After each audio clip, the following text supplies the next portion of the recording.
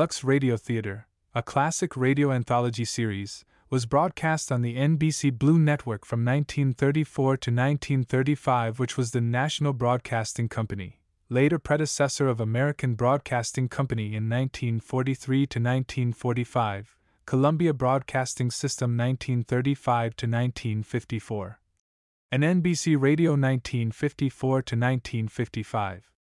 Initially, the series adapted Broadway plays during its first two seasons before it began adapting films.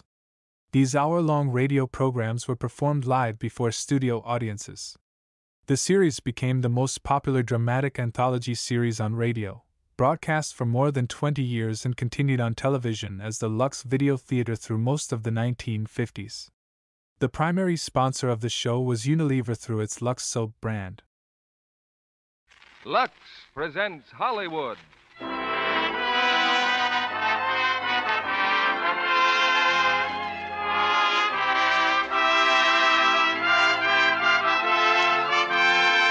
Lux Radio Theater brings you Dick Powell, Claire Trevor, June Duprez, and Mike Mazurki in Murder, My Sweet. Ladies and gentlemen, your guest producer, Mr. Irving Pichel.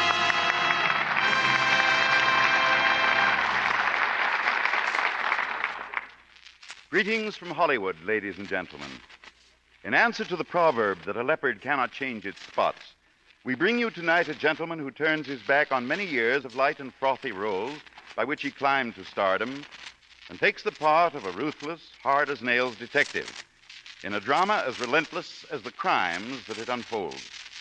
He's Dick Powell, hailed so enthusiastically as Philip Marlowe in RKO's sensational success, Murder, My Sweet. Co starred with him in her screen role as the fatal and mysterious Helen is Claire Trevor. Also, June Duprez, whose natural loveliness would lead us to expect a touch of romance in our play. And towering above our microphones is Mike Mazurki as the quietly alarming Moose Malloy. Four characters of widely different natures and conflicting motives, involved in one of the screen's most baffling and complex mysteries, a story that in its published form was one of the best selling thrillers of our time. Most of the action of Murder, My Sweet takes place right here in Hollywood, not too far from our stage. If you saw the picture, you've seen many Hollywood sights from Malibu Beach to Sunset Towers, from the skyline of Los Angeles to the canyons of our hills. Landmarks as native to Hollywood as the radio and motion picture studios from which these dramas come.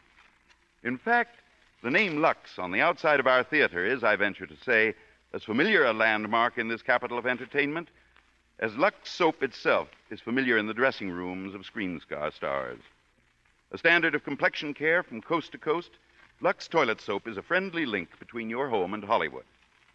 And now, we take you to the downtown section of our city and the first act of Murder My Sweet, starring Dick Powell as Philip Marlowe, Claire Trevor as Helen, June Duprez as Anne, and Mike Mazurki as Moose Malloy.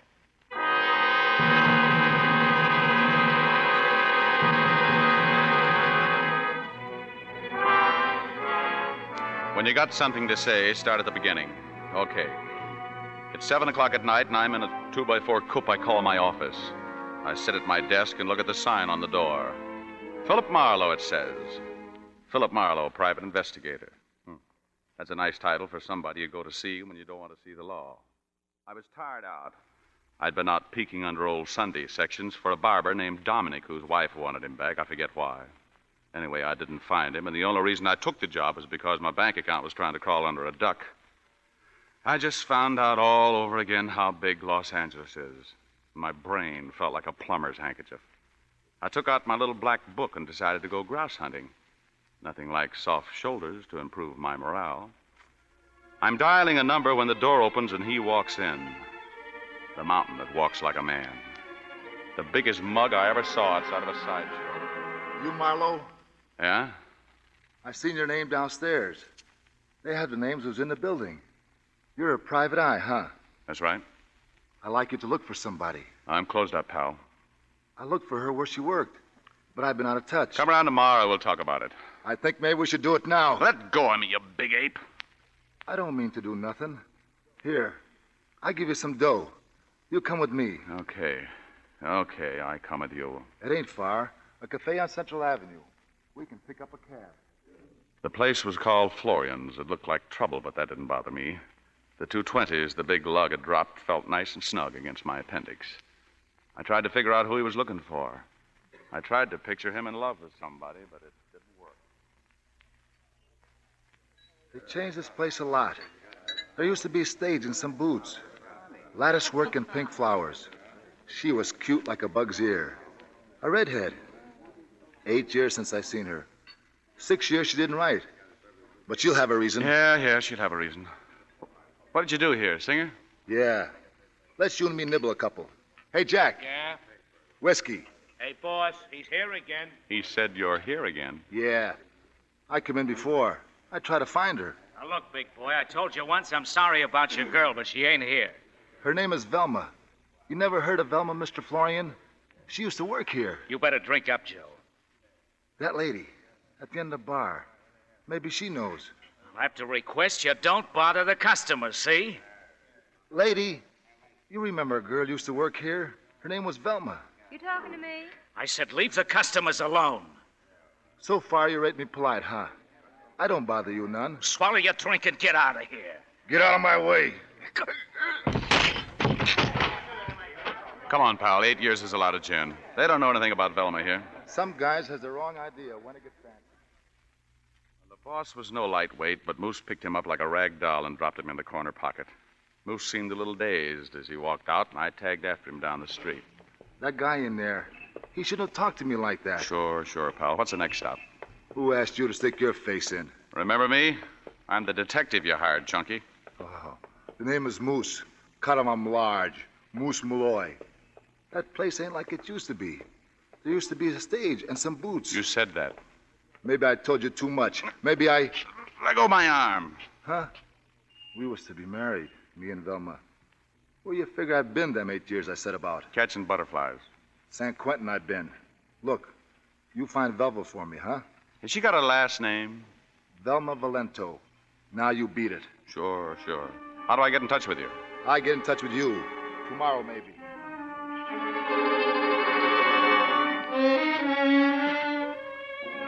So tomorrow comes, and I'm thinking about Moose Malloy and that bucket of mud look on the face of the boss in Florian's when I hear footsteps coming my way down the hall. Moose was coming back, except it wasn't Moose. It was another new customer. Good looking guy, well dressed, like a movie star. Mr. Marlowe, my name is Marriott. Come in, come in. Who put in the pitch for me, Mr. Marriott? Pitch? Oh, no one, no one. I, I saw your name in the classified section of the phone book. I'm in a clutch at the moment, Mr. Marriott. You're what? I'm busy. I couldn't take on anything big. What have you got in mind?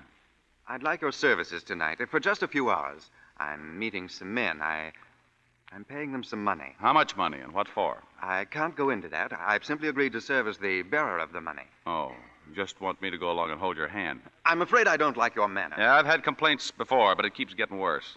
How much are you offering me for doing nothing? I hadn't got around to thinking about it. You suppose you could get around to thinking about it now? How would you like a swift punch on the nose? Oh, dear, I tremble at the thought of such violence. I, uh, I'll give you a hundred dollars. If that isn't enough, say it's so. enough. It's enough. This is all I can tell you. Some jewels were taken from a friend of mine in a holdup. I'm buying them back tonight. Where? I'm to drive my car to a rather secluded canyon near Malibu. Uh huh. We drive out there to buy back some jewelry for a lady friend. I didn't say that. Chances are that these men, whoever they are, don't intend roughing you up if you play ball. But they wouldn't like you being twins. Now, one of us might get hurt. No, Mr. Marriott, I'm afraid I can't do anything for you. I see. But I'll take your hundred bucks and tag along for the ride. One more thing. Yes? I carry the shopping money and I do the driving. Very well.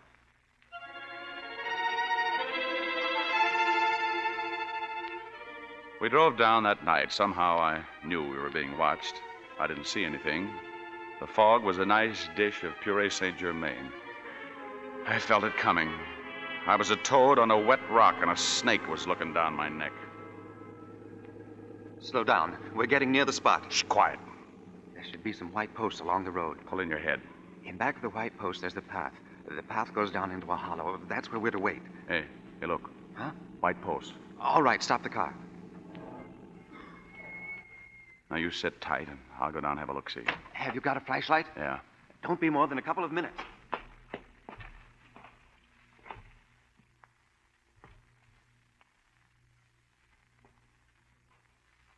There's nobody here, Marriott. This whole setup looks like a tryout, seeing if you obey orders. Let's pull around the corner and.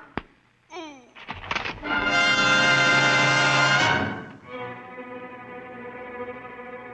I caught the blackjack right behind my ear and a black pool opened up at my feet. I dived in. It had no bottom. I uh, felt pretty good, just like an amputated leg. I don't know how much time went by. I forgot to look at my watch. But as I came to, I started to call for Marriott. Marriott. Marriott! Are you all right? What happened? Well, who, who, who are you? oh, Hey, come back here. Come back here.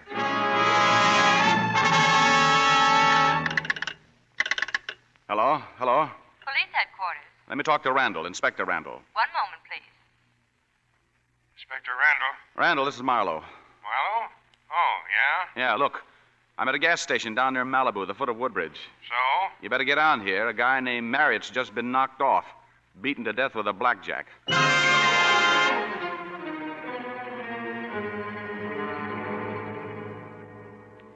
Randall, I told you a dozen times what happened. I'd like you to tell me again, here in my big, comfortable office. Who killed Marriott? An amateur killed him, or somebody who wanted it to look like an amateur. Nobody else would hit a man that many times with a sap. Ah, the oftener you go over it, the sillier it sounds. I'd sooner dig eggshells out of a garbage can than information out of you. Oh, I get it. You don't like me. Okay, I'll go home. Right after you start talking sense. For instance, For instance, you don't know anything about Marriott. You don't know how much money you were carrying. You don't know what it was supposed to buy back. Trusting soul, wasn't he? Now, where's the dough? where? Well, right after I beat out Marriott's brains and just before I hit myself on the top of the head, I hid the money under a bush. Ah. and that dame you claim you saw. Ah, she must have thought I was somebody else. She took one look and got out fast. Suppose a jewel outfit got the bright idea of using a private dick for contacts and uh, payoff. Oh, great, great. Now I'm a finger for a heist mob. Look, I'm trying to be helpful. I get up off the nice cold ground. I don't use the car because Marriott's still in it. I walk five miles just so you can be the first to hear the news. I wait for you at the beach and lead you straight to the body so you won't have to wait till next Christmas to find it. I tell you all I know. It sounds screwy. It is screwy, but it's all I know. Sure. Now I'm tired of your bum guesses. Either book me or let me go home. Marlowe, you'd slit your own throat for six bits, plus federal tax. Now look, Randall. Go on home and keep your big yap shut. One phony move and you'll be locked up as a material witness. Whoever killed Marriott, I'll get him. Yeah, you'll get him. About the time you get your third set of teeth. And stay away from Marriott's pals. I've been after those boys for a long time, and I'm getting close. So watch your step, or I may have to pick you up in the same basket with Jules Amthor. Yeah? Hey, is Jules Amthor mixed up in this? Oh, so you know Amthor. I know lots of people in this town, but I never heard of Jules Amthor. Bad guess, Inspector. Good night, Randall. And keep away from the newspapers. I'll do the talking.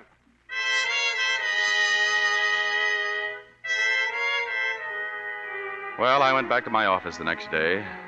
I didn't want to be there because my head felt like a nest of rivets. One of my clients was dead, but the other one was still alive, Moose Malloy. And I figured he might be looking for me. Early in the afternoon, this kid walks in. Yeah? Business is getting better and better. Prettier. my name is Ann Ellison, Mr. Marlowe. I'm a reporter from the Post. Oh, have a seat, Miss Elton. Police haven't been very helpful on the Marriott murder. I was wondering. There's a question I always ask. How did you know about me? Oh, friends at City Hall. Uh, tell me, did Marriott tell you who owned the jade he was buying back? No. No, he, he didn't. Had you known him long? Married? A couple of weeks. Why? Well, I just wondered if you had any theories about about what happened or what was supposed to happen. Oh, I've, I've got a couple, yeah. Say, this is a nice looking purse. Just what do you mean by opening it? I'd like to prove another theory that you're not a reporter. Why do dames carry so much stuff in a pocketbook? Give it to me. I was looking for a driver's license, but your bank book will do. And the name on this bank book isn't Allison at all. It's Grail. Anne Grail. Please. Oh, you're a hot rock, baby. I could toss you to the cops. Last night, all I could tell them was that Marriott was buying back some jewelry. You could knock their hats off for that line about the jade. Tell me, Miss Grail, have you ever known a girl named Velma Valento, a singer? I never heard of her in my life. Oh, well, it's just a shot in the dark. Besides, it's another case. I was just hoping. Who does that jade belong to? What's your interest in it? My interest? Well, Marriott gave me a hundred bucks to take care of him, and I didn't. I'm just a small businessman in a very messy business, but I like to follow through on a sale. The jade belongs to my father. Oh, I gathered from Marriott that the jade belonged to a lady. My father happens to be married. Oh, oh.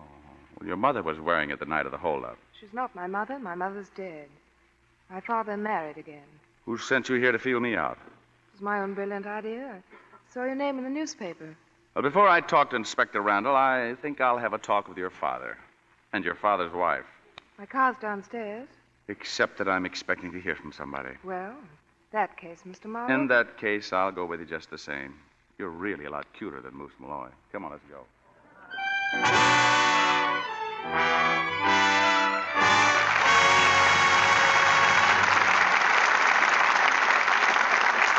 Before Dick Powell and his co stars return with the second act of Murder, My Sweet, we take you to where there's a local war bond rally going on. And Mrs. White is curious about one of her fellow workers. Uh, Jean, stop here a minute, will you? Tell me, who is that attractive woman in charge of the next booth? Oh, that's Mrs. Jennings. Lovely looking, isn't she? Her daughter's a classmate of my Susie at college. Oh, now, Jean, don't tell me she's old enough to have a 20 year old daughter. Why, she looks like a girl herself. It's her skin, I think. I've never seen her when her complexion didn't look like that. So soft and really fresh. Well, that's what a lovely Lux complexion does for a woman. Makes her look radiant, appealing.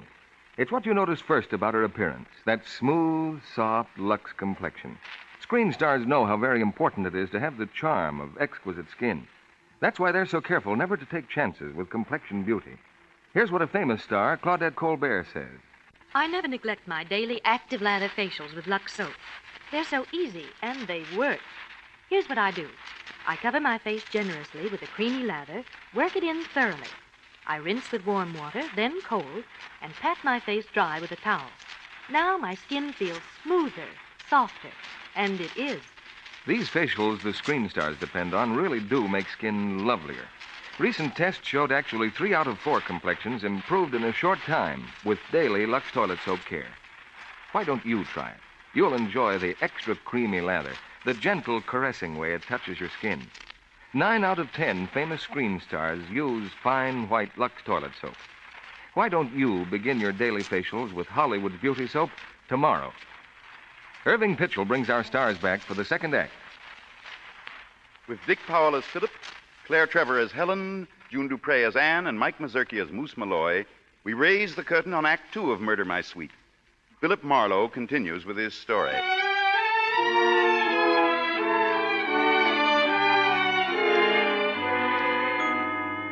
This girl, this Anne Grail, she drove me to her father's place in Brentwood, a cozy eight or nine acres.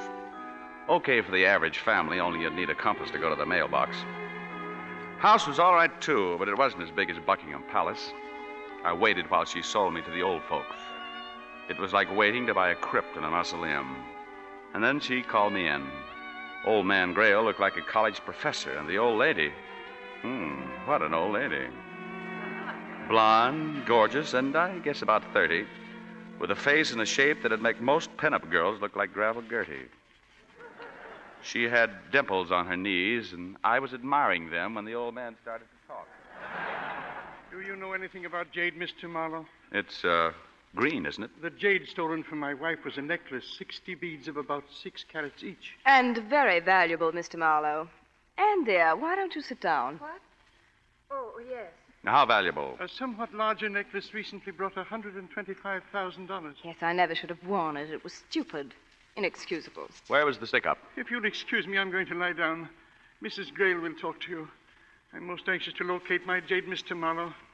I can only hope it can be managed without any publicity. Wait a minute, Father. I'll go with you.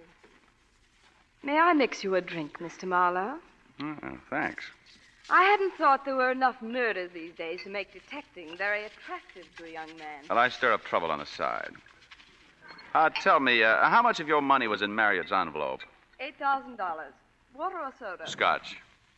We assumed they'd never guess its real value. Who knew you were going to wear the necklace that night? My maid, perhaps. But I trust her implicitly. Why? Because I trust some people. I trust you. Did you trust Tom Marriott? In some things. You're not drinking, Mr. Marlowe. I thought detectives were heavy drinkers. Well, some detectives just encourage other people to drink.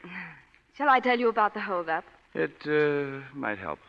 Well, I'd been out dancing, and Tom was bringing me home. Where were you stopped? Oh, near here. Does it matter a lot? Oh, not too much at the moment, no. How many other guys take you out dancing?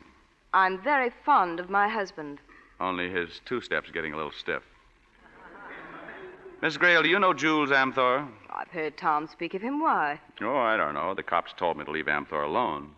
Is he a bad boy? A lot of Tom's friends are, I'm afraid. Tom was rather a heel himself, but a nice heel. You don't know how horrible I feel. Why? Why? Because I'm responsible. I asked Tom to try to buy the necklace back. Oh, I, I just can't understand the whole business. All they took was the necklace. I was wearing a ring, too, but they didn't want the ring. Uh, about Jules Amthor, wh- what's his racket? Well, he's sort of a psychic consultant. I think he's a quack. Tom went to him because he was all mixed up. He he couldn't get started for fear of failure. I wonder if he'd take my case. That sounded like the door closing. It was. Anne's been standing there. Oh, strange child. Mr. Marlowe, you will help me, won't you? Why? Because you like me, or you're you paying me something in money? Well, I've never hired a detective before. What are the rates? As much as the traffic will bear. How do I find Amthor? Well, he's really quite inaccessible. Yes? Mr. Amthor is here, Mrs. Grail. Well, show him in. Well, don't look so smug. He really is inaccessible. I didn't have the faintest idea he'd be coming. Mr. Marlowe, how do you spend your evenings? I'm in the phone book. Mrs. Grail. Oh, come in, Mr. Amthor. This is Mr. Marlowe. Oh, how do you do? Mr. Marlowe is a private detective. He was with Tom when. when it happened. Oh? I was hired as a bodyguard and bungled the job. Now it's myself I'm investigating. Oh, these things are so difficult to believe. What could have happened? I've got a couple of notions. Would you like to help me work them out? Oh, I'm afraid I. I wouldn't make a good detective, Mr. Marlowe, and I'm. Yeah, I know, I know. You're inaccessible. The police told me to keep away from you. You look harmless to me. I'll be very glad to arrange an interview. Just leave your number with Mrs. Grail. Well, don't go to any special trouble. I'll bring my own crystal ball. Hey, how do you get out of this fun house?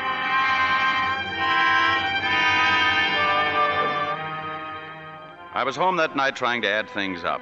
Moose Malloy, Marriott, Helen the beautiful blonde, and Jules Amthor. I put it all together and it just thumbed its nose at me. I decided to go down to Florian's Cafe and split an infinitive when the boss, when the buzzer changed my plans. I had a visitor, Helen Grail. I just dropped in because I thought you'd be interested in what Amthor had to say. Oh, and here. Shall we call this a retainer? Yeah, let's call it a retainer. Mr. Marlowe, do the police know about me? Would that bother you? Well, my husband has a morbid fear of publicity, and, and he's not at all well. Oh, I'll manage it. Now, about Amthor. Oh, please. I don't like being rushed. I was hoping we could go out somewhere. Do you like the Coconut Beach Club? I've never been there. I'm the drive in type. the lights there are very flattering. They'd even mellow you a little, I think. But it's the sort of a place where you're expected to wear shoes and a tie. Hmm. I'll be right with you. We went to the Coconut Beach Club. We had a table in the corner. She gave me that dreamy smile and started asking questions. You know, you've got a nice build for a private detective. Oh, it gets me around. How does one get to be a private detective? you don't mind my sizing you up a little? But most of us are ex cops. I worked for the district attorney. Got canned. Surely not for incompetence. Uh, for talking back. I had an interesting childhood, too, but you didn't drop in on me to get a biography.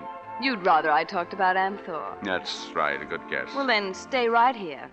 I've got to powder my nose, and then I'll tell you all about it. Well, just be back before I get stuck with a check.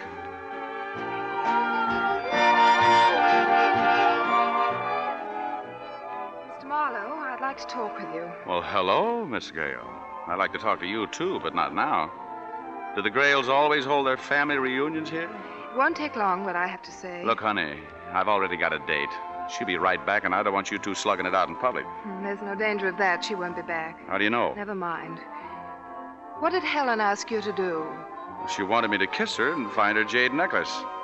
I may have the order wrong, but that's the general idea. Well, whatever she was willing to pay you, I'll pay you more. Just stay away from her. Why do you look at me like that? I don't know. I seem to remember you from one of my better dreams. You, you, you know, if I. Now, what are you looking at? I'll be right back.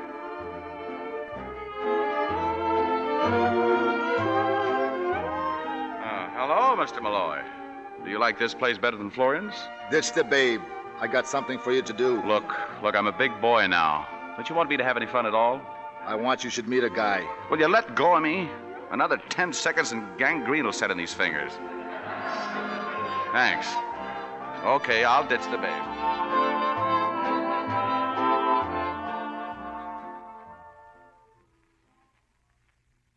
I couldn't ditch the babe. The babe had ditched me.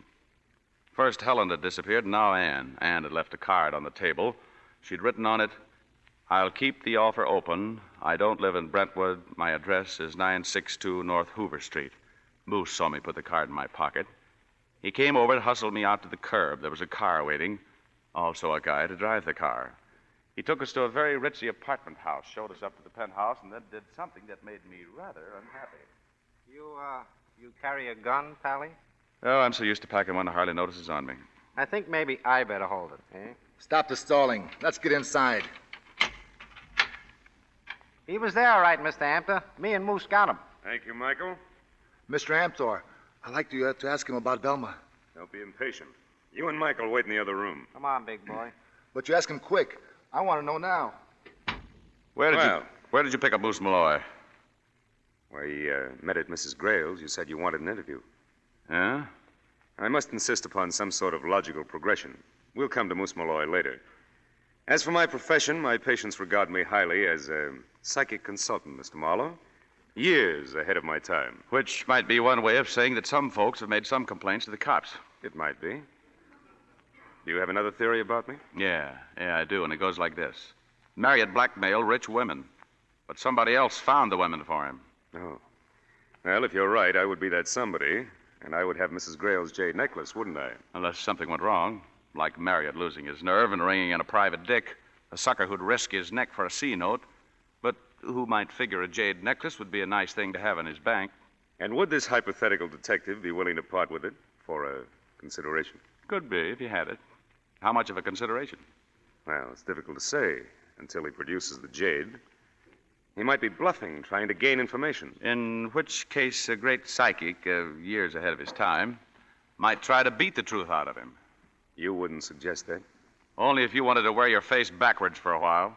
No, no. There's no need for us to be at each other's throats, Mr. Marlowe. And there's really no need for subterfuge. Putting it on the simplest and friendliest terms, I want that jade. I suppose I don't have it. I suppose I don't want to sell. You got him to tell you yet? No, Malloy. I asked him where Velma is. He refuses to tell me. Now, wait a minute. I don't like you not telling me where you got Velma. Well, if Amthor told you I know where Velma Valento is, he's nuts. He just picked you up to do his dirty work. I gave you some dough to find her. Well, keep your shirt on and stop dancing me around. He's lying, Malloy. He knows. Where you got her? I haven't got her, you dimwit. You shouldn't have done that. You shouldn't have hit me. All right, now, the two of you. Stay just where you are. What do you got to pull a gun for? Where's that necklace, Marlowe? If you tell me, I can stop Moose. I don't know. Very well, Moose. He's yours. Make him talk. So Moose went to work. Those fingers went around my throat tighter and tighter. That black pool opened up at my feet again, and I dived in. The rest of it was a crazy, cold cut dream. I was going somewhere. I'd never been there before. I was drugged. Somebody had filled me full of juice. I was in the land of poppies, and I met a lot of interesting people. Necklace, Mr. Marlowe. Where is the necklace?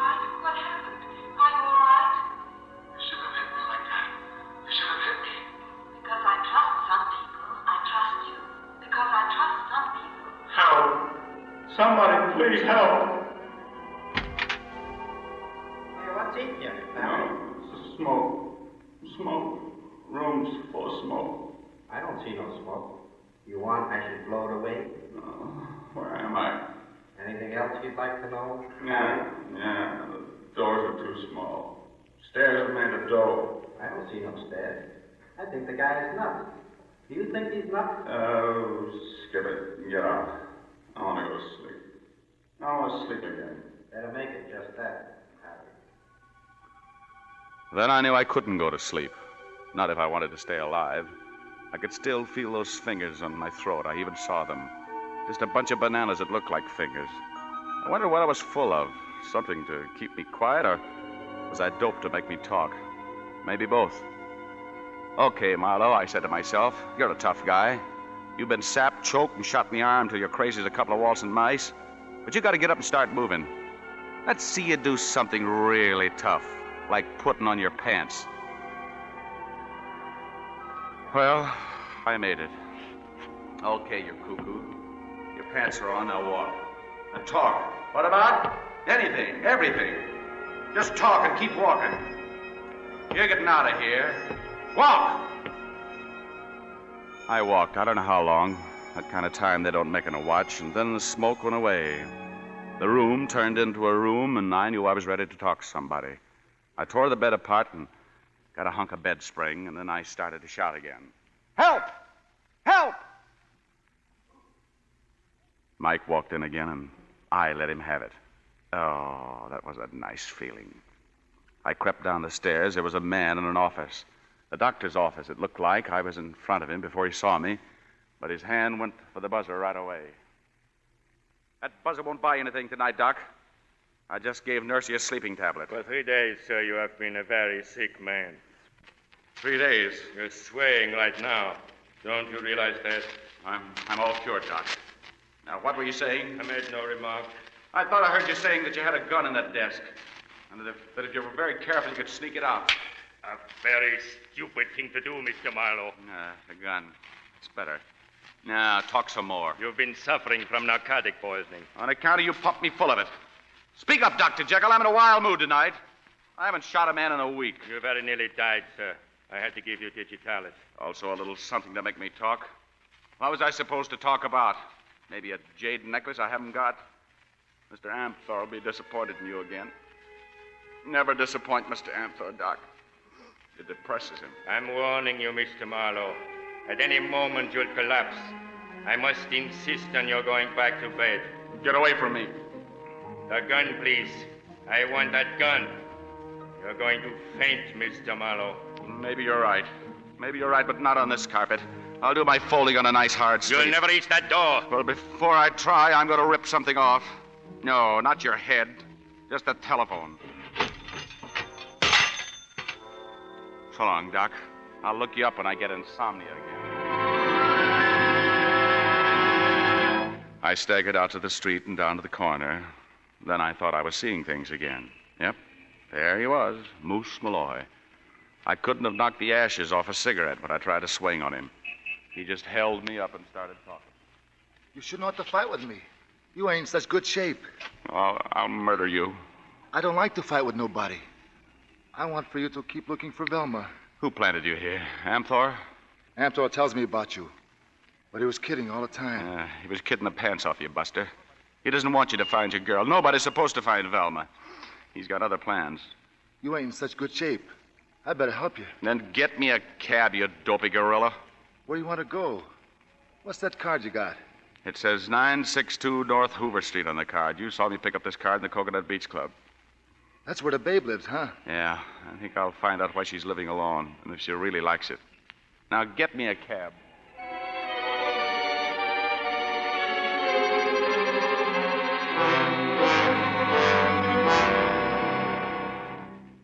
What are you doing here? What do you want? Black coffee, Miss Grail. Eggs and a scotch and soda. You're drunk. You better get out before. Hey, this is a nice place here. Is there room for you in the Brentwood Palace, or don't you like it out there? Why did you come here? Because the cops may be looking for me and I'm not ready to talk. If you're not drunk, why do you look the way you do? Yeah, ask the second Mrs. Grail. She fixed up a blind date for me with Jules Amthor and a couple of his whipping boys. What happened? Are you all right? Oh, I don't think I'm supposed to be alive. Um, say that again. Say what again? The last thing you said. I said, what happened? Are you all right? Miss Grail, what were you doing out there in the canyon the night Marriott was killed? I was lying on my face when somebody threw a flashlight and asked me if I was all right, and then she said, What happened? Yeah, a girl with red hair and a crooked nose and a nice figure. Yes. A girl named Anne Grail. I didn't kill Marriott. You weren't out there just taking a hike. I didn't kill him. I'd say you overheard Marriott and your stepmother making some sort of arrangements about the jade. What if I did? You knew Marriott had been holding hands with her, and you didn't like that. I hate her. And you hated him, too. You hated anybody that had anything to do with Helen, so you bumped him off. You killed Tom Marriott. I didn't. I didn't do it. I didn't.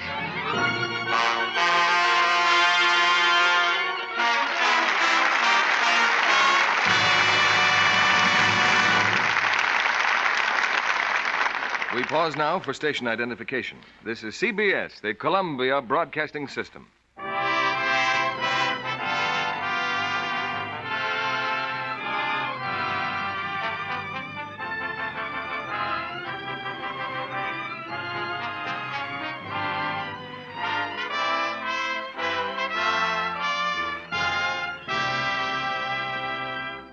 A brief intermission before our stars return in the third act of Murder, My Sweet. Meanwhile, it's 2.45 of a bright afternoon, just the day for Mary to be hard at work in her victory garden. There, that'll hold those pesky weeds for a while. Hello, Johnny. Telegram for me? What in the world?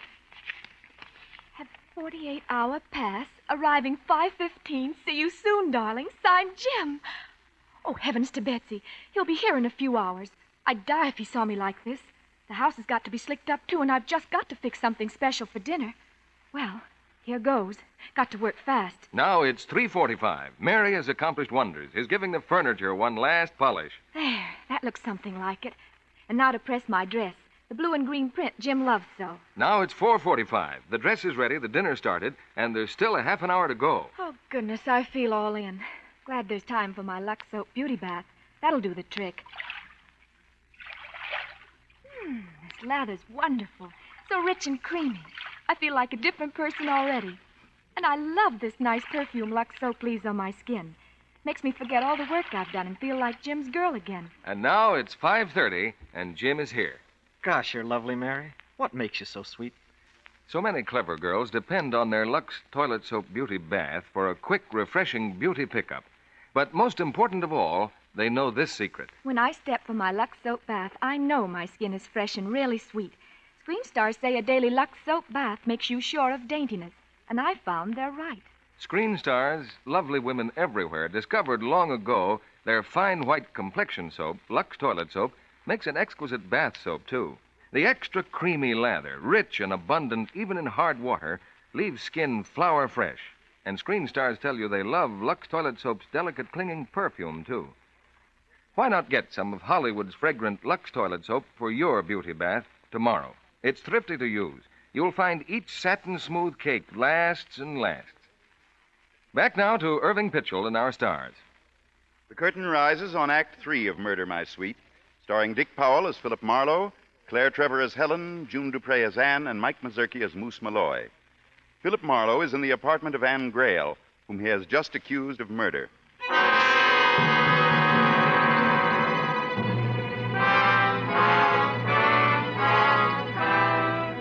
Stood there in Anne Grail's apartment and accused her of killing Marriott. I was sure she hadn't done it, but I had to find out what she knew. I know just what you're thinking. If I didn't kill him, my father did. And if he did, you'd do anything to protect him. No, no, he couldn't do such a thing. Uh, I, don't, I don't buy it either yet. I, I was just trying it on for size. Won't you please go home? I, I'm expecting a date. I... I, I can't go home. There's a very stubborn character named Inspector Randall. And if he isn't on my doorstep right now waiting to pick me up, then two of his stooges are. So relax it. Hey, your date? Probably. Wait here. Tell him you've decided to have a quiet little supper with me. Yes? My name's Randall. I'd like a word with your boyfriend. Oh, I was just talking about you, Inspector. I've been looking for you for three days. Pull up a chair. Miss Grail was about to fix some soft boiled eggs and scotch. You wouldn't join us. Last time I saw you, I gave you some good advice. I guess it didn't take, huh? I didn't bother Amthor. I was going to, but I didn't get around to it. He got to me. Yeah, gave me quite a party. How'd it go? What'll it buy me? This is straight, Randall. You'd like to get Amthor, and I'd like to help you. He annoyed me a little. I'm listening. Well, Amthor's a tough turkey. Works some kind of blackmail routine on dames who come to him with problems.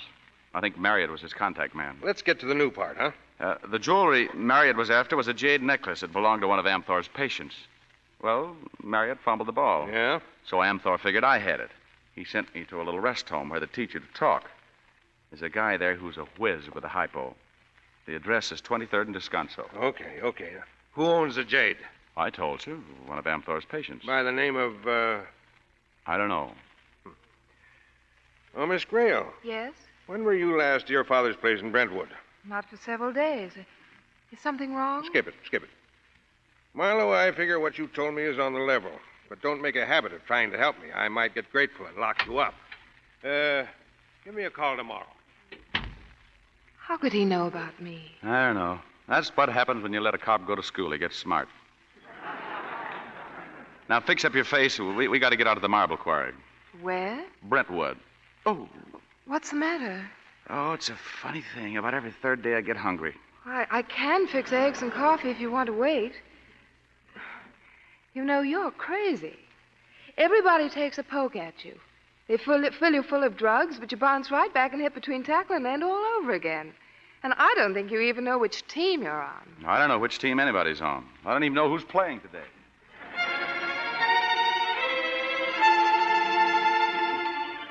At Brentwood, we saw Mr. Grail, and I've seen healthier looking gents in the county morgue. His face was gray with worry. Something was eating him. More important than a missing jade necklace. A missing wife. Helen left yesterday. I haven't heard from her since. And have you seen her? Have you? No, dear, but maybe. Well, maybe she went to the beach house. Beach house? It had been rented to Marriott indirectly through the bank. I think I'd better have a look at it. This whole thing has gone too far. Oh? Or maybe it's coming too close to home. Mr. Grail, I don't say you killed Marriott, but you could have. For a good old fashioned motive. I did not kill him, Mr. Marlowe, but I say it is better that he is dead. I'm not concerned if the police suspect me. I'm concerned about my wife. I, I'm losing her. Father. And that is why I say all this has got to stop. You'll drop the case, Mr. Marlowe. I'll pay you well. Oh, fine. I get dragged in, get money shoved at me. I get pushed out, get money shoved at me. Everybody pushes me in, everybody pushes me out. Nobody wants me to do anything. Uh, okay, skip it. I'll put a check in the mail. Yeah, well, I cost a lot to do nothing. I get restless. Throw in a trip to Mexico. Father, where are you? Stay here, Why? because I want a key to that beach house. But you just told him. I can't stop now. Do the cops stop? Does Helen stop? Do you stop? What do you mean? Does does Helen stop? Oh, I don't know. If I always knew what I meant, I'd be a genius. You're vicious. You get some horrible satisfaction seeing people torn apart. Sister, you're hanging on to something that's going to smack you hard. If I stick, it smacks you sooner, sooner and cleaner. Maybe that's why I'm sticking. Oh, but I'd stick anyway, because a guy who hired me got killed. I'll I'll get you the key. We went to the beach house. Things happened there. Some of them I can explain. One thing I can't. After we took a, lo- took a look around, Anne and I were standing there in the dark, looking out that big front window toward the ocean, and before I knew it, we were in a clinch. Oh, it's nice to kiss a girl like Anne Grail. I told her she had a cute little face, even if her nose was slightly crooked. It isn't crooked. Just has a bump on it where I got hit with a baseball. I used to play shortstop. Philip, Yes? what about my father? If we don't find I'm going to make you mad now, baby. But here goes. Your father really loves Helen. When I came along, you were afraid she might turn me into another Marriott.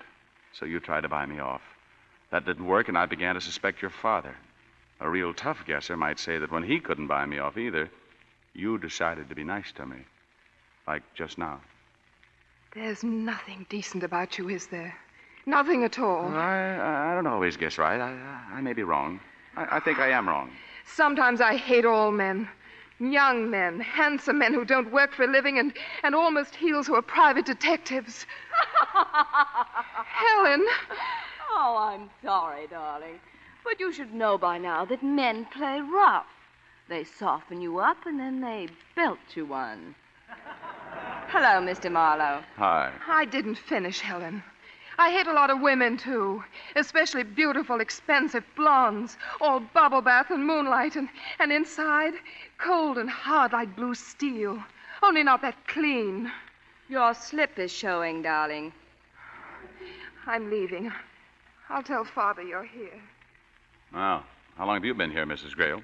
Since yesterday. You just happened to leave the Brentwood place before the cops dropped in on your husband? Oh, please. Look, you hired me to get your necklace, so you stand me up at a corny rum joint and tell Amthor. I'm sorry. I, I thought you might have had the jade. Please, please don't blame me. You could have had it. What Amthor did, was it bad? Uh, it almost made me mad. No. Now, just what goes between you two? Well, he's blackmailing me. Well, that much even I can figure out. My husband is in love with me. I'm I'm fond of him, and I'm grateful, but I find other men very attractive. I imagine they meet you halfway. I met Amthor through Tom Marriott. He's smart. He does know psychology. He got me talking, and of course I talked too much. He uncovered something, and the blackmailing started. I think if my husband had found out, it would have killed him. So you agreed to give Amthor the necklace? But before I could, it was stolen. By Marriott? Must have been. Amthor probably came to the same conclusion. He decided to kill him, and that's why Marriott wanted you for protection. All right, I'll, I'll buy it up to there. What happens now? I want you to help me kill Jules Amthor. Don't you see? You're the only one I can turn to. It's the only way I'll ever have peace. He'll never be satisfied, even if he does get the jade. Why me? Because I have a gun or just because I wear pants? Oh, please, please, I need you so. I need help and peace desperately. I need you. Have you got anything worked out? Yes, but Amthor's disappeared. Uh, Maybe I can find him. Well, then tell him you've got the jade and you're ready to sell. Then what? Well, that's my part. All right, uh, I'll dig him up. Oh, you're. You're wonderful. How would you like not having to earn a living? Wouldn't bother me a bit. When will you be back? Uh, I may have a time finding him. Maybe not till tomorrow night. Oh, would you mind kissing me goodbye? No, Please. I wouldn't mind at all.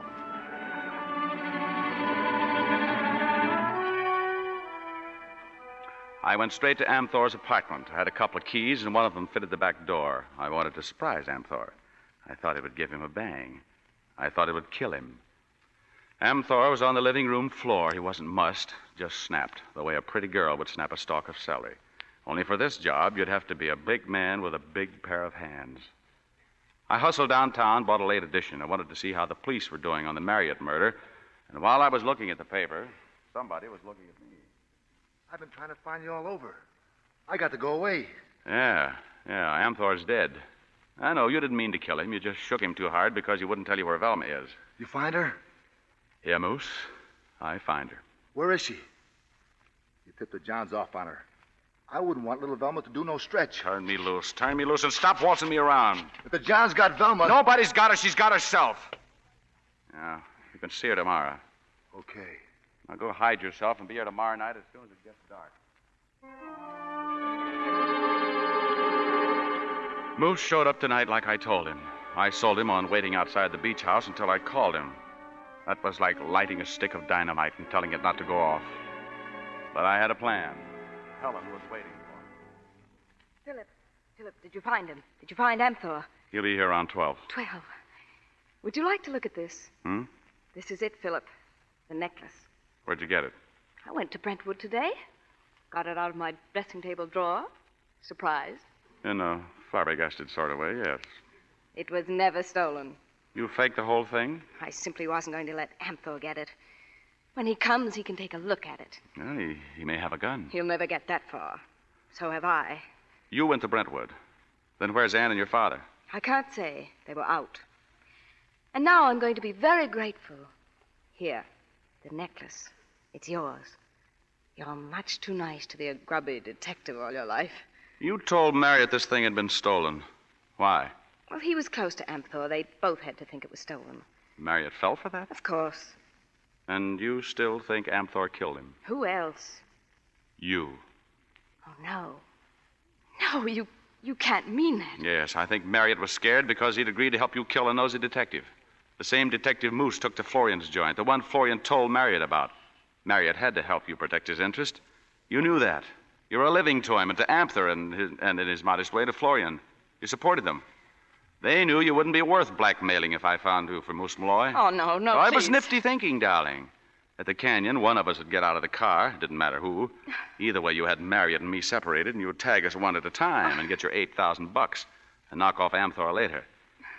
Yeah, it might have worked, too, if it hadn't been for Anne chasing down there after you. Of course, my head's pretty hard. It's true. It's all true. Everybody was closing in on me. I didn't know which way to turn. And it almost worked, sister. I was almost as dead as Marriott. But killing a man with a blackjack, oh, that's no work for a lady. Well, after after it happened, I I didn't know what you would do. But now I'm I'm so close to peace. So close. Just just a Amthor. But I can't face it alone. Don't desert me now. Sure. Amthor blackmailed you. He's got something on you, only it isn't what you told me. It isn't just men.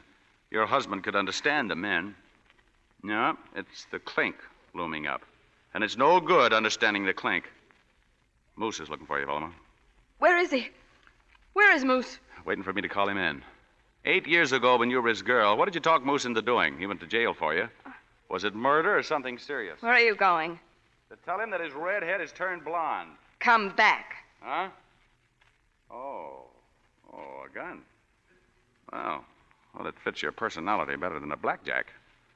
And the pearl handle goes swell with your fingernail polish. You know, it's too bad it has to be like this. Don't move. Who is it? Well, well, come in, come in. Darling, that gun. What are you. Close that door, Anne. Your timing, dear, gets worse and worse. We've been listening. Why didn't you tell me you were in such trouble? I wanted to spare you. I might have been able to prevent all this. Now, of course, it's too late, Mr. Marlowe. I see your point. Helen, if Mr. Amthor is coming, I think perhaps you'd better do it quickly. Father. Get inside, dear. Keep your hands up, Mr. Marlowe. I'll have to take your gun. I'll be with Anne, Helen. Oh, all by ourselves again. Yes.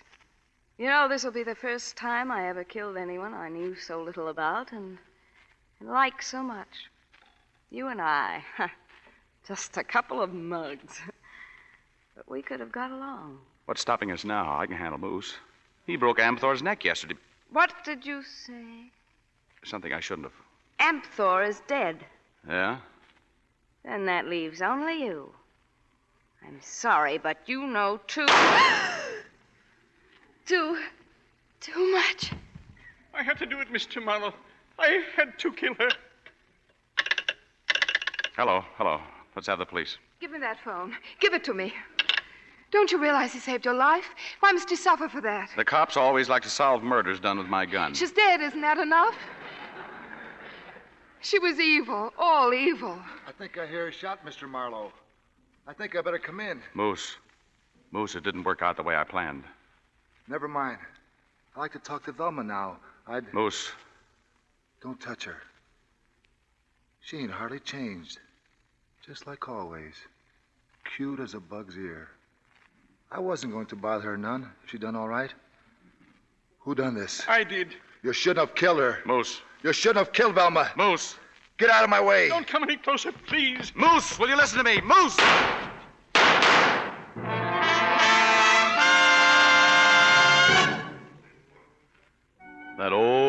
Black pit opened up again right on schedule. Blacker than the others and deeper. Well, that's the works. That's all I know on account I didn't see so well with my eyeballs scorched. They didn't keep me long at the hospital.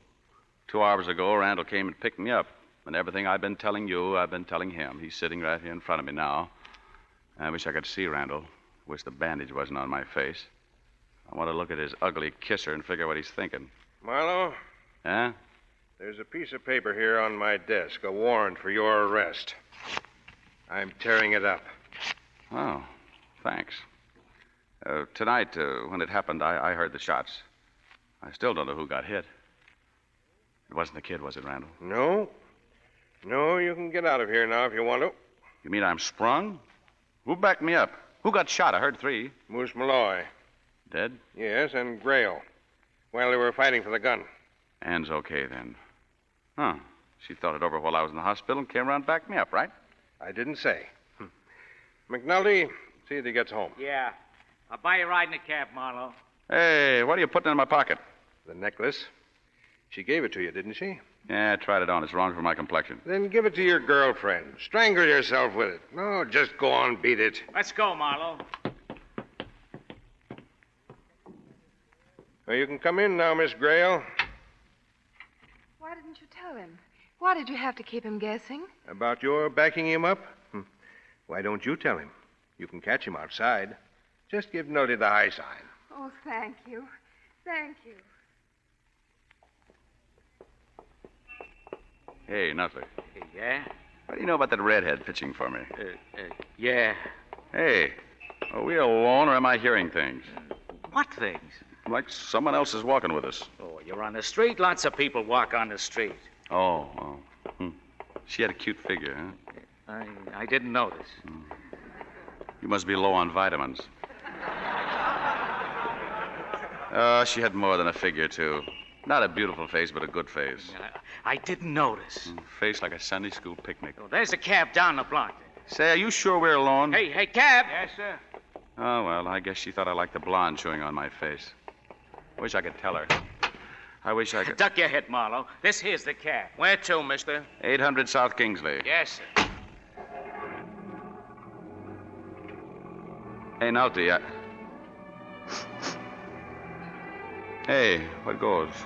If I didn't have these bandages over my You eye. going to the same address, too, lady? Uh, Nulty, I haven't kissed anybody in a long time.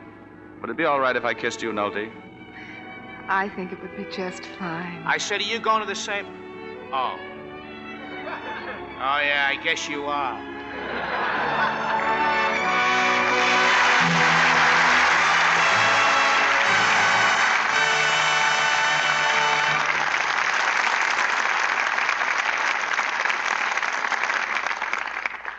Now that we've cleared Dick Powell of murder, the rest of our cast can get back on their feet and join him at the footlights for a curtain call. You should have been in tonight's cast, Irving. You used to play in pictures. Well, thanks, Dick, but I'm too old to go through what you went through in tonight's play.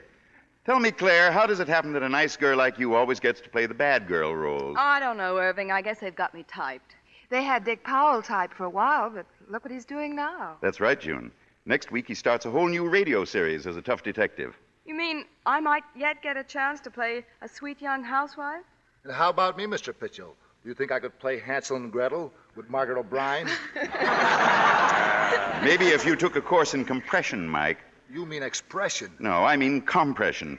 Or else learn to walk on your knees and keep your hands behind your back. Uh, well, what do we do with June Duprez, Irving? Well, we just pat her on both cheeks and tell her to stay as sweet as she is. Oh, now here, you aren't falling for that Lux complexion pitch. Why not? Other men have. That's right, Irving. That's why so many of us use Lux toilet soap. Look, uh, Pitch, while we're getting everybody out of acting ruts, what, uh, what sort of a role would you give yourself if you went back to acting? Well, you were mostly a heavy in pictures, weren't you? Yes, and I rather fancy myself in a light musical comedy part. You know, the kind of bright young chap who sings, Smile the while, let a smile be your style. You. Look, Irving, I, I think you'd better stick to making pictures. Incidentally, I understand from Paramount that you did great things with a medal for Benny. Well, I had a good story there to work with, Dick. A homeboy whose rival in love is an overseas hero. And a good cast. I'm looking forward to it, Irving. But uh, tell me, what do you have on Lux next week? Well, for next week, we have an altogether charming story with a most delightful cast The Canterville Ghost, starring Margaret O'Brien, Charles Laughton, and Tom Drake. Take a group of high spirited American commandos, billet them in an ancient British castle where their hostess is Lady Margaret O'Brien, and then haunt that castle by the most notorious ghost in England, and you have the elements of Metro Goldwyn Mayer's entertaining and extraordinary comedy. The Canterville Ghost can haunt my house next Monday, Pitch. Good night. Good night. Good night, and all our thanks. This week, America salutes the Army's famous Quartermaster Corps on its 107th anniversary. The oldest supply branch of the armed forces, the Fighting Quartermasters, are seeing to it that American soldiers are the best fed, best clothed, best cared for fighting men in history. Theirs has been a gallant contribution to the cause of freedom.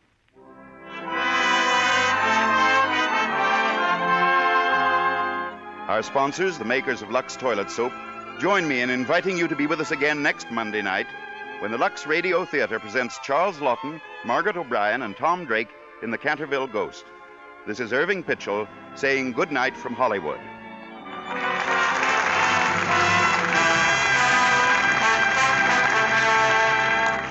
Every day, as the war against Japan increases in intensity, the need for waste fats and greases grows more critical.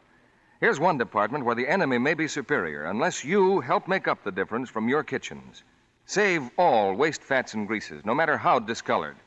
Keep a clean can in which to strain them and take them regularly to your butcher. Remember, for every pound, he'll give you four cents plus two extra meat points. Murder My Sweet was presented through the cooperation of RKO Studios, producers of Enchanted Cottage. Dick Powell appeared through the courtesy of the Fitch Bandwagon and will shortly be seen in the RKO picture Cornered. Claire Trevor will soon appear in RKO's Johnny Angel. Mike Mazurki is currently working on the RKO version of Dick Tracy. Heard in tonight's cast were Cy Kendall, Gerald Mohr, Robert Regent, Norman Field, Eddie Marr, Dora Singleton, Charles Seel, Ed Emerson, and Leo Sharon. Our music was directed by Louis Silvers. This program is broadcast to our fighting forces overseas through cooperation with the Armed Forces Radio Service. And this is your announcer, John M. Kennedy, reminding you to tune in again next Monday night to hear The Canterville Ghost with Margaret O'Brien, Charles Laughton, and Tom Drake. From Hollywood, the Hollywood Radio Theater.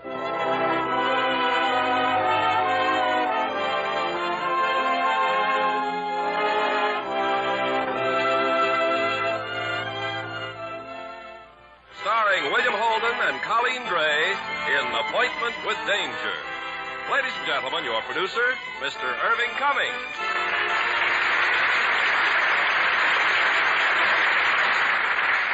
Greetings from Hollywood, ladies and gentlemen.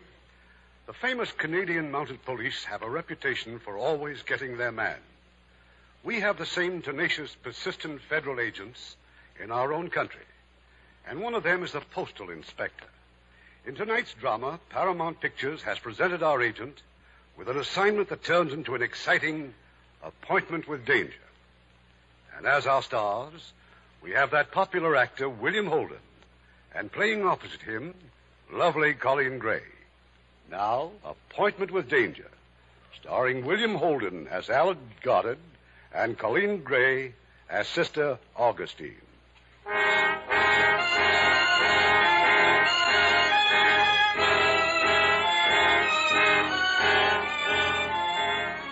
United States Post Office is the biggest business in the world. Every year it handles 45 billion pieces of mail and enough money to pay off the personal debts of everyone in the country. Policing that activity is the job of 800 postal inspectors. This is an account of one of those jobs, and it begins in LaPorte, Indiana, where a few hours ago the body of Inspector Harry Gruber was found in an alley. And now in the city post office. All right, Al. What you say makes sense, I suppose. Gruber was either drunk when they strangled him or asleep. But he never drank, so he must have been asleep. Here in LaPorte? Well? I don't believe it, Maury. He was killed somewhere else and brought here. That could be any place. Gruber was on a floating assignment all over Indiana. Yeah. Well, it's a rat race now. Until we find that nun. Nun? Oh, you uh, you mean one of those sisters? That's right. She was passing that alley last night. She saw two men walking with Gruber, supporting him.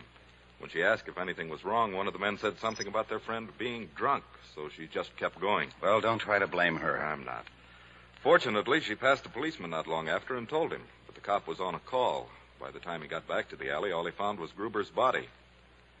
Mm-hmm. What about that nun? Where is she? We don't know. The police have checked every nun here in LaPorte. Not one of them was anywhere near that alley last night. Well, did they bother to check the railroads? Railroads, planes, and buses. Nothing. Well, she's got to be around someplace.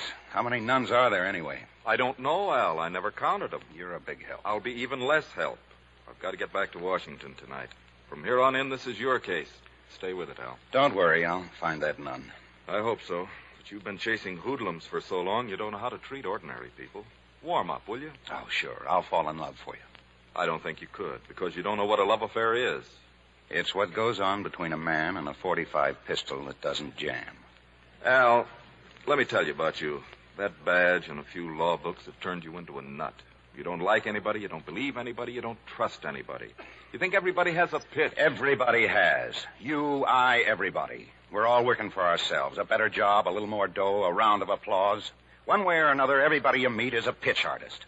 Uh, skip it. Just keep me posted.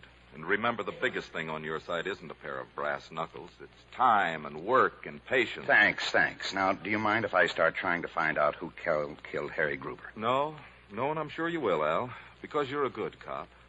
But that's about all you are.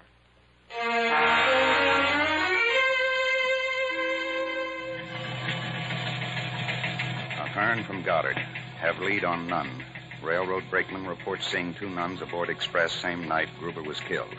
Train was en route to Fort Wayne, and so am I.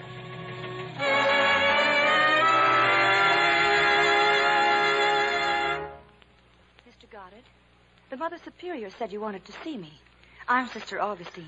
I've been looking for you for three days, sister. I'm a post office inspector. Oh, how nice. I'm here investigating a murder. Oh. Well, I'm sure we wouldn't know anything about that. This is a school, Mr. Goddard, an academy. Yes, I know.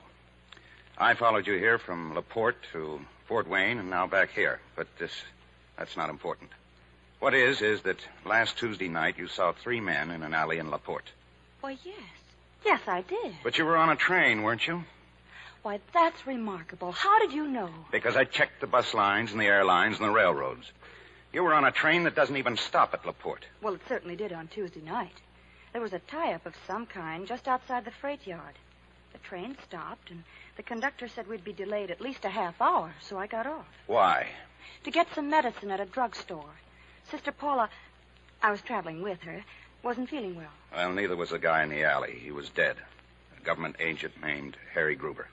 Oh, how terrible. Did he have a family? What's the difference, sister? He's just as dead either way.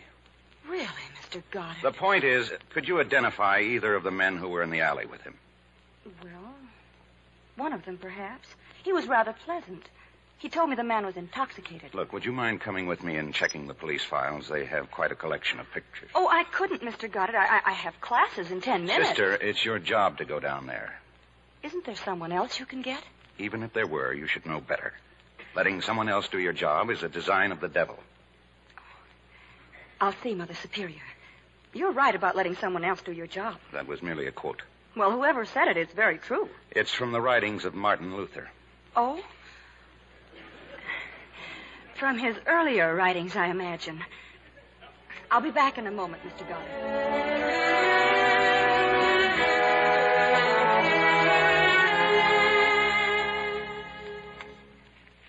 Oh, dear. I've never seen so many pictures in my life. It's so hard to believe these men were once children, little boys. Nice little boys, too. I'm not so sure how nice they were, even as little boys. They just didn't get the proper training. This one did. It says here that he studied to be a carpenter. Then he murdered somebody with a hammer. Mr. Goddard, I don't think that's the least. Oh, Well, this one. I think that's the man I saw in the alley. Yes, I'm sure it is. George Soderquist, huh? Now, let me have that card. Sergeant, Find anything? fellow named Soderquist. Do you know him? No, afraid not. What's his record? Three arrests, armed robbery, one conviction. Last known to be in Gary, Indiana. I'll put a call through to Gary right away. I'll give him a rundown. And also, uh, tell him I'll bring uh, Sister Augustine as long as an identifying witness. Oh, I'm afraid the church authorities would frown on that, Mr. Goddard. If we can't find Soderquist, I'll. Don't worry, I'll have you back here in no time. I'll have Washington contact your bishop. Meanwhile, Mr. Goddard, I'm returning to my classroom. You do that, sister. I'll pick you up as soon as I get an okay.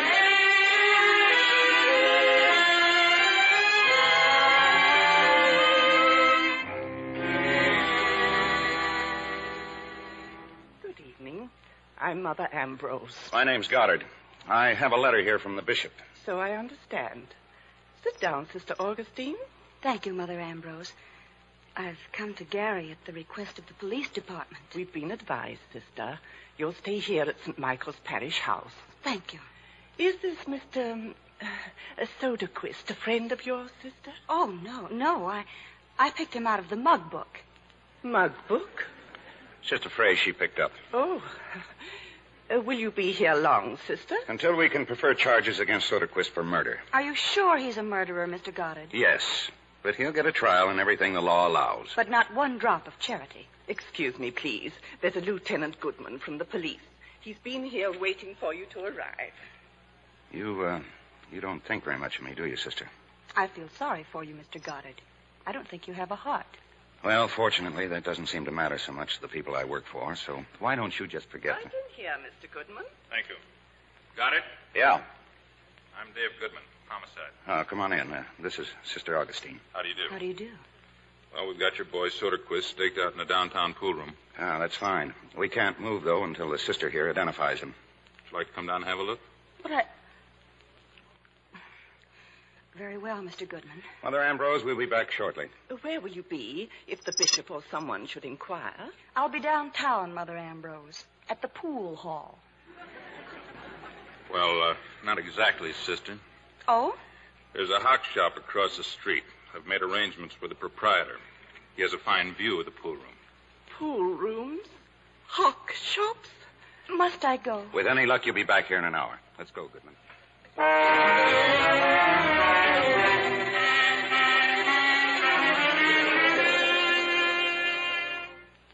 Take another look across the street, sister. We've got to be certain. But I've told you he's the man. The one wearing the coat. That's Soderquist, all right. Well, whoever he is, he's the man who spoke to me in that alley in Laporte. And now I'll, I'll go back to the Parriage house if you don't mind. Just a minute. That uh, man with him. What about him? I don't know.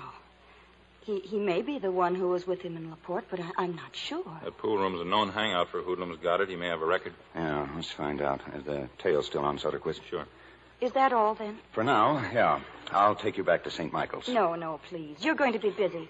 I'll just get a taxi down at the corner. It's no trouble at all. Alone? Well, I don't think you should. Good night, gentlemen.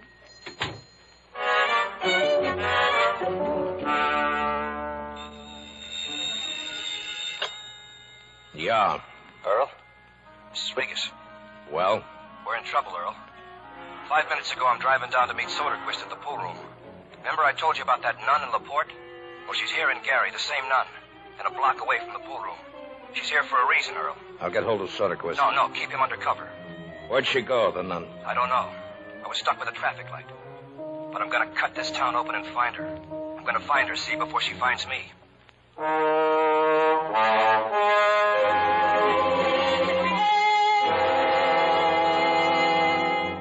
You might just as well stay here at headquarters, Goddard. I'll be bringing in Soderquist any minute now. Yeah. Say, um, you know this town, Goodman. Tell me why a couple of gunzels would knock off Harry Gruber. Well, robbery, say? For dough? if you're a government cop, you have to marry money to buy a stick of gum. Why would they go to all that trouble taking his body to Laporte? You know, when a hood kills a man, it's a hood who leaves town. Could be because they wanted to stay here in Gary. Be interesting to have Soderquist tell us. Homicide, Goodman. Where? All right, all right. Shake down the district and send some men over to his apartment. I want him in here. You don't have to tell me. He jumped the tail. Any other time, it's a cinch. This time we draw a nearsighted cop. Well, we gotta head him off. How tight can you seal this town? Real tight. Okay, lock it up. Without him, we haven't got a lead. We'll have him in here tonight. If you want me, I'll be at the post office. That is, if it hasn't been stolen.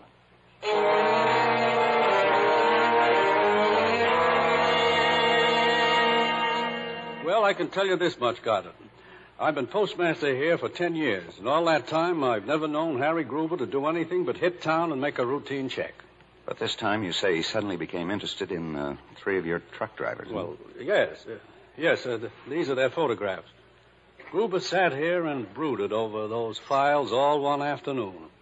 I don't know for sure, but I'd guess it had something to do with the transfer of money between the two stations. What two stations? Well, here in Gary, we have two railroad stations. On through shipments, we transfer from one station to the other by mail truck. Big shipments? The one from Cleveland's a Lulu. And uh, one of these three drivers always handles the run between the two stations? Yes. And that's the last question Gruber asked me. He left here, and six hours later, he was dead in Laporte. Oh, I bet he called on this guy first, Paul Farrar. Well, Farrar's one of the three drivers, all right. Says here on his record sheet that uh, he was offered a better job, but he turned it down. Now, why would he turn down a $500 a year raise to keep driving a truck? I think he said he'd like to be out of doors. 500 bucks worth? Uh, he's on duty now. I'll uh, send for him. No, no, no. I just want a quick glimpse. If he's the one I have in mind, that's all I'll need. Uh, He'll be down at the loading platform. This way, got it. You see the registry board over there? Well, that's Farrar carrying the sack. This is quite a break, Taylor. I told you that Soderquist was talking to someone in the pool room. Well, that's who he was talking to, Farrar. Look, you better phone Washington. Get Ahern back in town. And meanwhile, I, I want a list of all your money transfers. Well, there's nothing missing, Goddard. So Gruber wasn't killed because he found Farrar stealing money. Look, a cheat kills his wife for one of two reasons. Either she's caught him cheating or she hasn't given him the chance. Same way with money. You mean Gruber found out about a deal or something between Farrar and Soderquist? Between George Soderquist and somebody else. That's the big one, Taylor. Who is the somebody else?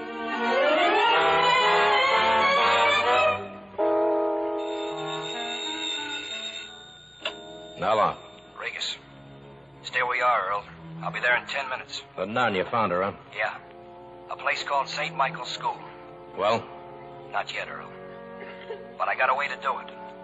Sometime early tomorrow morning.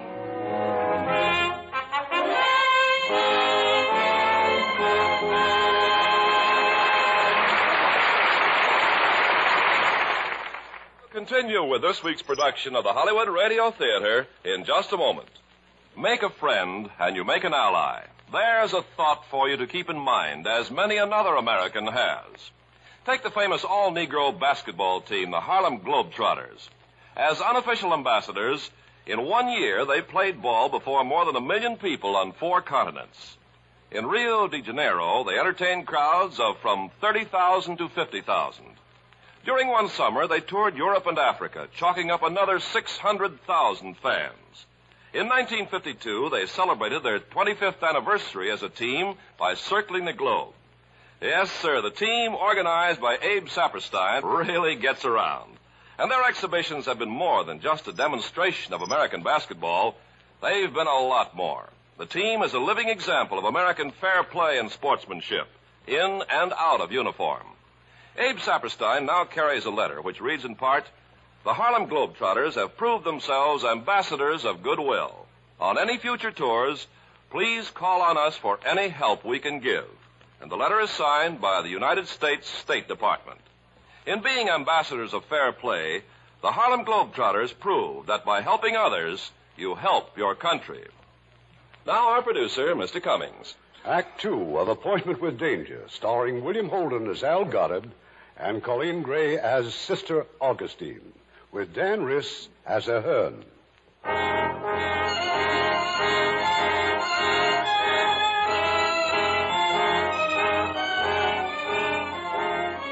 It's the following morning. The man called Regas has entered a third rate hotel and gone directly into the manager's office. Well, what about the nun? She got lucky.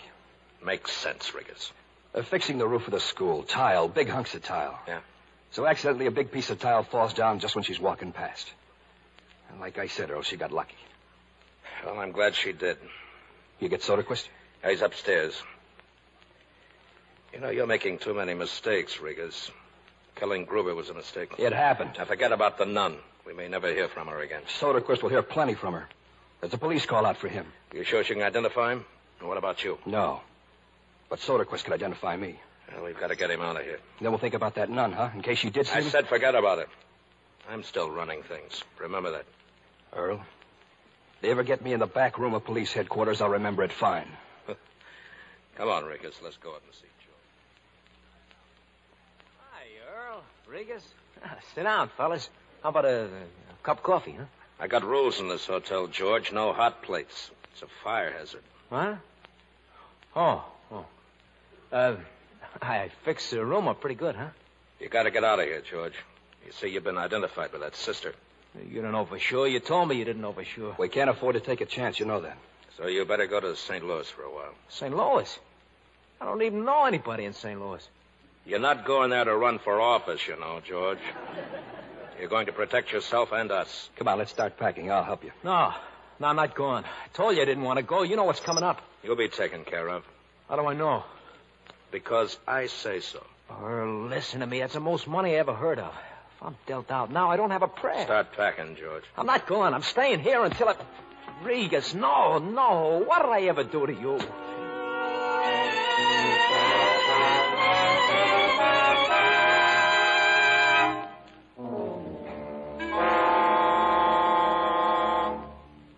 This is Mr. Ahern. Sister Augustine, Mother Ambrose. Mother Ambrose, sister. You see, uh, Mr. Ahern is just as much interested in that accident this morning as I am. That uh, piece of tile, sister, it fell without any warning at all? One of the workmen must have left it too near the edge of the roof. Well, while we're looking for Soderquist, you might be able to help us with the other man in the alley. I'd like you to go through that rogues gallery again. No, no, no. That's a waste of time. Sister, I want you to go back to Fort Wayne. Well, why the switch, Al? I thought we well, were. Well, it's a matter of common sense. Sister, while you're here in Gary, we're responsible for anything that happens to you, like this accident. Oh, there's no need to worry about me, Mr. Goddard. I have a guardian angel. You have a what? A guardian angel. It's a new idea to Mr. Goddard, sister. Look, Maury, I've got nothing against angels. I, I just want her to get back to Fort Wayne before she gets hurt. You told me once not to let anyone else do my job. It's my duty to stay, and I'm staying. All right, stay. Oh, there's the dinner bell. I'm afraid you must excuse us, gentlemen. And don't worry, Mr. Goddard. I'll be all right. What would happen, Maury, if we put the screws to Farrar? Uh, you'd blow the whole thing, so don't try anything fancy just because you're worried about that nun. I'm not worried about her. I, I just want to find some quick way to shake up Farrar and to find Soderquist. Forget and... the quick ways. You just stick to straight police work. Come on, let's get out of here. Oh, by the way, Al. Yeah? The nun. What's her pitch?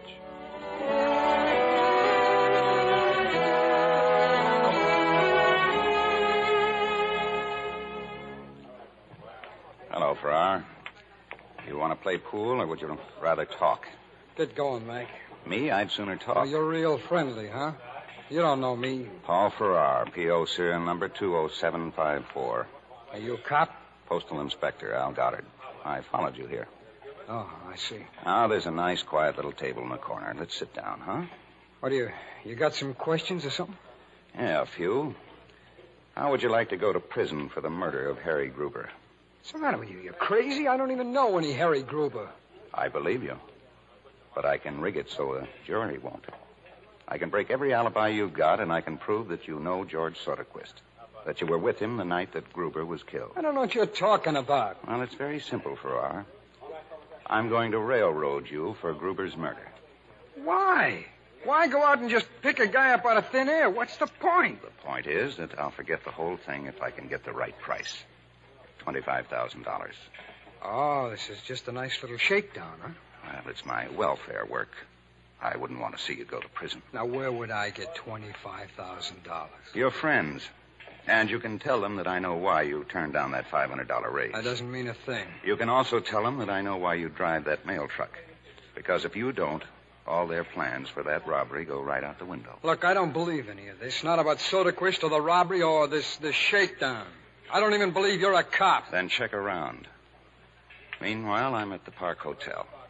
Talk to your friends, Farrar. And get that money. If you don't, I'm going to frame you and wreck every chance they ever had to pull that robbery. Hey, now, wait a minute. Wait. Why are you doing this? I told you. For $25,000.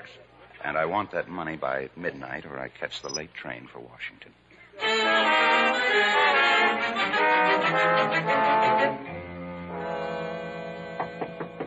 Yes? It's me, Farrar.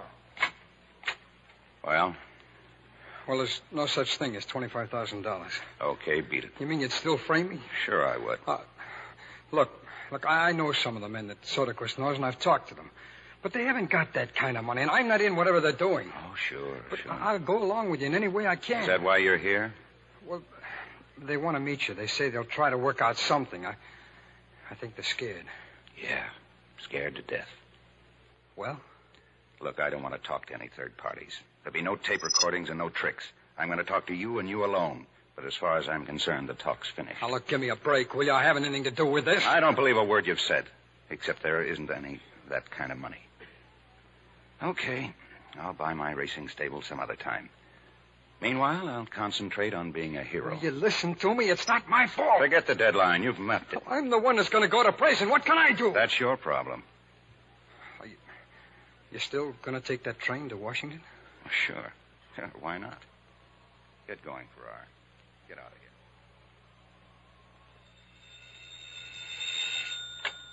Yes? This is Goddard. I just thought I'd call you, Maury. I've checked out of the hotel, and I'm counting on somebody to beat my brains out in about 30 minutes. Al, what are you trying to tell me? Well, it's one of those quick plans, the kind you don't approve of. But I got a pretty fair chance of finding out who killed Harry Gruber. They've got plenty of reasons now to want me. Oh, I've told you a dozen times not to try. Where are you? I'll be right over. Sorry, Maury, but I'm on my way.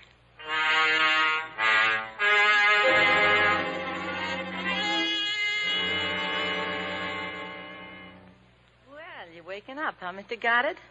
How do you feel? Oh, oh, great. You better keep the ice bag. It'll keep the swelling down. I'm some nursey, huh? Will you mind telling me just where I am? Oh, sure. Fourth floor, Compton Hotel. Your friends are waiting for you. Oh, fine. They were real glad to see me. They met me at the railroad station. Now, who are you, honey? Me? Hotel stenographer. Drafted for the emergency. I think he feels like talking, Earl. Get lost, Dottie. Sure, honey, sure. Get lost. Remember us? Yeah, vaguely. But there were more than two of you, though. You never should have tried to run, pal. Those lumps must be real painful. Skip it, Regas. You know who I am? Yeah, sure. Post office inspector. You're not silly enough to think you might get away with this. We can try. Like Gruber? We don't know Gruber. It won't help to put me in concrete. There's too much interest left around. You, um, you look like a pretty smart guy. What are you hanging around with a gonif like this for? Anybody ever weigh your head? I'm talking to him. I got two years of work tied up in this robbery, got it? I'm all set to go. I'm not going to give it up now. What else can you do? Now, that's just it. Farrar tells me you want $25,000 to keep quiet. That was hours ago. How do we know you're not a plant? You don't. But I know what Gruber knew. With Farrar in your pocket, you've got a real big one on tap. There's a law against robbing the mails, but there's nothing that says you can't talk about it. We're kidding, naturally. Oh, sure. No, we haven't got 25000 But uh, there's close to a million in this idea we're working on. We could cut you in. Why don't you wake up? You can't beat the mails. They got a system. So have we. With your help, we can make it foolproof. That's why you're still alive. No, thanks. You know, you're the one who's on the spot, it, not us. Sure, we'd have to fold, but if we do, you won't be around to know the difference. So, think it over. You, uh, keeping me here? That's right. I'm due back at work in the morning. They'll start checking. You can skip a day. It'll look funny. Look, get this straight, got? Until you prove out you're going nowhere. Nowhere we don't want you to. There's nothing to prove out. I'm a postal inspector like Gruber was. I came across something that looked phony, just like he did. Only I see it a little differently than Gruber. You can buy me out. We could also kill you. And kiss off a million dollar haul? Now, your friend here knows better. Like he said, with my help, it's foolproof. You know, I don't get it. You go along one way for years, and then you pull a complete switch. Why? Well, sooner or later, every rooster wants to lay an egg. Any special reason you want 25 grand? Yeah, the same reasons that you'd like a million. Only I'm not as greedy as you are. Look, I told you before we haven't got it. If you want to cut of the robbery, okay. If you don't, get out. If I walk out of here, your robbery goes out the window. And you go on running this two bit hotel. For the next ten years, you'll be changing sheets and putting drunks to bed. So don't get so tough. Are you in or out? I'm in. Now, you run your end any way you want, but I take full charge of the post office. Yeah? What's wrong with Farrar? Look, someone else will pick up Farrar the same way I did. If I'm going to risk my neck, I'll do it my way. And one other thing. We got to make it look good downtown. I got to be free to move around on my job as usual. Okay. You sure we're giving him enough? What does that mean, Regas? We're giving him his own way and a cut. Why don't we all just give him a right arm for old time's sake? You know, sometimes you worry me, Regas. Somewhere in your blood you got a crazy bug and it's swimming upstream night and day. You better get a cure or you'll kill us all. All right, Earl, all right. We'll let it stand this way. But you got it. One bad move out of you and I'll put you on your back for good. That's for tonight in the station, okay? All square and even? Tough guy, huh, Earl? Real tough guy. I just don't like to be shoved around. Okay, Earl. Now that I'm in, how about giving me some of the details?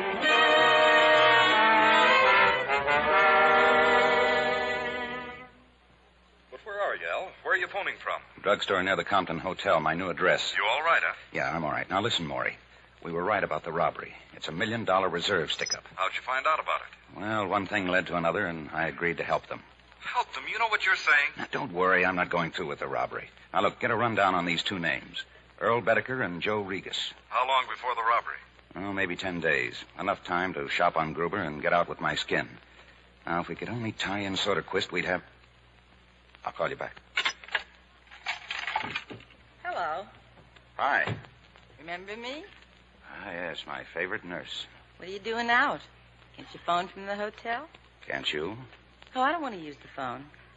I'm just buying some new records. You like Bob? I think I'm starting to. I think I'm starting to. Well, I got some new ones here. Come on back to the hotel. I got a record player up in my room. Ah, I'd like that fine, Dodie. But uh, what about Earl? Will he be there too? Earl don't ever have to worry about me. But what about me? You think Earl has to worry about me? That's something I wonder about. Coming, Mr. Goddard? Or do you have to make another phone call? I'm fresh out of dimes, honey. Let's go.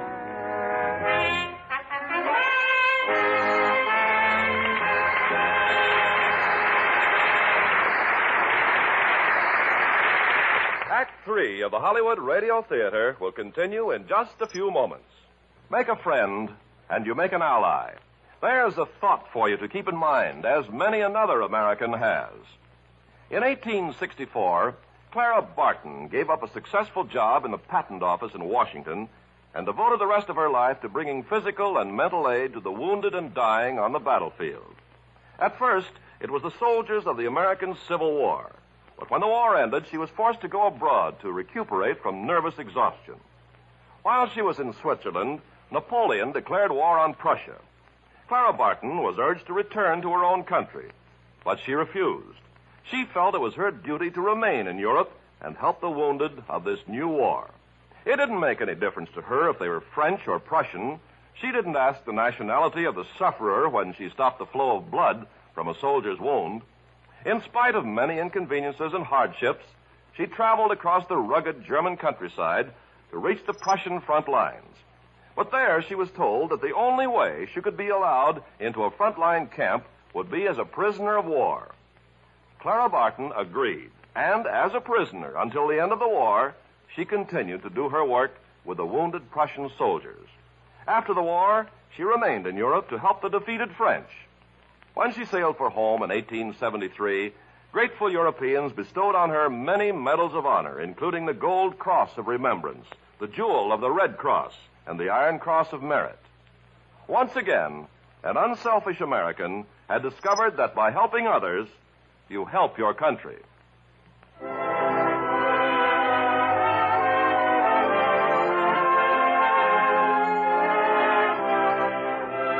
We pause now for station identification.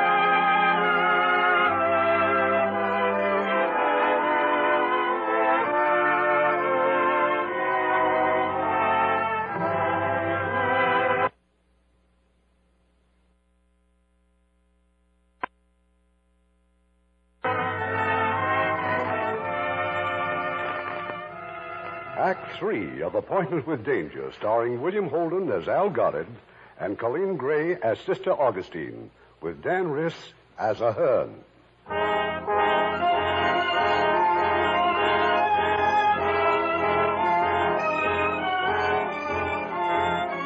It's the following morning, and Al Goddard is once again in the visitor's room at St. Michael's School.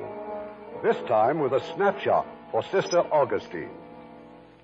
Uh, won't approve of my methods in getting this picture, sister. I stole it from a girlfriend of a gentleman named Earl Bedecker, but I doubt if she'll miss it. Why, it's a picture of Mr. Soderquist. That's right. Soderquist and friends. And I think one of these other men was with him that night in the alley. Uh, this one. His name is Joe Regas. I'm sorry, Mr. Goddard, but I, I just can't be certain. Ah, okay. Is there anything else? Yes, I um, I told you to stay indoors because you're in danger. And where did I find you? Out in a playground with a bunch of kids. Now, you won't frighten me away from those children. Here. This is for you. A revolver. Mr. Goddard, please. Now, put it away at once. It'll protect you. Uh, uh, take it as a as a personal favor. I didn't know you could afford personal feelings. All right, it's it's not personal. It's routine. You know, with a little practice, you could be quite a nice man. Now put that gun back in your pocket, and I'll show you through the back way. It may be safer for you. You're learning fast, sister. I think the government expects a lot from young men. Well, it's my job. I have to take the risk. Well, they should get some of those politicians to do it. When I'm in trouble, sister, I'll quote you. Now, uh, you be careful. I will. But remember, I have that guardian angel. I've got one, too. It's in my pocket. Only mine never misses. Goodbye, Mr. Goddard. You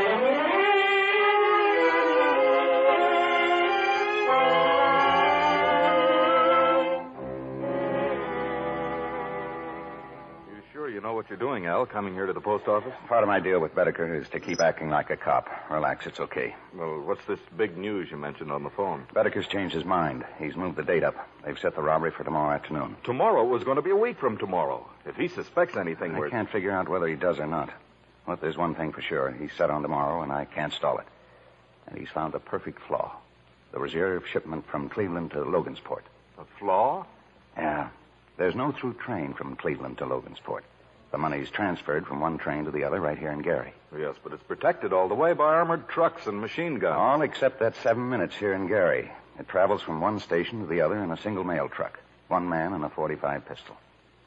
It's a great scheme. So you had to tackle the whole thing by yourself? Well, this time I did. Because you got soft-hearted about a nun? Look, she's our star witness to Gruber's murder. We've got to protect her. All right, you've got a badge. Why don't you arrest me for perjury? How can I? It's the first time I've ever liked you. Look, look, we've got to find Soderquist We they- have found him. You what? Soderquist is dead, murdered. Goodman's men found the body early this morning in the canal. You boys keeping secrets or something? Oh, now take it easy, Take Al. it easy. The Gruber case blows up in our faces. Look, I had to wait till I talked to Washington. Oh, fine, yeah. Now I suppose they want us to go ahead with the robbery. We've got nothing this way that would last five minutes in court. But get 'em on a charge like that, and one of 'em will break on Gruber. Well, can you think of any other way? Okay, I'll go on back to the hotel. Just bail out in time, you hear me? Yeah, yeah, sure. I hear you.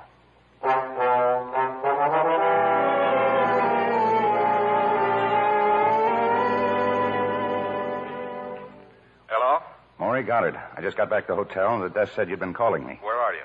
I'm in a booth around the corner. I've put you in a bad hole, Al. Right after you left my office, one of the guards found Farrar. He was hiding. Farrar? Just outside my office. He's sure to have heard everything we were talking about. But he slugged the guard and got away.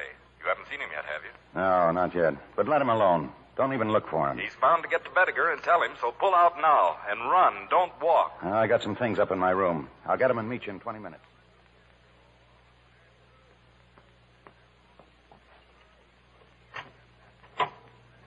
Oh, we've been waiting for you, Al. How you doing, Inspector? What's wrong? Why? Who says anything's wrong? Nobody, but I opened my door and find you here, so. We've been waiting for you, that's all. Now let's get moving. Where? What's this all about? Just a final check of the plans. We're driving out to the shack. Cronin and Gunner will meet us out there. Now? Now, pal, now. Why, you got a face a foot long. You just lose your best friend. I'm my best friend. That's what he means. Come on, let's get started.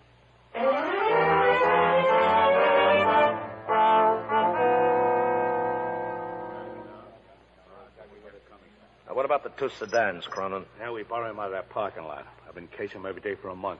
You got no worries. All right, let's look at the map again.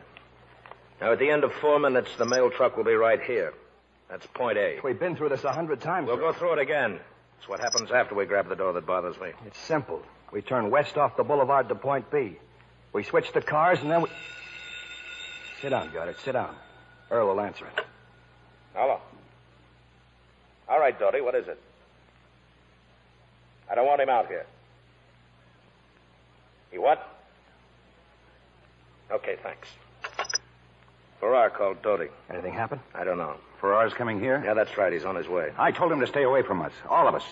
Ah, you're jumping all over the place, Al. Settle down. It can't matter that much. Well, if he's followed, it could matter a million dollars worth. Farrar knows what he's doing.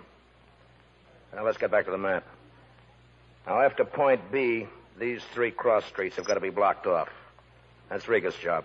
Roadblocks, detour signs. If anybody sees us, we're dead. Remember that, Regas. The whole job depends on not being recognized. If anybody slips, it won't be me. What about Pal here? Got her. I'll be at the mail truck. Among other things, there's a little matter of making sure we grab the right pouch. Now, what about Point C, Earl? There's a million dollars waiting for us. But if we're seen, we'll be running for the rest of our lives. Okay, about.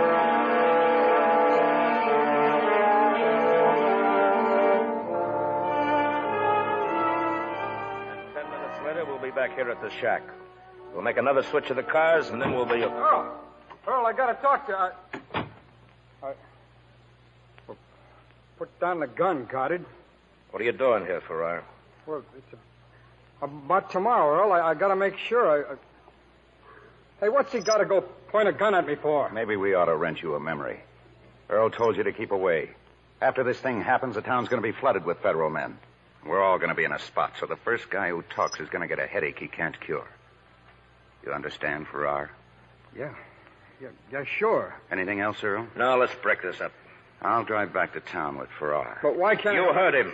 The next time you want to see me, phone the hotel. Let's go, Farrar. I don't trust him, Earl. That punk Farrar. He's scared. He'll do what he's told. Like Soderquist? Soderquist was scared, Now, too. no more of that stuff. I've had enough of it. Look, our luck's gone bad, Earl. It went bad that night in the alley. Stop thinking about that nun. You want to know why I think about her? Because I'm hot and you're not. And sometime years from now, maybe when the rest of you are all scattered, somebody's going to tap me on the shoulder. That's why I think about her. Yeah, but you're clear. Soderquist is dead, and you say she never even saw you. Yeah. And sometimes I believe that. Sometimes for as long as two or three minutes at a stretch. Just watch how and where you drive, Farrar. There's a gun in your ribs. You behave yourself, you keep away, and you might get off with five to ten years. Five to ten. Oh, thanks. That's sure going to help with my love life. It's more romantic than being dead. Now, drop me off at the hotel.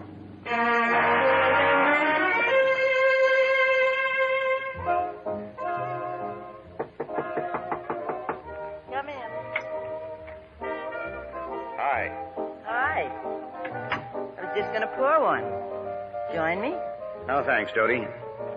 Uh, can we turn off that music for a minute? Huh? Yeah, sure. Earl come back yet? Uh-uh. Unless he's downstairs. Dodie, uh, what did Farrar want when he called you? Well, all he said was he had to talk to Earl. He sounded real nervous. What did he lose, an ML stamp? You know, Dodie, I'd give an awful lot to know what goes on behind that makeup. For instance. Does, uh, You afraid of me, Al? does Earl ever get jealous? He understands. You can put strings on good women or bad women. But you can't do anything about the lazy ones. You can beat them. They stay about the same. Can't make 'em do the right thing or the wrong thing. They're lazy. They do the easy thing. And if uh, Earl found me here with you now, alone, I don't know. But it sounds real exciting. a little too exciting, honey. Oh, uh, if Earl asks for me, Yeah? tell him I'm at the post office making a final check.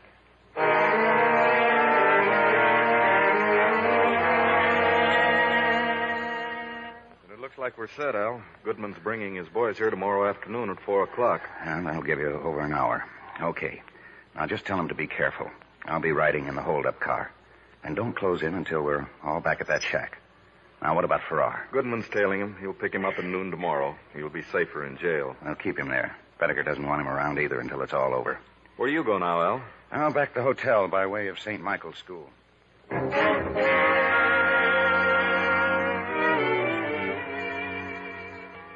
I'm to go back to Fort Wayne. Is that it, Mr. Goddard? That's right, sister. Uh, police matron will stop by tomorrow afternoon and go with you. There's nothing else that I can do. Well, with Soderquist dead, I'm afraid you're out of it. I haven't been of much help, have I? Goodbye, Mr. Goddard. I'll remember you in my prayers. Thank you, sister. If you haven't anything else, at least uh, now I've got a good lawyer.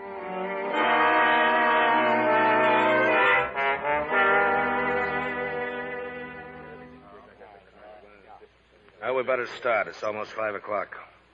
Anything from you, Al? No. Now, look.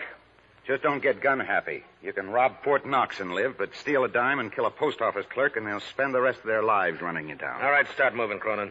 Now, there's one other thing, but I'll tell you later in the car. We're changing point C. Right. What do you mean you're changing point C?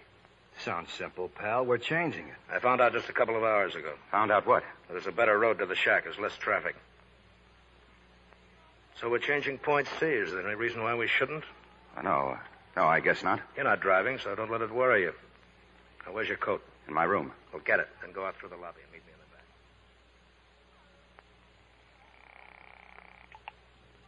Inspector's office, Ahern. I'm phoning from my room, Maury, but uh, there's no time, so don't ask questions. Go ahead. They've just changed point C. I don't know the new location. That means you'll have to watch all the roads in case there's a slip up. If there isn't, they'll wind up as scheduled at the shack. Now, I won't have a chance to. I'd say you pulled a boner, Al. I'd say so too, Dodie. I heard what you just said on the phone. Might help if I hadn't been with Earl for so long. You're gonna tell him? If I told him, he'd have to kill you. That'd make me, what do they call it? Accessory or something? And you don't love anybody that much. Not 25 years worth. I'm a loser either way. Suppose they get away with all that dough this afternoon. Be wearing mink coats and hideouts and hamburger joints. Living on the run till they catch up with Earl. Well, at least you read the book. What are you gonna do, Dodie? When you walk out, I'm going to pack my bag and leave. I'm going to forget names and faces and what's going to happen to all of you in the next hour or so. They can still get you for withholding information. Not if I tell a government agent. So I'm telling you, they're going to hold up a mail truck. I got to pack, so goodbye. You uh, won't get a gold star, but thanks anyway. Don't bother. Earl was good to me. I hope he kills you.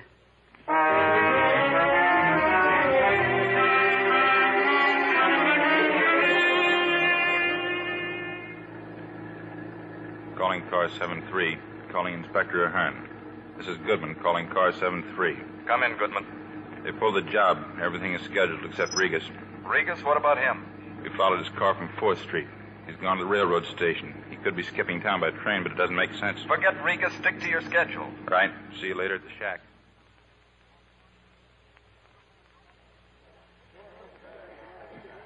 Afternoon, sister. Good afternoon. I'm from the police department. We'd like to talk to you. But I, I thought I was to go back to Fort Wayne. Yeah, sure, later. Well, if you think you need me. Oh, the matron. She's getting our tickets. I'd better go and tell her. Oh, look, her. there isn't any time. My partner will tell her this way, sister. My car's just outside.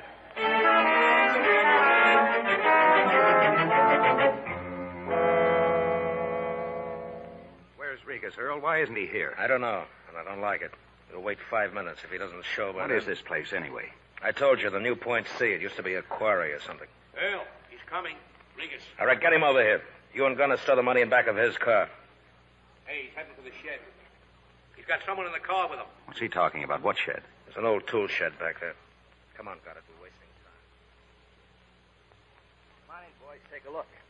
I found her, see? The nun. What's he talking about? An old friend, Al. An old friend of Regas from LaPorte. She's been to the police. She told me. And she got a little noisy, Earl, so I stuffed her mouth. Uh, what else did she tell you? Nothing yet. But now that we're all here, she's going to tell plenty. You're crazy, Regas. Do you want us to get Stop off? arguing. We haven't got time. How about it, Earl, okay? I, uh. I don't know. She knows about the robbery. She's seen us, all of us. Killing her isn't going to do any good. Besides, who'd touch her? She's a nun. Regas could do it. Real quick, pal. Oh, what harm can she do us? She doesn't know our names or anything about us. If we're caught, she can identify us. If we're caught, we're through anyway. Look, you're here on a free ride, Goddard. Don't come to the party and give away drinks. Take her gag off, Regas. I said take the gag off. Yeah, sure. Now listen to me, sister. We'll take your word. You've never seen us. You can't identify us. We'll take your word. Thank you. But I couldn't give you my word about a thing like that. What difference does it make? A great deal. I couldn't let my silence be used as a weapon against the law. But you're not hired to defend the law. I'm sorry. I cannot give you my word. All right, Regas. Take her out back somewhere. Come on, lady. Leave her alone. Lie down, Rover. You need a new mouth, Regas. Please, please don't. Please, please, somebody stop the fighting. Uh, Tell him to break it up. We gotta get out of here. For this, we got time, maybe. With a million dollars to split, just pray for a tie. Mr. Goddard, he's got a gun. I had to do it, Earl. It Was Regas or me? Yeah. Well, what are you waiting for? Those shots were heard, we're, we're going to be in trouble. You're already in trouble, Mr. Goddard. Now drop the gun. The sister knows you, huh? How do you pick a talkie partner? How far's it gone? It's a fix all the way. The whole area's staked out for miles around. Only we got you and we got her. Leave her here. I'll see that you get through the police. No, thanks. You don't have a chance, Earl. Leave her alone. I promise to get you through. For what? To grab 20 minutes of air and die on a back road somewhere? Right now, 20 minutes is a lot of time. All right, get out to the car. Sister, you're either lucky or living right. You drive, Gunner. That's just a warning, Bedecker. We've got you surrounded. Put your hands up and start walking. Get around to the back. There's a path through the woods. Not the money. We got a million bucks in the car. We'll give you five We got Bedecker. nothing. You heard what he said. It's, it's all the way. The dough's phony. Come on. Hell, look, they're closing in. They're back there, too. Then shut up and start shooting.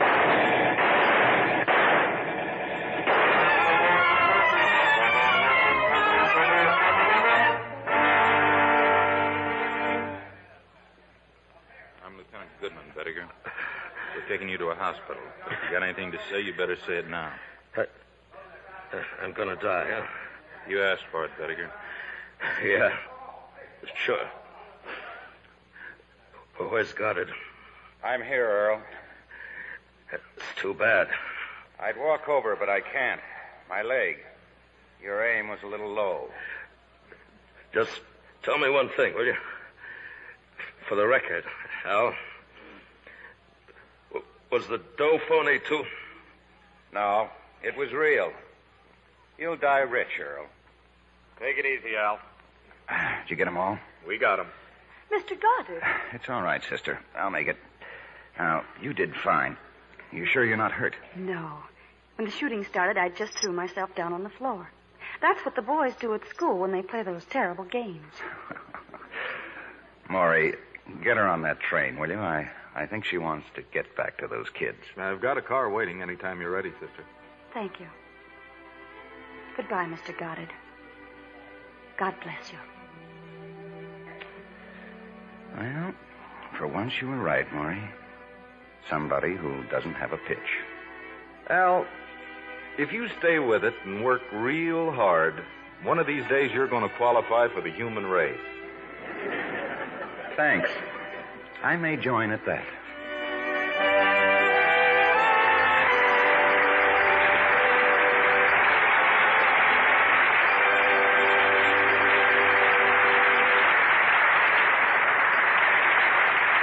In a moment, our stars will return.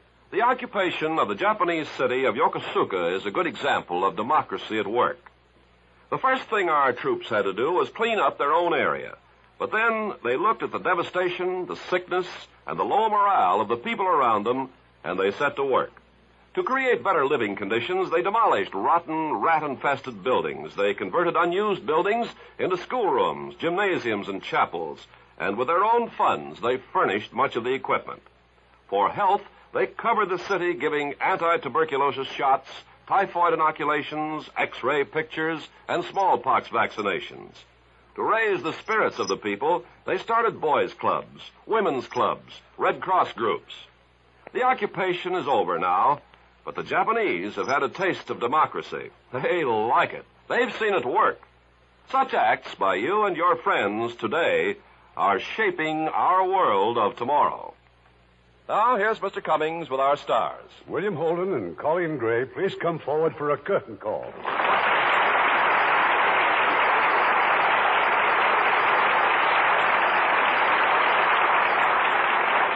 Bill, have you ever had a real appointment with danger? Well, Irving, I tried to walk across Hollywood Boulevard again this afternoon. Don't let him kid you, Irving. A few months ago, Bill made a trip to Japan and Korea to entertain our troops. He went to the front lines and hospitals and talked to the boys. well, it was a real privilege to meet them. I hope to go back soon. How about you, Coleen? Have you had any dangerous appointments lately? Well, I've been vanquished. Vanquished? How awful. No, Irving. The Vanquished is the name of my latest picture for Paramount, co starring John Payne and Jan Sterling. It's packed with danger and excitement. Now, really, Coleen, if, if you want to plug your picture, why don't you just come out and say it like I do? All right, so go ahead. Stalag 17. Hey, Bill, watch your language. you remember Stalag 17, Coleen? It was one of the funniest plays on Broadway, and it's Bill's latest for Paramount. Of course. Now tell me, what's the latest, Irving? A beautiful love story with a perfect setting. The romantic countryside of Italy. It's Paramount Pictures' moving and sensitive drama of September Affair. And starring in their original roles in this unforgettable romance will be Joan Fontaine and Joseph Cotten. Well, we'll be looking forward to that one, Irving. Good night. Good night. Good night. And you have a pleasure return too.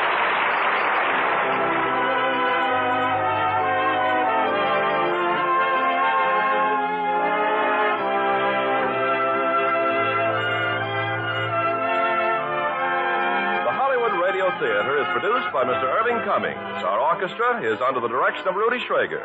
This is Ken Carpenter inviting you to join us next week at this same time for another presentation of the Hollywood Radio Theater. Hollywood Radio Theater is a presentation of the United States Armed Forces Radio Service. Lux presents Hollywood.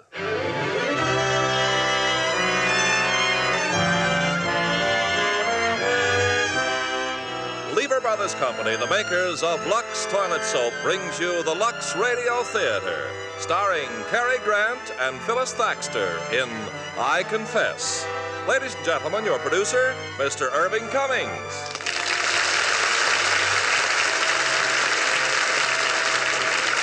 Greetings from Hollywood, ladies and gentlemen. Tonight's play, I confess, has one of the most unusual plots for sustained interest and suspense I have ever seen. And of course, when that master director, Alfred Hitchcock, adds his individual touch to the action, it's bound to be another screen hit for Warner Brothers. And for our stars, we have one of the finest actresses on the screen, Phyllis Thaxter, co starring with Cary Grant, who will again prove his great versatility in a highly dramatic role. You know, there's no soap quite like mild and gentle Lux. Lux toilet soap has been a Hollywood custom for years. Once our glamorous Hollywood stars start using Lux, they won't use any other soap. And once you start using it, you'll know why nine out of ten screen stars depend on Lux soap for their complexion care.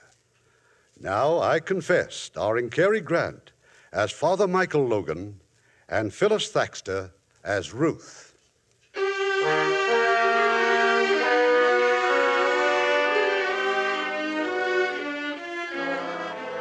Night, the venerable city of Quebec. In the moonlight, the narrow cobble side streets are all but deserted. A man, wearing the cassock of a priest, has darted into the rectory of a church. He sheds the cassock, and now he enters the church itself. Who is it? Who's there? It's Father Logan. Oh, Father Logan. I did not recognize you in the dark. Is that you, Keller? Yes, Father. Now, what are you doing here this time of night? I. I came in to pray. Is something wrong? Can I help you? No one can help me. I have abused your kindness. How? You who gave my wife and me a home here, right with the church, a job, even friendship. To me, a refugee, a German. Now you will hate me. Oh, no, I don't hate anyone, Keller. You will, you will hate me. But it was for her, for my wife. She worked so hard, Father. It breaks my heart. Keller, what is it? I must confess to you. I want to make a confession. All right, we'll go to the confessional. Yes, yes. I want you to hear my confession.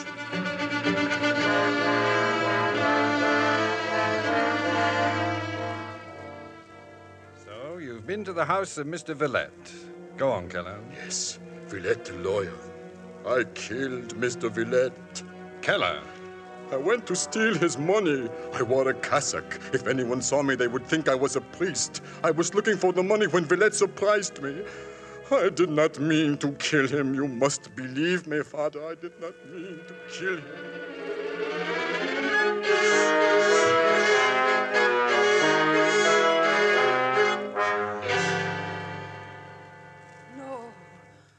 No. No, you didn't do it. Otto, you did not kill him. I have just come from confession. Oh. Father Logan is my priest. You are my wife. It is right that you should also know. But why, Otto? Why? I am not a murderer. It was an accident. It was the money. How could I watch you work so hard? I lie awake night after night and I think all we need is $2,000, Alma. With $2,000, we can start a new life. And Villette was rich. Otto. Oh. oh, it's so dangerous. They will catch me. They will hang me. I cannot. I cannot. Father Logan will go to them. He will tell them. He will tell them? No, he cannot tell them what he heard in confession. The Police will come. Why, Alma? Why should they come? I have told them nothing, have I? Alma, no one knows. Father Logan knows. But he cannot tell them what he heard in the confessional. Can't you understand that? What are you going to do? Nothing. Nothing at all. In the morning, you are going to the police. Tomorrow is Wednesday, Alma. Isn't that the day when I attend to Mr. Villette's garden? But he is dead. I always work in Mr. Villette's garden on Wednesdays. Tomorrow is Wednesday. Now go to bed. You need to rest. Rest, Alma. Rest.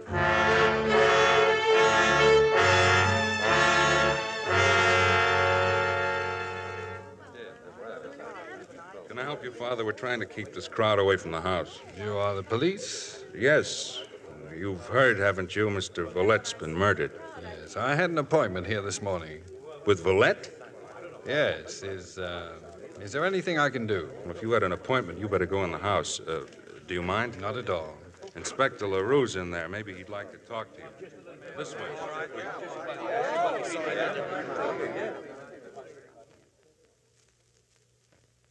Father Michael Logan, huh? What church, Father? The Church of Saint Marie, Inspector. Well, how are Father Millet and Father Benoit? They're both very well, thank you. Good. So you had an appointment with Villette? Yes. Anything special? No, there was something he... You've heard what's happened, of course, Father. Oh, we've got Keller in the next room. Keller? He works at the rectory, doesn't he? Uh, yes, he and his wife work there. Poor devil's terrified. I've been waiting for him to settle down. I see. It was Keller who found the body. You don't mind if we call on you later? No, I'll be at the church. Maybe that we'd like to know what your appointment was all about, eh? Well, I'd better see Keller now. Yes, well, goodbye, Inspector. All right, Murphy, bring him in, will you please? But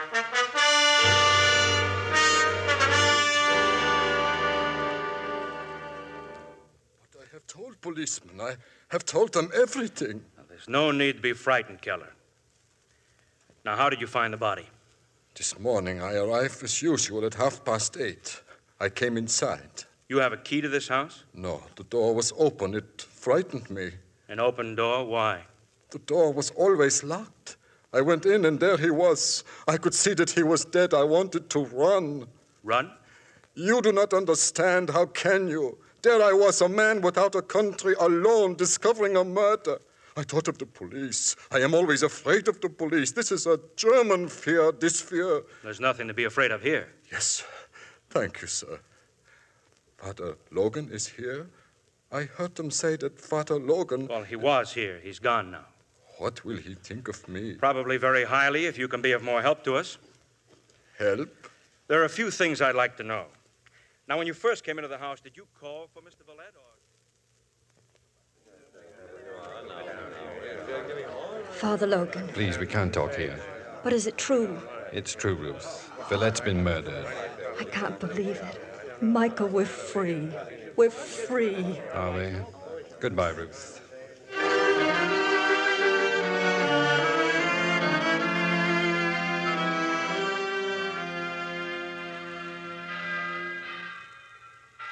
Father Logan? Come in, Keller. The police, they sent me home. I must talk to you, Father. Why? Why did you come to Villette's house? I know what you must think of me, but I can't give myself up. They would hang me. Has not God forgiven me, thanks to you? But the police never would. I don't know what you're talking about. I confess to you. It was my confession. You must tell me what to do. There. There's nothing I can add to what I've already said. You are so good, Father. It's easy for you to be good. Have you no pity for me? Otto? Alma? Father Benoit, he asks, will you please mend the tire on his bicycle? Yes, yes, right away. The front tire, you left it at the back door. Please, Father. You. You'd better go now and fix the tire.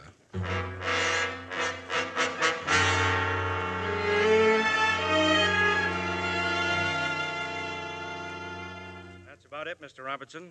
I said to myself, You're in no position to go to the Crown Prosecutor. You've got nothing to give him.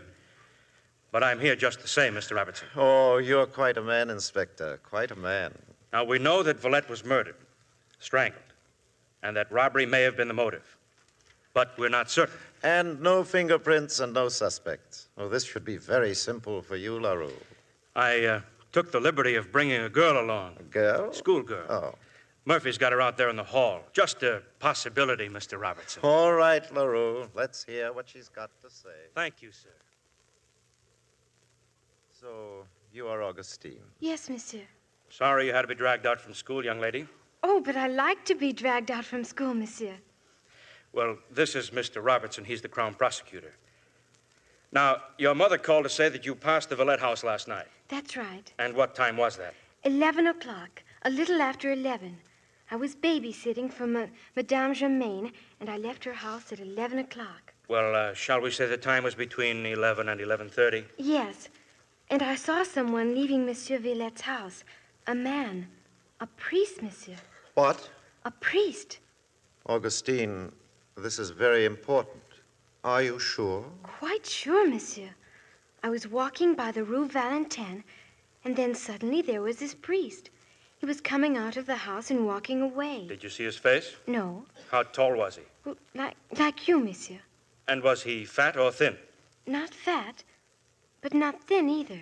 Did you notice anything special about him? Anything at all? No, Did he see you, Augustine? I don't think so, monsieur. But you're absolutely sure he was a priest? Yes. Thank you.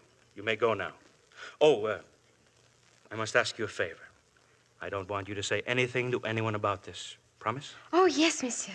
Goodbye. Goodbye, little one. And if you should need me again, Yes? it would be very nice if you could drag me out of school. You know what this means? We'll have to check every rectory in town, find out which priests were out late last night. Uh, It's ridiculous to think a priest would be involved. LaRue, you don't really think it could be a priest? Yes, maybe. There was a priest this morning who. Well? Nothing. I'll have to check further. Don't be so mysterious. Well, I should know something more by tomorrow. Good day, Mr. Robertson. And thank you.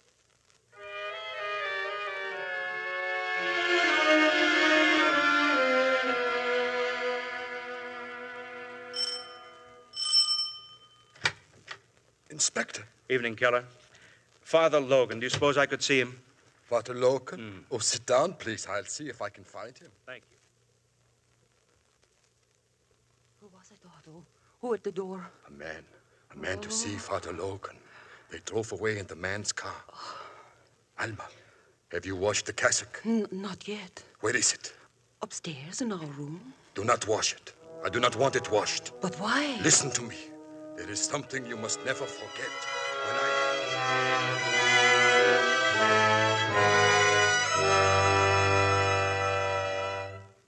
I suppose we might have had this little talk at the rectory, Father.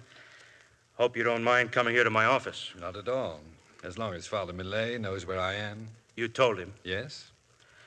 Unpleasant bit of business, isn't it, Father? If there's anything I can do. Well, just a few questions. Now, how long have you been at St. Marie's? Nearly three years. You know, I guess I've known Father Millet for 25 years. I was a choir boy when he was over at the Basilica. Yes, he told me tonight what a fine voice you have. He's just forgotten, that's all. I uh, hear you were in the Army. Yes. Got the military cross, hmm? Yes. You seem to have done a number of brave things. Well, I survived. Are you given to understatement, Father? Well, that depends. Now, this case, this Villette murder, it's all understatement so far. You knew Villette, right? Yes, slightly. Well, then maybe you can help me. What was he like, Father? Oh, I didn't know him well. Well, did you know him socially or in a business sort of way? Actually, neither. I met him once many years ago. Cigarette? Uh, thank you, no. It's a funny thing. No one seems to have known this Villette, really known him. Yet he was a lawyer, had clients. Not one of them has any information that means anything. May I ask what you were going to see him about yesterday morning? Well, that, uh, that was a personal matter. Well, were you acting for someone, Father? One of your parishioners, perhaps? Uh, uh, I can only tell you that my visit had nothing to do with Villette's death. Oh, of course it didn't. But you do understand, don't you, that I must consider every scrap of information? Yes. When a crime's been committed, each scrap of information is important to us. Of course. I know sometimes it seems like, like prying. It can be very embarrassing. Oh, I'm not embarrassed, Inspector. Good. Well, I've been wondering about that lady you met outside Villette's house. She was in that crowd out there. I just happened to glance out the window when I saw you talking to her. Inspector, the appointment I had with Villette could not be of any importance to you. Oh, but we're not discussing that at the moment, Father. You see, with a murder, one has to jump from one detail to another. Forgive me, I guess I jumped too abruptly for you. Well, perhaps I just don't follow as fast as you jump. I'm sorry. See, I have a methodical mind. I have to take things one by one. Well, about this lady you met out there on the sidewalk. I wish I could discuss it, but I can't. May I ask who she is? She isn't involved. Excuse me, Father, but that's something for me to I decide. I know, I know. But you'll have to take my word for it. She's not involved. Your word. I respect your word, but I need help. I'm not able to help. I see. I just don't want all this mystification to make things too awkward for you, Father. Awkward for me? A priest was seen leaving Villette's house at the time of the murder. I saw a priest outside Villette's house the next morning. Well, Father? Well? Too much mystification might lead one to believe that both priests were one and the same, mightn't it? What do you have to say? What would you want me to say? That's up to you. Well, then, I'd say that a man of intelligence would not be led to believe anything on so little evidence. You're perfectly right. We've checked on every priest in Quebec. Each can account for his movements at the time of the murder. That is, each, except one. Where were you at 11 o'clock, Father? Mm. I was walking. Alone? No? Good. Now, if you'll just give me the name and address of the person. I can't. Father, don't you want to help me? I've done my best. But you refuse to answer my questions. I know, I know, and I'm sorry, but it isn't possible for me to answer them. It's a pity. A great pity. But I thank you for coming, Father. Good night. Good night, Inspector.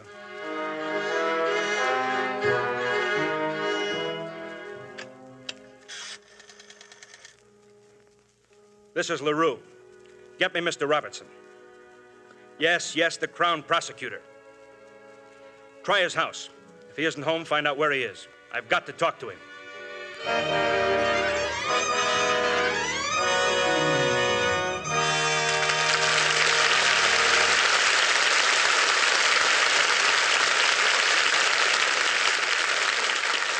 Before we continue with Act Two of I Confess, here's Francis Scully, our Hollywood reporter. What are you reading, Francis? Well, I've got a batch of reviews on the world premiere of The Robe, Ken. 20th Century Fox held it in New York last Wednesday night. 6,500 people were invited, and 6,000 more gathered outside the theater. Hmm, imagine what Hollywood Boulevard will be like this Thursday night at the Hollywood premiere. How were the reviews, Francis? Oh, just listen to this, Ken. The New York Daily News gave The Robe four stars and four stars for CinemaScope. The first time in its history any picture received this rating. And uh, what else did they say about CinemaScope? Well, it's considered the greatest motion picture advance in sound. How big is that CinemaScope screen again, Francis? Well, it's 65 feet long and 24 feet high.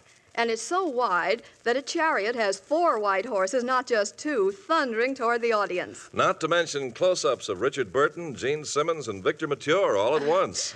I love this description of Victor Mature. They write that Victor plays the Greek slave, quote, with the controlled arrogance of a trained leopard, unquote. Leopard, eh? And Jean Simmons? oh, these are the words they use about her. Lovely and passionate. I could add a few words about Jean myself, such as complexion by Lux. And don't forget, Ken, the robe is in Technicolor, so audiences will really see what Lux Care can mean to a complexion. Well, Jean has been devoted to Lux for many years. I guess it's a habit she picked up in England. Well, Lux seems to be an international custom with most movie actresses. With so many pictures being made on location Mexico, Rome, the Belgian Congo why, well, I think you can call Lux the most traveled of all soaps. Yes, Lux gets around all right. Like Jean Simmons, so many stars feel that Lux is the one soap they can depend on to keep their skin looking its very best. Lux is so gentle and mild. And another nice thing the fragrance of Lux never interferes with any perfume you wear. Thank you, Francis. Once you've used Lux, we think you'll agree with Jean Simmons and nine out of ten screen stars. There's no soap quite like Lux.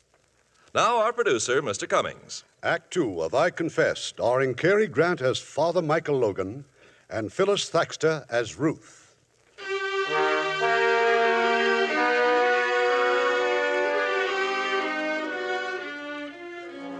It's a few moments later. Mr. Robertson, the Crown prosecutor, is not at home. But Inspector LaRue has found him. He's been a guest tonight in the home of some old friends Pierre Grandfort and his wife, Ruth. Sorry, Ruth. Looks like I've got to say good night. That phone call just now. It's about that Villette murder. Don't look so unhappy, Willie. Well, there's a very unpleasant angle. A priest is under suspicion. What nonsense. Well, he was seen leaving Villette's house. Which priest? Do they know his name? Inspector LaRue thinks it's a Father Logan from St. Marie's. Or I hate to leave. Thanks for a lovely dinner. Good night, Willie. Oh, no, no, don't come to the door. See you soon, Pierre. Stop worrying. It's ridiculous. Why on earth would Father Logan. Shut up. Oh, please shut up. I'm sorry. You're still in love with him. Am I? You never spoke about it. And I'm not going to speak about it But now. you are going to speak about it. I'm not going on like this. Do whatever you wish. It's very simple, isn't it? What does one do when his wife's in love with a priest? You can leave me. How easily you can say that. I'm not in love with you. I have never been in love with you. You know that. I never wanted to believe it. That's not my fault. I've never pretended anything with you. I hope he's in trouble. Terrible trouble. Oh, Michael. Michael.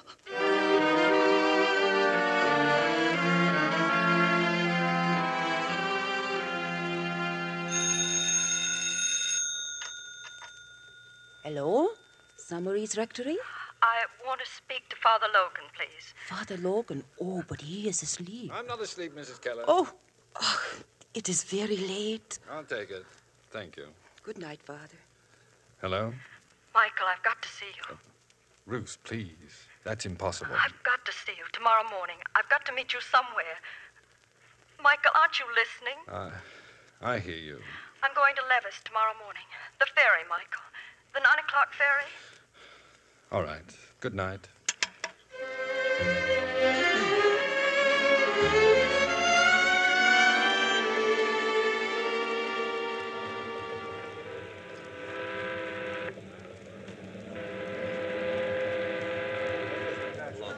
Well, good morning.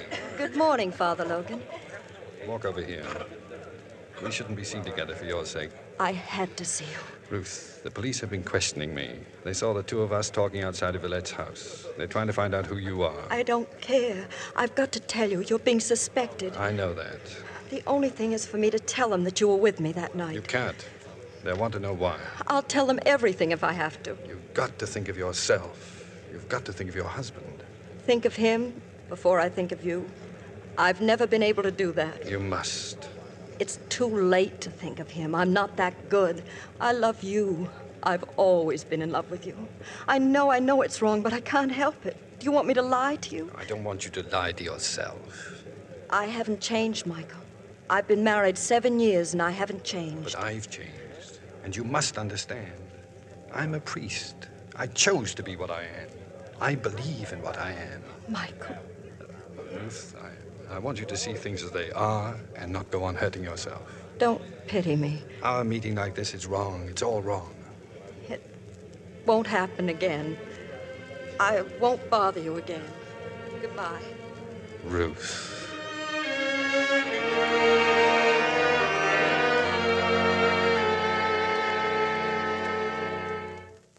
Ruth, who was it? Who just telephoned?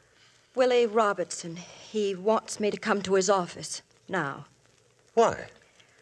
I was seen on the ferry this morning with Michael Logan. Apparently, I was being followed by a detective.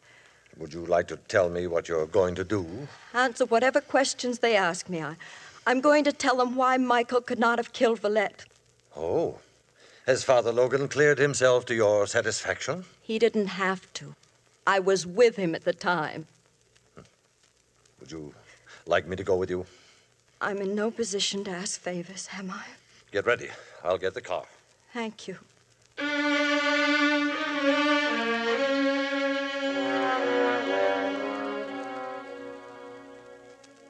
Ruth, Pierre, I- am so terribly sorry about all this. Oh, this is Inspector LaRue.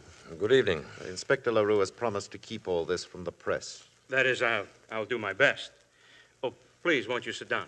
Thank you. Father Logan is here. Here? Yes, the other room. If you'll join us, Father, please. Good evening, Father Logan. Good evening. Good evening. Father Logan.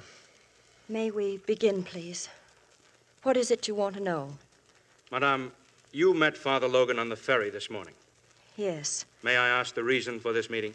I don't think the reason could help you, Inspector. You also met Father Logan on the morning following Villette's murder in front of the house. Yes. And the reason for this meeting? I had an appointment with Monsieur Villette. But Father Logan, knowing of the murder, stopped you from entering the house. Am I right? Yes. Of course, Father did not know you had an appointment.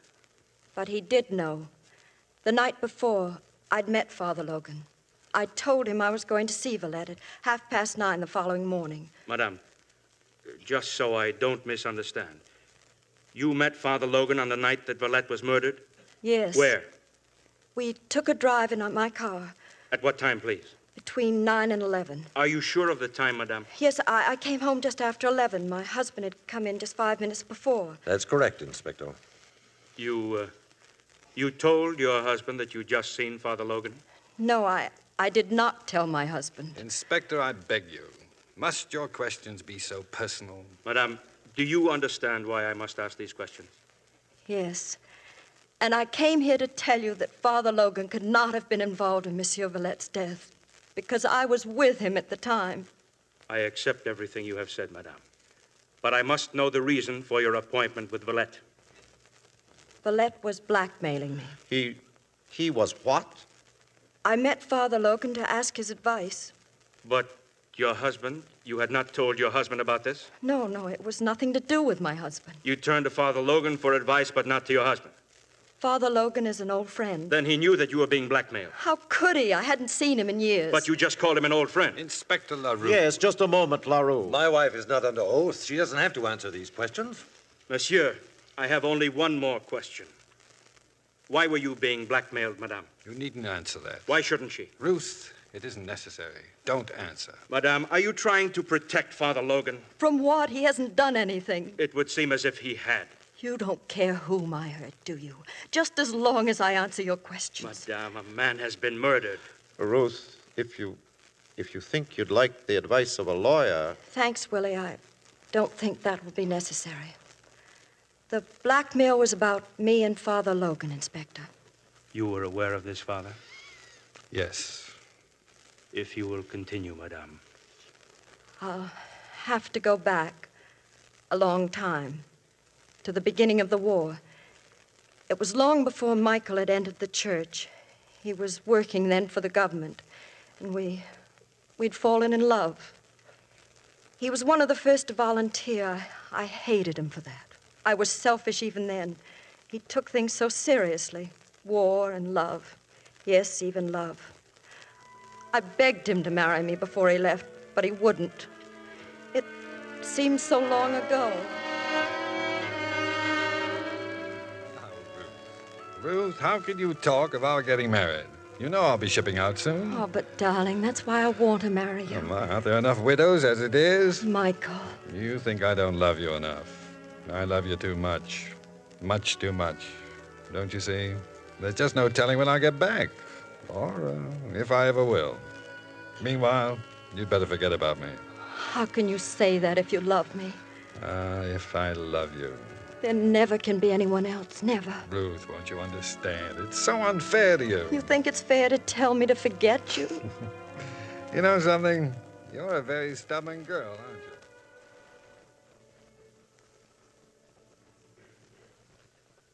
His letters were long at first, but after a while there were no letters at all. Nothing, not a word, for over a year. Meanwhile, I had started working for my future husband. Pierre was. he was. Ruth, you don't have to tell them. You don't have to tell them anything more. I want to. You were very kind to me, Pierre. You realized I was unhappy. And like all kind people, you never asked me why. I was in love with you. Anyway, six months later, we were married. When the war was over, Michael came home. I was at the dock the day the boat arrived. We arranged to meet the following afternoon. It was a lovely day, the end of the summer. We took the ferry and went over to the island. We started to walk, and Michael told me the thoughts that had come to him during the war. The war had changed him. Then suddenly a storm came.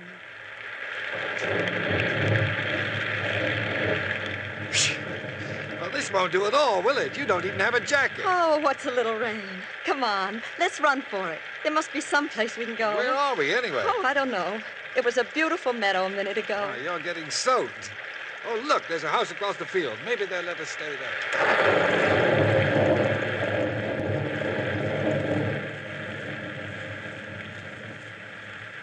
The house was closed, Inspector.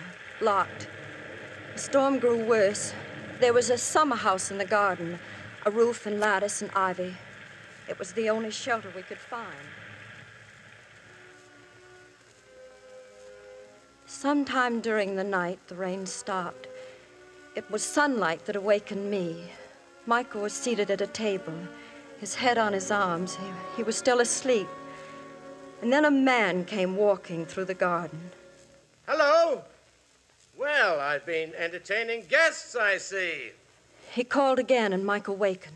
What a charming rendezvous. I trust you and the lady were not disturbed during the night. But what a compromising situation, monsieur. Michael, no, don't. He. He only defends your honor, madame. Get out. Get out? From my own garden? That doesn't give you the right to insult this- Madame Grandfort? Oh, yes, I know, madame. Ruth? That is, I know of her husband, the distinguished member of parliament. I've seen you quite often, madame, waiting for him in your car. Oh, how exciting it must be to be young. Young and beautiful. This man, Villette? Villette. What could I say to Michael? I hadn't told him I was married. Father? Let her continue. I didn't see Michael again for five years, nor Villette either. Not till the day that Michael was ordained a priest. Villette attended the ceremonies. And after that, I started to run into him all the time. One day, as I left the house, he was waiting for me on the sidewalk. And those are the facts, Madame Grandfort. If I don't act quickly, there'll be a terrible tax scandal. Only your husband can help me. Then go to my husband. There's nothing I can do. But your husband is so righteous, Madame.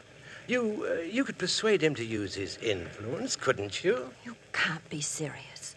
Madame, must I tell your husband about you and Father Logan? Must I? There's nothing you can tell him. We did nothing wrong. Think it over. I'll give you 24 hours.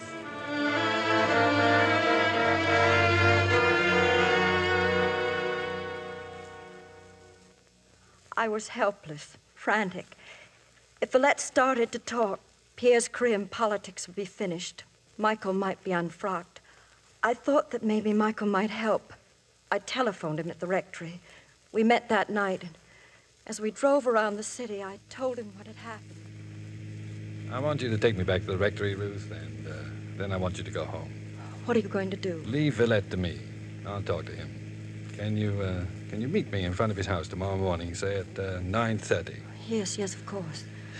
It'll be all right, Ruth. Villette will listen to reason. Don't worry about it anymore. So that explains your appointment with Villette. Yes, I see. I arrived at 9.30. I Couldn't understand why the crowd had gathered. Then I saw Michael, and he told me Villette was dead. I couldn't believe it. I was free. The rest you know. Some of it, anyway. Inspector, may my wife leave now? Certainly. Father Logan has his alibi now, doesn't he, Willie? Of course. Thank you. Ruth, come. Good night. Thank you, night, madame, for your Ruth. help tonight. Pierre. Would you like to go now, Father? I said, would you like to go now? Hmm? Oh. Go? It's been a terrible ordeal. We're, we're very grateful. Yes. Well, good night. Well, it's over, Inspector. Is it, sir? I'd like you to see this report. What report? Dr. Bonnard, the autopsy surgeon. He claims that Villette could not have died before 11.30. Oh, wait a Madame moment. Grandfort said that she left Father Logan at 11. You can do a lot of things in 30 minutes. I had never quite understood why Father Logan should have killed Villette. But now I think I can understand. And I thought it was over. I'm afraid not, Mr. Robertson.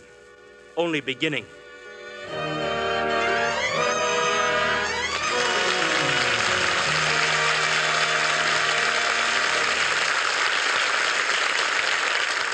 We'll continue with Act Three of I Confess in just a few moments. Now we're going to meet lovely Joan Weldon, who was signed by Warner Brothers while singing in Song of Norway. What singing you've- haven't you been doing lately, Joan? I'm in So This Is Love, Mr. Cummings, but I don't sing.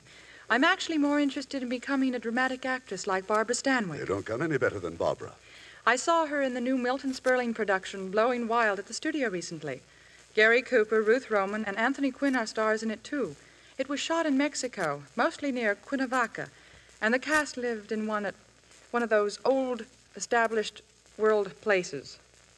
Built in 1527 by Cortez, the Spanish conqueror. Sounds like the picture Blowing Wild would have some wonderful scenery in it. Oh, it has, Mr. Cummings, and a very exciting story involving oil fields and armed bandits. Judging by the looks of Miss Stanwyck at the end of the picture, well, I hope she had Lux toilet soap along with her. Why is that, Joan? Miss Stanwyck was covered with oil and debris. She plays the part of an unscrupulous woman, infatuated with Gary Cooper, and I guess you'd say she gets her just desserts in the end. Well, Joan, knowing how much Barbara Stanwyck likes Lux, I'm sure she brought several cakes along. Lux is my favorite soap, too, Mr. Carpenter, for my complexion and in my bath. Most screen stars feel that way about Lux, Joan. They believe there's nothing more refreshing than a Lux bath. It's a great pick me up after a strenuous day. It certainly is, Mr. Carpenter. Well, thank you, Joan, and I'll be looking forward to seeing you in a dramatic role soon. Use the generous bath size Lux. We think you'll like its creamy lather and pleasant fragrance as much as nine out of ten Hollywood screen stars do. We pause now for station identification. This is the CBS Radio Network.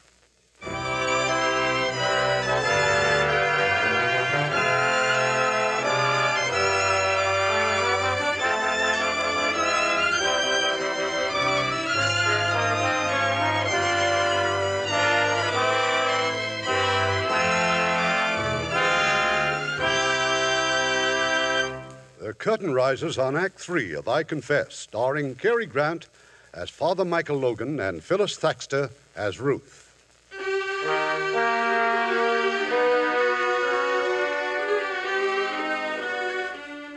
It's very early the following morning, but already the phone has rung in the Grandfort home. An urgent call from Mr. Robertson, the prosecutor. And now Ruth has rushed to the church of Sainte Marie. But I can't talk to you now, Ruth. There are people waiting at the confessional. Mr. Robertson phone. They're going to arrest you. Oh, Michael, what can we do? I don't know. You're not going to let them bring you to trial. Don't you know what that would mean? I've done this to you. I've done it all. No, no, you mustn't say that. They're going to call me as a witness, and all because of what I told them last night. They claim I've given them the motive they've been waiting for. Ruth, please, I must go now. I should have lied, but I told the truth. And now they'll twist everything I've said. They'll turn it, they'll use it. I wanted to help you, to help you. Well, it doesn't matter. There's nothing either of us can do.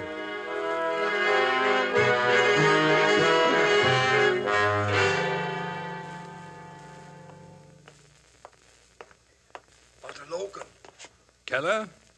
What is it? I, I can talk to you now. You are through with confessions. Yes. You have been talking to the police. They asked about me. You told them about me? I'm going to be arrested, Keller. You? You are trying to frighten me. You think by telling me that I will give myself up. So what are you going to do when they arrest you? I don't know. Ah, you are frightened. Maybe they will hang you instead of me, and that frightens you. But you can't tell them, can you? You can't tell them as long as you are a priest.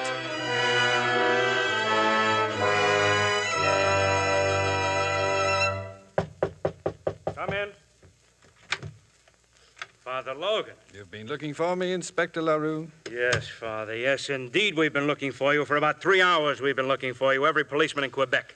I've been walking. I've been trying to think. You can call it off, Murphy. You just walked in. You had lunch yet, Father? No. Well, let me order something for you. Oh, uh, you're under arrest. Yes, I know. Priest arrested for murder. Father Logan charged with Villette murder. Robertson plans speedy trial of accused priest.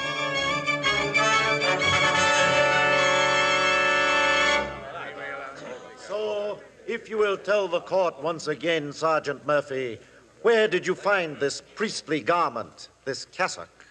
The rectory, sir. Father Logan's room. I found it hidden in his trunk. Hidden? Objection, my lord. On what grounds can the witness claim the article was hidden? Sustained. Sorry, my lord.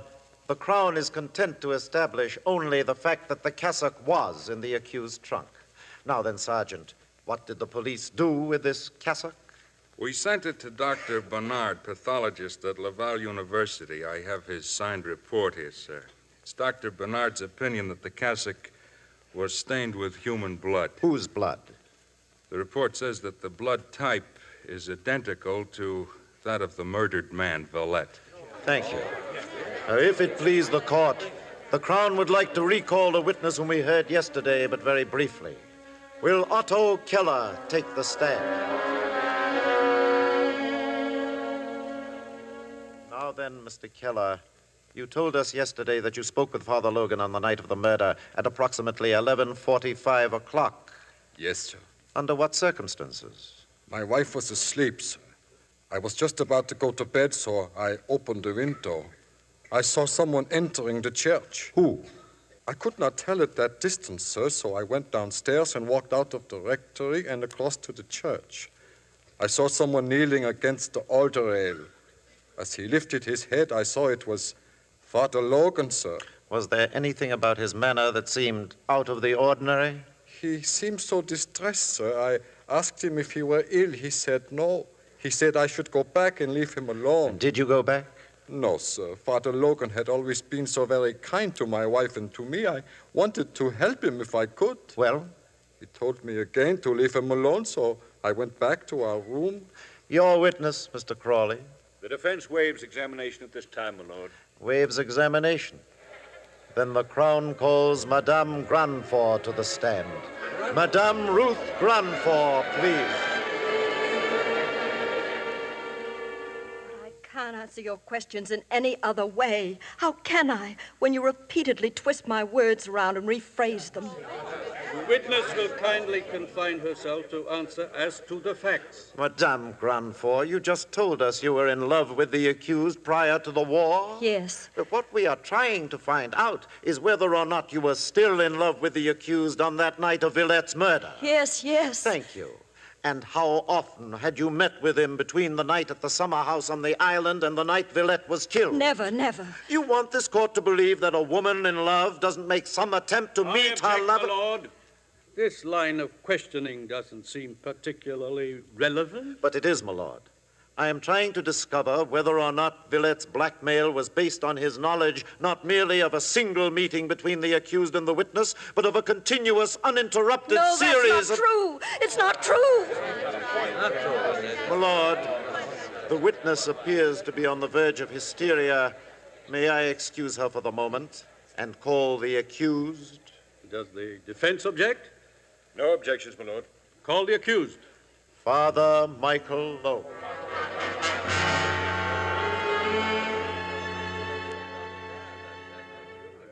Suppose we begin with the cassock, Father Logan. This is your cassock. No, sir. It is not mine. Then perhaps you borrowed it from someone? No. Yet it was found in your trunk. Someone must have put it there? Yes. Or can you help us by suggesting who? I can't say. Father Logan, when did you decide to become a priest? After the war. And in becoming a priest, were you perhaps trying to hide from something? I've never thought of the priesthood as offering a hiding place. It involves certain responsibilities, certain morality. Yes. And yet you saw nothing wrong in having a clandestine meeting with a woman. Are you trying to imply that I was a priest at that time? I was not a priest. But did you consider that this woman was married? I I wasn't aware that she was. And so you spent the whole day with her? Yes, yes, we were good friends. I hadn't seen her in over three years. Such good friends that you made no effort to go home that night? We were caught in a storm. Oh, then the storm was the villain. I saw nothing wrong in being caught in a storm. Nothing wrong. Then why, on the following morning, did you hit Villette with your fist? Were you anxious to protect Madame's reputation? Yes. Oh, then her reputation was endangered. You suddenly realized there was something more than merely being caught in the storm. Villette. Villette made insinuations. My argument with Villette had nothing to do with any sudden realization. But you hit him in anger. Yes. You hit a man when he merely intruded upon a harmless situation. Then surely you are capable of far more violence when that same man blackmails your friend, Madame Grandfort. I am not capable of murder. You would go to such a man, and unable to control your temper, unable to face a public scandal, you would turn again to physical force. No, I would not. No, you would not. You say that you and Madame separated at 11 o'clock on the night of the murder. That's right, yes. Then it was possible for you to be at Villette's house by half past 11. Yes, it was possible, but I did not go there. I went back to the rectory. And what did you do, Father Logan? I, I went up to my room. Then I went downstairs and into the church. Did you see anyone there? Otto Keller. But Mr. Keller has told the court that the time then was 11:45 or after. That isn't true. Then perhaps you are prepared to tell us the truth. I have told you the truth. That is all you have to say. That is all. And I say that you did not return to the rectory until 11:45 or after. That you had met with Villette, that he threatened you with exposure, and that you then proceeded to kill him. No. No.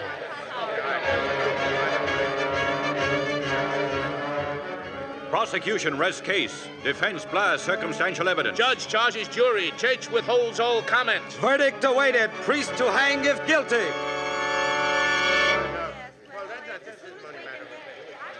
Silence! Silence! Everybody stands. Gentlemen of the jury, are you agreed on your verdict? We are. Is Michael Logan guilty of murder or not guilty?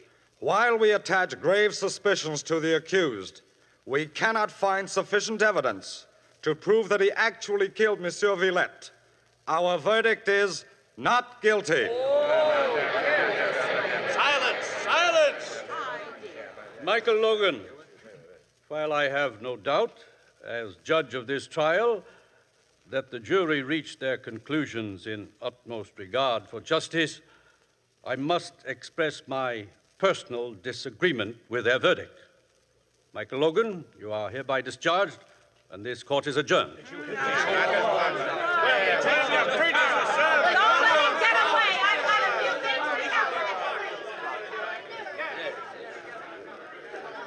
Well, LaRue, I told you the cassock wouldn't be enough. They've ruined him. Why couldn't they just have said not guilty and let it go at that? Are you satisfied, Willie? Are you satisfied with all this? Do you think I enjoyed it, Pierre? Someday, perhaps, you and Ruth may forgive me. Ruth? Here, look. Here out the window. What are they doing to him? People are angry, madame. If he were anyone else They're but a throwing priest, things at him. They're hurting him. the police will handle it. There, you see? I can't even help him now.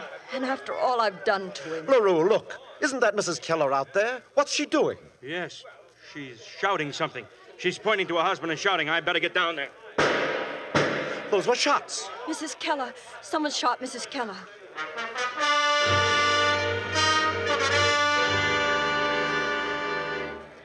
What is it, Murphy? What happened? She was running toward me, Mrs. Keller.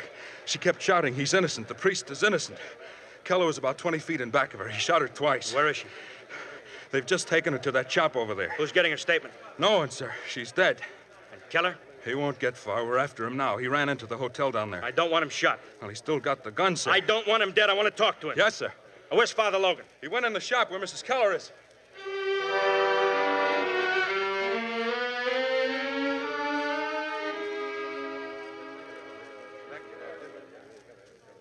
Well, Father? All she was able to say was, forgive me. We. we should have Keller in a few minutes. Now, what about him?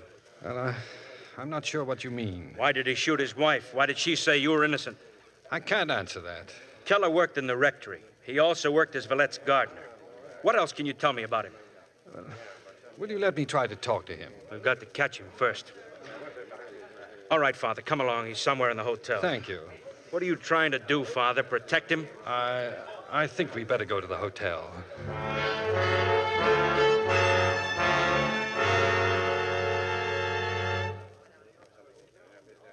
We've got him cornered, Inspector. Behind those doors is a ballroom. No place to hide. Just the floor and a stage. Every exit's covered. All right, all right. I just sent Farouche for tear gas. Oh, no, please. Let me try to talk to him. No.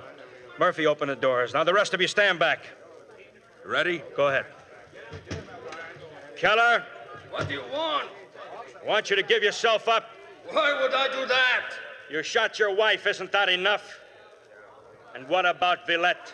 Villette? So the priest talked. Logan, where are you, Father Logan? Keller. Ah, so you are there. How kindly you hear my confession, and then a little shame, a little violence. That's all it takes to make you talk. I'm going in there. Now get back, Father, I'll kill you. Oh, you show yourself the hypocrite, the pretender. I thought you would rather die than to betray your faith. Keep him covered, Murphy. Yes, sir. Now get ready. Aim for Keller's shoulder. Make him drop the gun. Be easier to hit his leg, sir. Shoulder, the right shoulder. Gonna shoot now, Keller. Drop your gun and we shoot. Oh, no, please. Don't make them do it, Keller. That is all you have to tell me? Oh. Oh. oh. Drop your gun, Otto. There's been enough bloodshed.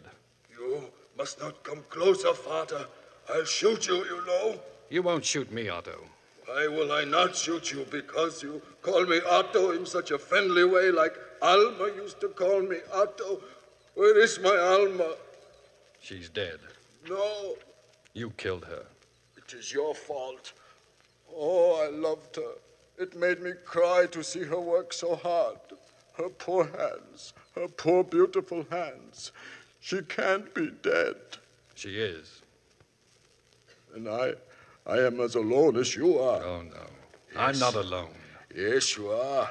To kill you now would be a favor to you. You have no friends. What has happened to your friends, huh, Father? They mob you. They spit at you. It would be better if you were as guilty as I. Then they would shoot you quickly. Look. Three bullets. For you, Father. For you. Oh. Oh. Help me, Father. Help me. Quickly help. Get a doctor, the hotel doctor. Father. Stand back, please, all of you. Forgive me. Forgive me. My head. Hold my head. Yes, Otto. Pray for me. Ego te absolvo, in nomine Patris, et Filii, et Spiritus Sancti. Amen.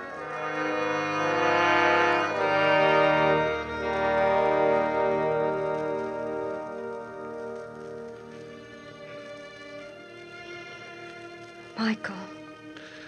It's all over. Yes. I want you to know I, I'm going home with my husband.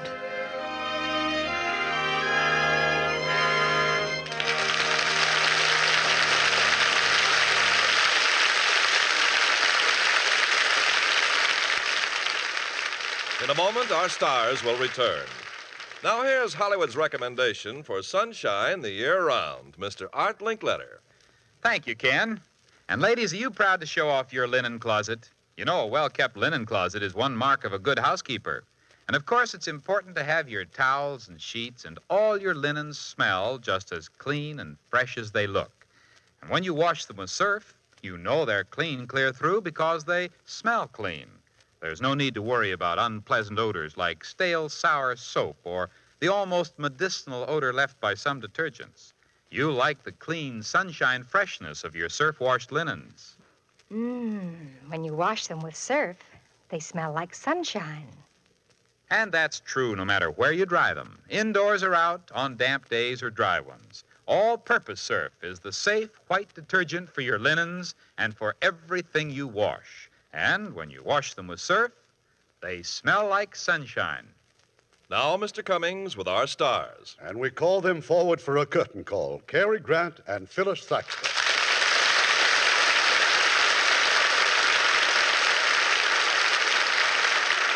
Cary, I certainly enjoyed your work in a dramatic part. I think people are inclined to forget what a fine dramatic actor Cary is. Well, of course, of course. Oh, well, it was nothing. I just play anything at all. Anything from comedy to opera.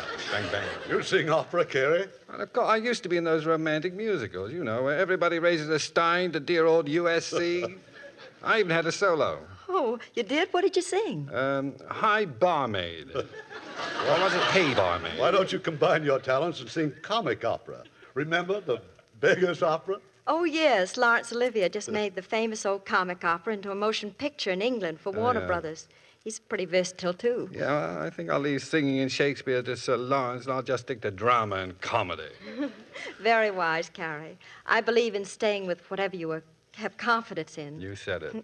That's why I've always been a devoted fan to Lux toilet soap. Certainly is a dependable complexion care. Uh, we can always depend on the Lux Radio Theater for the best in motion pictures. So, uh, what's for next week, Irving? It's not only one of 20th Century Fox finest pictures, but it tells the story of some of our most exciting American history. It's the great love story of Rachel and Andrew Jackson in The President's Lady. And as our stars, we'll have dynamic Charlton Heston recreating his original role. And as his co star, lovely and talented, Joan Fontaine. Oh, that will be a wonderful show. Good night. Good night. Good night. and See you soon.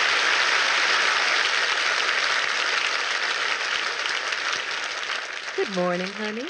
When you say good morning, does your breath say, Morning, Mom. Morning, Mom. Morning, Mom. Morning, mom. It won't if you use Chlorodent toothpaste. Chlorodent absolutely gets rid of that stale, furry taste that's a sure sign of bad breath. Some toothpaste only mask bad breath temporarily. But with Chlorodent, that wonderful, clean, fresh feeling tells you your breath is sweet, even hours later. Chlorodent hasn't got a little dab of chlorophyll, it's loaded with it. And it's got a patented polishing agent that cleans better than any other toothpaste formula, bar none. A great university proved it. Anti enzyme? Certainly.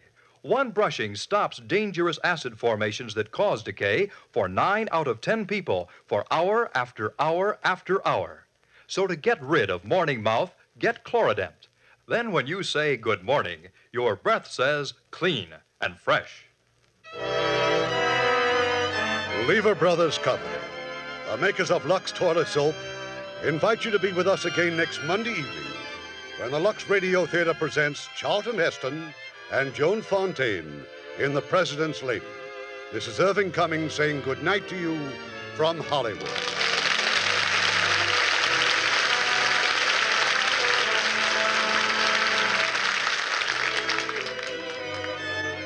Heard in our cast tonight were Jack Kruschen as LaRue, Leonard Penn as Keller, Edgar Barrier as Robertson, Shep Menken as Murphy, George Baxter as Pierre, Ann Morrison as Alma, Charlie Lung as Villette, Jill Oppenheim as Augustine, Bill Johnstone as the defense attorney, and Herb Butterfield, Tony Michaels, and Eddie Marr. Our radio play was adapted by S.H. Barnett, and our music was composed and directed by Rudy Schrager. Well, Francis, why that big smile? Well, I just sort of found $10. What do you mean, sort of? Well, I did some figuring, Ken, and came out $10 ahead. Great. How'd you do that? Well, it's like this. I buy about 15 pairs of nylons a year. I spend, oh, a dollar and a quarter to a dollar thirty-five a pair. Mhm. Say $20 a year for stockings. Now, like any smart gal, I give my sheer nylons Lux Flakes care and... And get double the stocking wear. So I cut stocking costs in half and save $10 a year.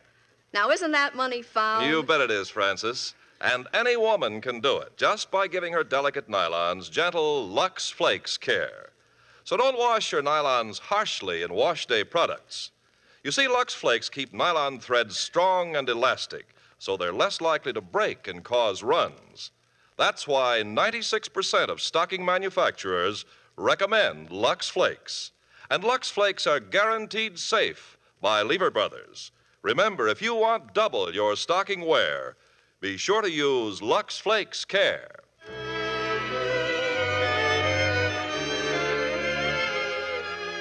Lever Brothers Company unconditionally guarantees the quality and performance of Lux toilet soap, Lux Flakes, Chlorodent toothpaste, and Surf, or your money refunded.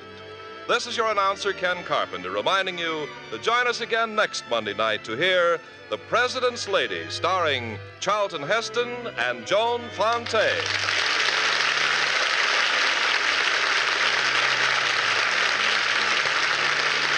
Every Thursday evening, Lever Brothers Company brings you the Lux Video Theater. Consult your local newspaper for time and station.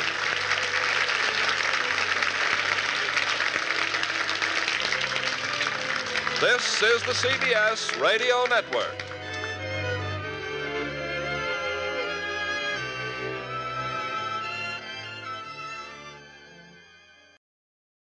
Lux presents Hollywood.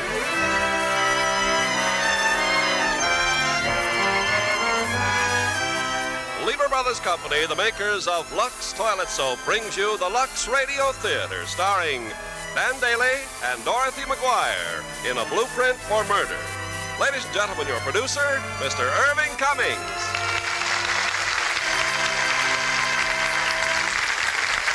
Greetings from Hollywood, ladies and gentlemen.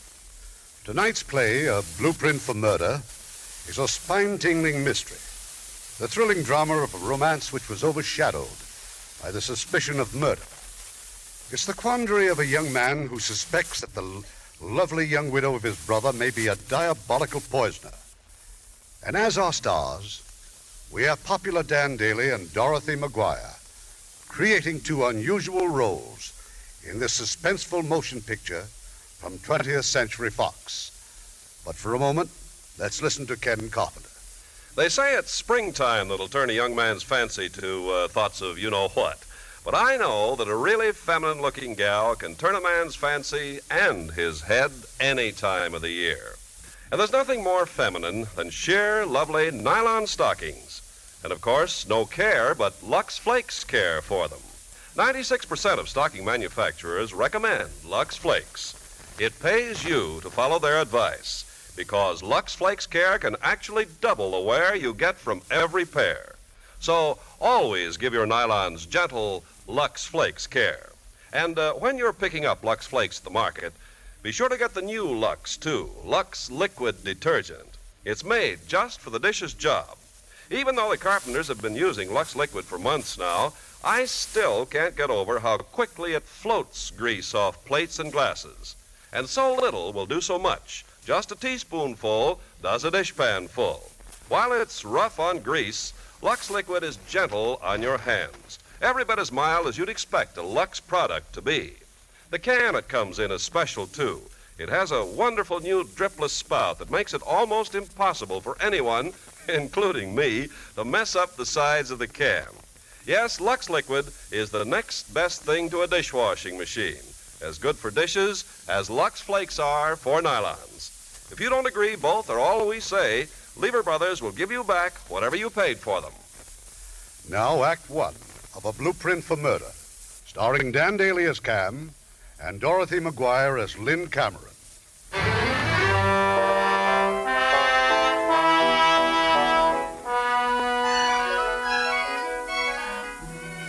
The telegram was waiting for me in New Orleans. The telegram from Lynn. I took the next plane back and rushed to the hospital. Late that afternoon, the doctor was able to give us some real encouragement. And so I think our worries are over, Mr. Cameron. But she was a mighty sick little girl. You still don't know what was wrong. Not for sure. The tetany test was negative. Tetany? Those muscular spasms she was having, they're quite characteristic. Well, I'm sure she'll have quite a comfortable night. I understand you're the child's uncle, is that right? Yes, her father's dead, and my brother. I'm very attached to both children and their stepmother. Now, Mrs. Cameron's had quite an ordeal. Why not uh, take her home? We uh, will have a special nurse on duty, and if anything at all yes, comes up, I'll, I'll try and get her to leave now.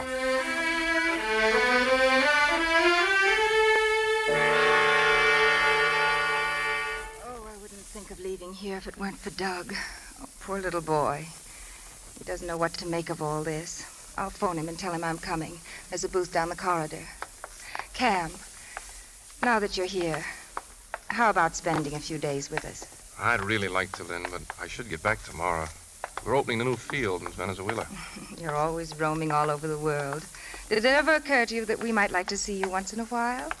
It's so important to the children, especially Doug. He's never quite got over Bill's death. And he's so fond of you. Let me see what I can do. Maybe I can stay over a few days. Oh, I wish you would. Well, here's your phone booth. I'll look up a public stenographer. I got some letters and a couple of telegrams to get off. I'll meet you at the house. Wonderful. We'll expect you for dinner. And Cam, thanks for everything.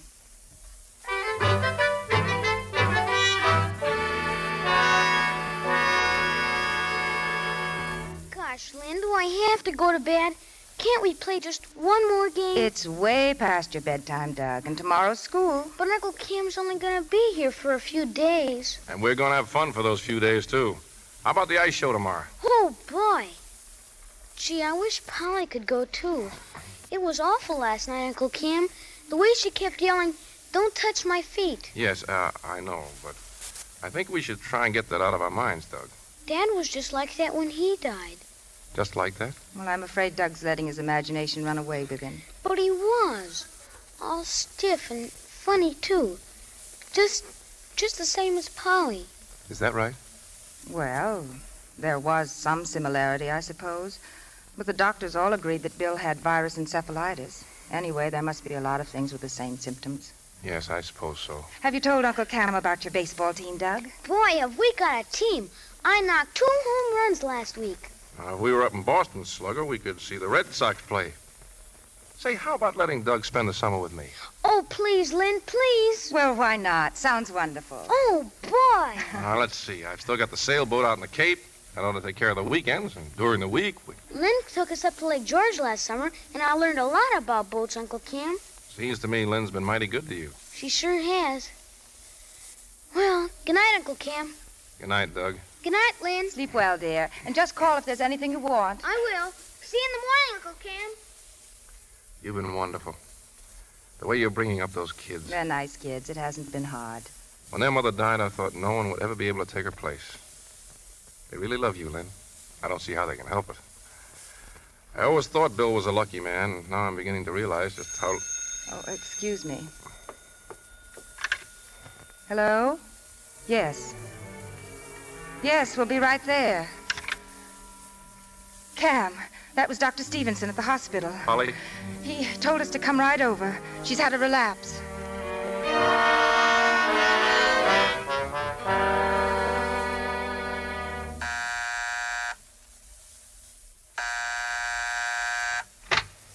Cam. Well, well, when did you hit town? Hello, Fred. Well, come in.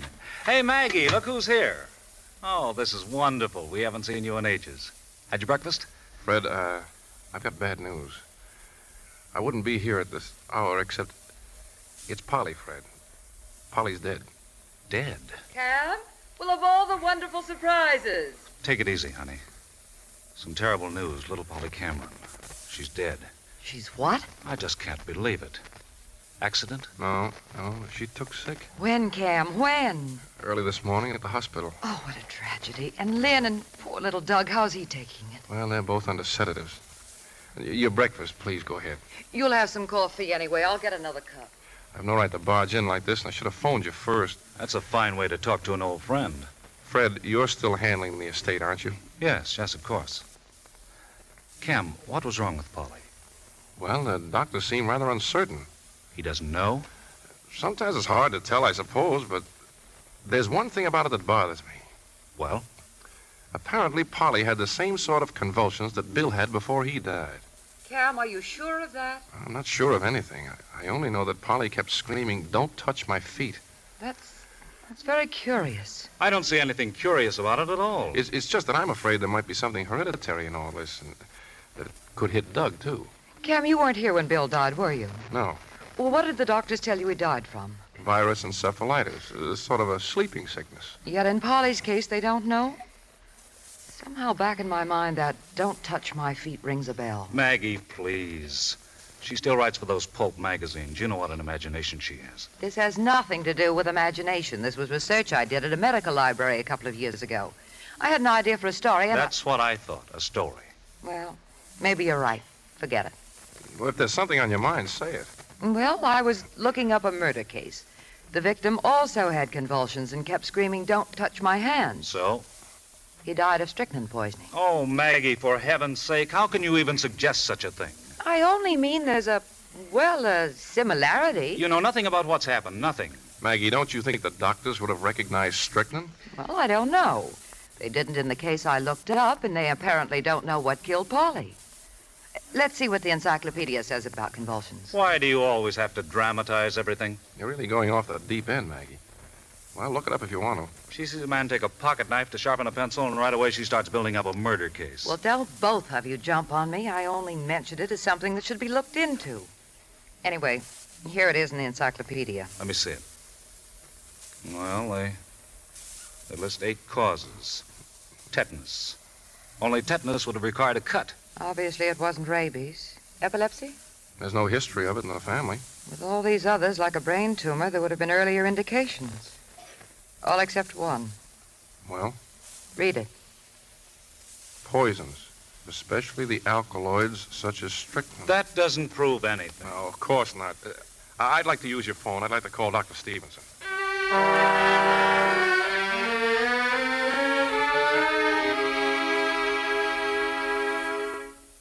And so we, well, we thought of the possibility of strychnine, Doctor. You're serious about this, Mrs. Sargent?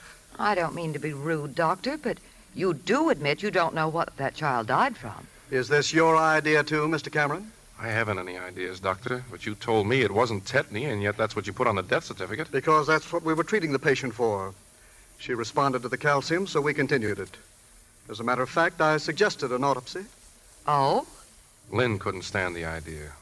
I agreed, and nothing could be gained by it. Mrs. Sargent, just how do you think the child got the poison? I don't know, of course, but I don't see how it could have been accidental. I hope you realize what you're saying. Meanwhile, Mr. Cameron, I'm afraid I don't want any part of all this. I'm sorry I ever mentioned it. Come on, Cam, let's go. Thank you for seeing us. You're quite welcome, Mr. Cameron. Who could have done it, Maggie? Who? Oh? Several people. For instance. For instance, Lynn. Good day, Dr. Stevenson. Maggie, what's got into you making a crazy crack like that about Lynn? Now, doggone it, I'm getting mad. I only said it was possible she could have done it, and it is. You've got her all wrong. She certainly made Bill a good wife. He was very happy with her. Do you plan to stay on? Till the end of the week. Just three or four days, huh? Can I drive you anywhere? No, no thanks. Think it over, Cam. It sounds ridiculous, I know. But is it? Say hello to Fred. I'll, I'll see you both in a day or two.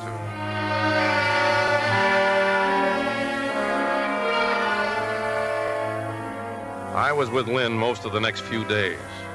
More and more, I realized what a wonderful person she was. Her warmth and affection for Doug helped so much to soften the blow of his sister's death. Never did Maggie's suspicions seem more fantastic than now. Must you really leave tomorrow, Cam? I've stretched it as long as I could, Lynn, but I'll be back as soon as I can. You can rely on that. I don't know what I would have done without. Yes, Anna. It's the phone, ma'am, for Mr. Cameron. It's Mr. Sargent.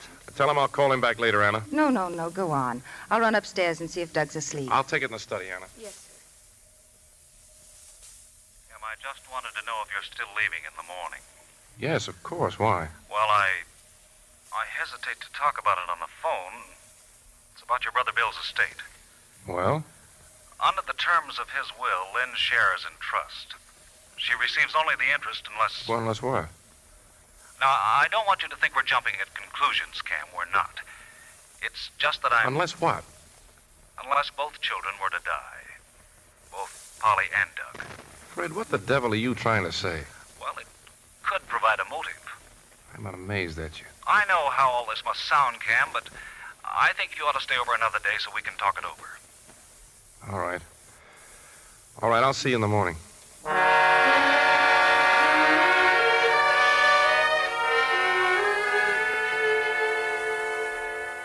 Cam? Anything wrong? Wrong? Oh, no, no. Fred just called to say goodbye. Oh, I hate that word. I told him he was being premature, and I've decided to stay a day or two longer. That is, if it's all right with you. You know it is. Was Doug all right? Oh, yes, thank goodness. I'm worried about him. He doesn't look at all well. It's been the same for him as for the rest of us. Mm. Such a terrible shock. No, but Doug hasn't been looking well for weeks. I'm thinking of taking him out of school, Cam, maybe a trip to Europe. Why? Well, he needs a change. Everything here only reminds him of his father and Polly. And it'd be good for me, too. How long would you be away? Oh, I don't know, maybe a year or so. That long? Hmm. Might be very good for him. Visiting all the little out of the way places and just taking it easy. I'm not worried about his schoolwork. He's such a bright boy. We could take some sort of study schedule with us, and that way it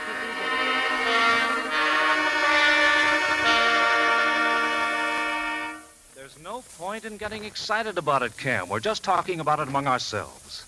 But I can't close my eyes to the fact that Lynn did have a motive. I don't care how it adds up. You'll never convince me that Lynn is capable of murder. Bill left a lot of money, Cam. Almost a million dollars. And now you tell us she's thinking of taking Doug abroad. Yes, to those out of the way places in Europe. Well, what do you want me to do? Be objective, that's all. Cam, I've gone through every book on poison cases I can find. There have been plenty of women who were poison murderers. Stop it, Maggie. Please. Madeleine Smith, Florence Maybrick, Lydia Trueblood, dozens of others. Many of them were young, beautiful, intelligent, and cultured. You still refuse to answer a very simple question. If it was strychnine that killed Polly, why didn't the doctors recognize it? Because they weren't looking for it. Here's the dope on lots of famous poison cases. Not in one instance did a doctor call the turn based on medical diagnosis. You just can't dismiss it as impossible, that's all. At least I can't. And here's something else you might look over. This happened in Philadelphia. More than a hundred people killed by arsenic before even one of the cases was suspected. Yet that's the only case reported in Philadelphia in the last 20 years. All right. How do they account for it?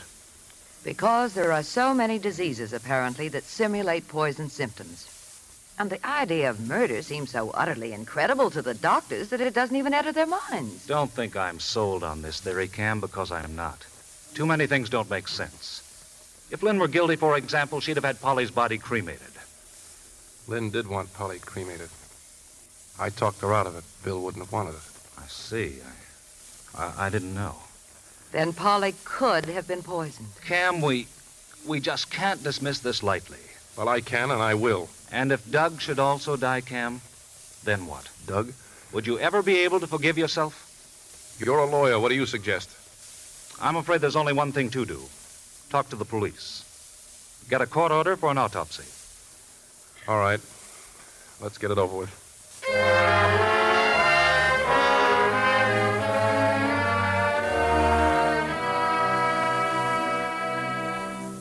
Cam? Aren't you coming in? Dinner's ready. Hmm? Oh, oh. What's the matter with you? You've been staring out of that window for half an hour. Ever since you got that phone call. Where's Doug? I told you. He's having dinner at his friend's down the street. Lynn, uh, I've got to talk to you. Well, can't it wait until after dinner? No, it can't wait any longer. Lynn, I- don't know how to begin. That phone call before, it, it was about Polly. Polly was poisoned. Poisoned? Yes. Oh. Why, it just couldn't be. Cam, there must be some mistake. I'm afraid not. But how? How could it have happened? The police think it was intentional. Police? Yes, it was their medical examiner who performed the autopsy. They want you and the servants down for questioning tomorrow morning. Oh, but this is impossible. It doesn't make any sense. The police, what, what gave them the idea of performing an autopsy? Lynn, you know Dr. Stevenson wasn't certain what caused Polly's death. No. Well, uh, there was a reason for thinking it, it could have been strychnine. The symptoms are almost identical. And you knew about this, and you didn't even mention it to me. I didn't think they'd find anything wrong. Was no purpose in upsetting you. I, I know it's miserable being dragged down to the police for a lot of Oh, stupid well, that can't be helped, but there's one fact we can't get away from. If Polly was poisoned, then somebody did it. And it's up to us to find that somebody. Yes, Lynn. I'll need your help more than ever now. I'll be here. Thank you.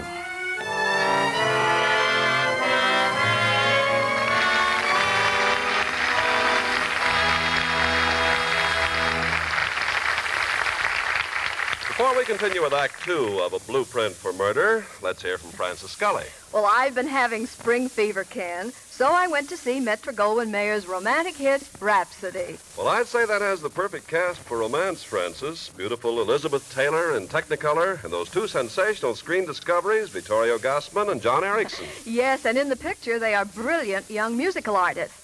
And you'll hear some of the world's greatest music. So I'm told.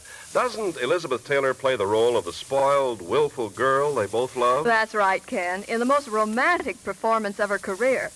The picture is in a delightfully carefree mood, and the background swiftly changes from Switzerland to Paris and the Riviera as the three young stars bring us the absorbing love story. Well, looks like MGM has another hit for their 30th anniversary. Good night, Frances. And now our producer, Mr. Cummings. Act two of A Blueprint for Murder, starring Dorothy McGuire as Lynn and Dan Dailey as Cam.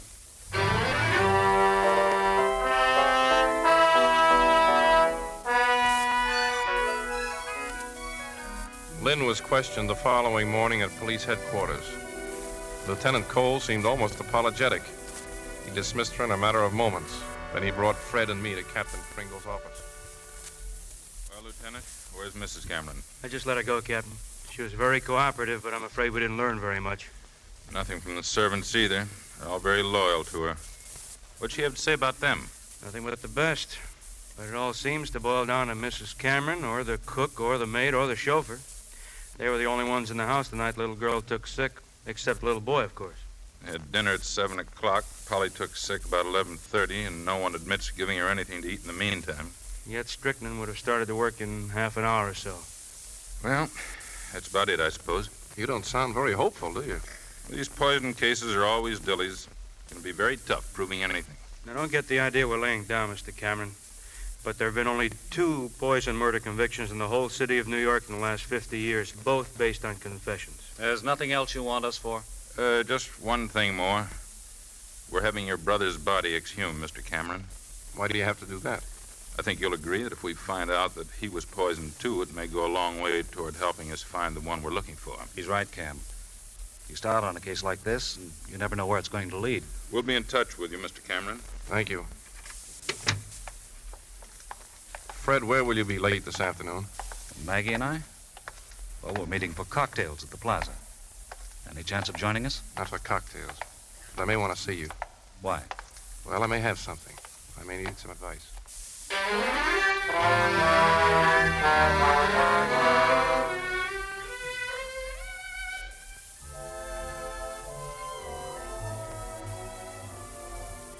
Cam, Cam, over here. Hello, Maggie. Well, I've just come from the library. Oh, no, not you, too. I went through all those books on toxicology. Lynn couldn't have done it, only now I can prove it. How? You die of strychnine during a convulsion. You die of suffocation. Well, what does that mean? It means that somebody gave Polly a second dose in the hospital. In the hospital? She was getting better. How could convulsions start all over again nearly 20 hours later?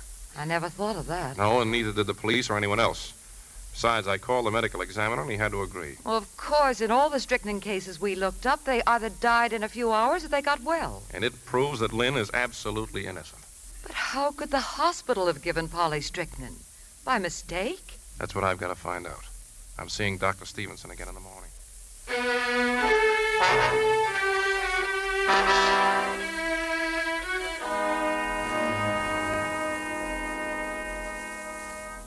Well, here it is, Mr. Cameron, the patient's chart. The only medicines administered were all quite routine. They were supplied by our hospital pharmacy downstairs. What medicines? What was Polly given the night she died? Mm, at 10 o'clock, she was given calcium chloride pepsin in capsule form.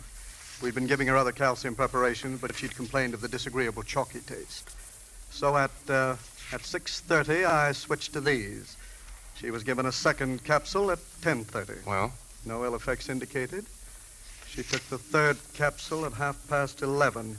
Half an hour later, the convulsion started. Could the strychnine have been in that last capsule? Well, possible, of course, but I'd like to remind you it came directly from the hospital pharmacy. Well, I'm scheduled for surgery. I'd like to check with you later, if I may. Thanks. I appreciate your help. Frankly, though, I, uh, I don't know what more I can add.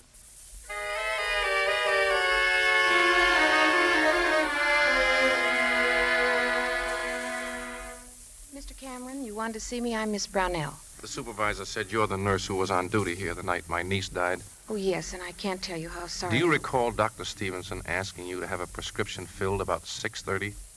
Well, yes, vaguely. May I ask where you took the prescription? Well, the hospital pharmacy downstairs. They never saw that prescription. The pharmacy downstairs was, was closed. They close at 6 o'clock every night. They just told me so. Oh, of course, I remember now. I was just about to send it out when Mrs. Cameron offered to get it filled. Mrs. Cameron? Well, yes, the child's mother. I remember it very clearly now. Is that all, sir? Yes. Thanks.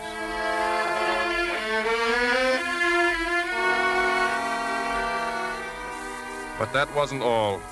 In the morning, the police sent for the nurse. She reported to Captain Pringle's office. Now tell us, Miss Brownell, how did you happen to ask Mrs. Cameron to get the medicine? Why, I didn't ask her.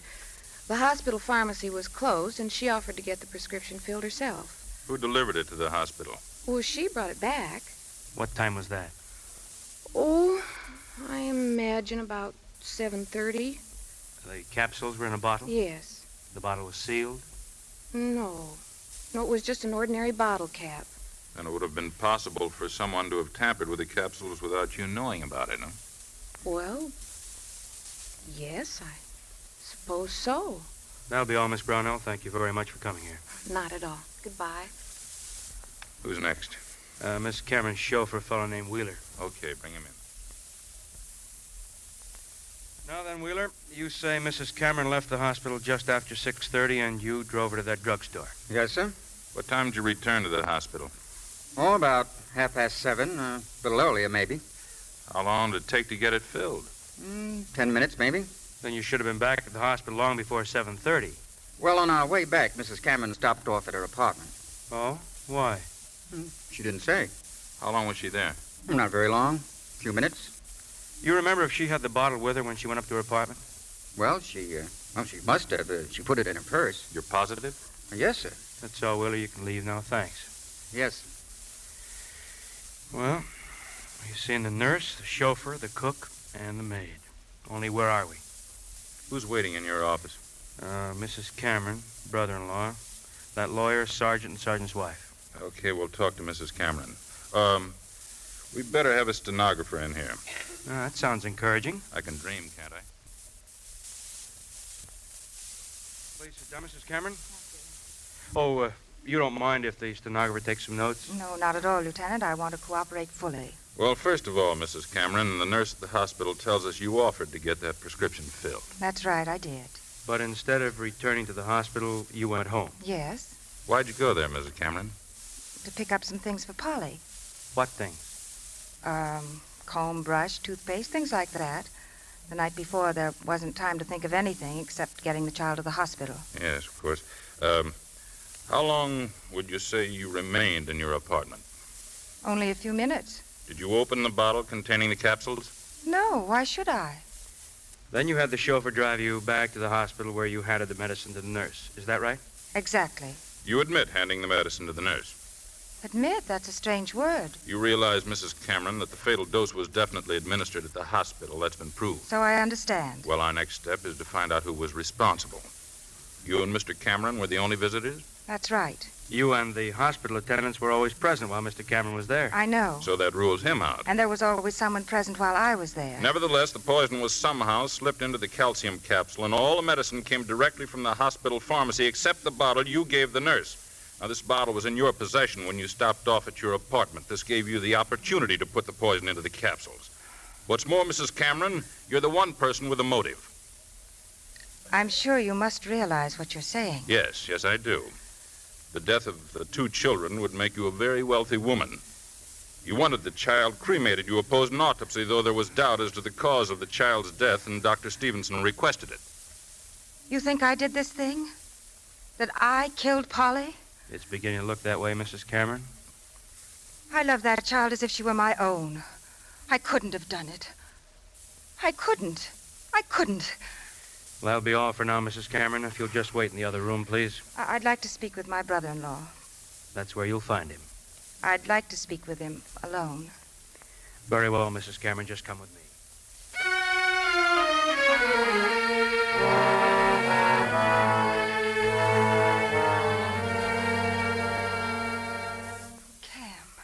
They think I did it.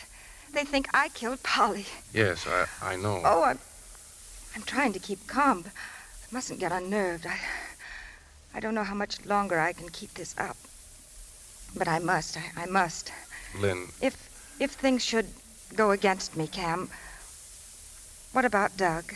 From the way they talked, I may be held over for a trial or something. well, yes, I suppose Cam, so. if it does happen, will you take Doug until it's all over? Of course, of course I will. And try, try not to let him ever hear about this. He mustn't know.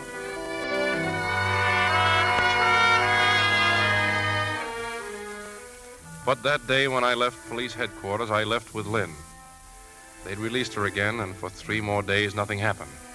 Nothing, at least, that we knew about. But they were very full days for the police.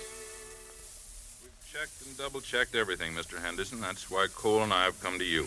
We're ready to turn the case over to the district attorney's office. You know how I feel about all this. I need a lot more answers than I've got now. Maybe we can give them to you. All right. What about the other pills in that bottle? There were a dozen capsules altogether. The child was given three. She had no reaction from the first two. Third was it, strychnine. I'm talking about the other nine. Negative. Exactly. You've drawn nothing but blanks. Where would she have got the poison? In a drugstore? Not if she's half as smart as you think she is. What about the apartment? Well, insecticides, we've gone through it twice with experts. Same with everything in the medicine cabinets. No trace of strychnine or any other poison. Yeah. And this is the case you want us to bring before a judge and jury? huh? Yes, sir, because we know she did it. She must have done it. All right, leave everything here, all the reports. And keep digging. I can't take it to trial unless we get more evidence. Okay, okay, we'll keep trying. Nothing happened. Nothing at all. At the end of the following week, I went to the district attorney's office. I've told you a dozen times, Mr. Cameron, if we bring this woman up for preliminary examination, I'm absolutely certain no judge will hold her over for trial. Not on this evidence. You believe she's guilty, don't you? Well, what if I do? Captain Pringle does too, so does Cole. She's planning to take my nephew to Europe. Six months, a year, even five years from now, he'll suddenly die in some obscure place. You could be right, Mr. Henderson, and then by the time we hear about it, the body will have been cremated. That's all quite possible, Pringle, but it's supposition, not evidence. If there's no chance of winning the case, there's no sense bringing it into court. You mean you base your reputation on winning cases, not on losing them, so you play only the sure bets? He meant nothing of the kind. But if we don't come up with some new evidence, we're dead. So is the boy. The boy's life is in your hands. I don't appreciate your putting it quite that way. There's no other way to put it. I think there is. I think that we. Hello, this is Henderson. Yeah, go ahead. Yeah, okay, thank you. Now, that was the medical examiner. There is no evidence of poison in connection with your brother's death. That at least would have been some help to us. That still doesn't alter the need of protecting my nephew. All right, Cameron. I don't like this, but under the circumstances, I suppose I have to. Pringle, Yes, sir. get out a warrant for the arrest of Mrs. Lynn Cameron.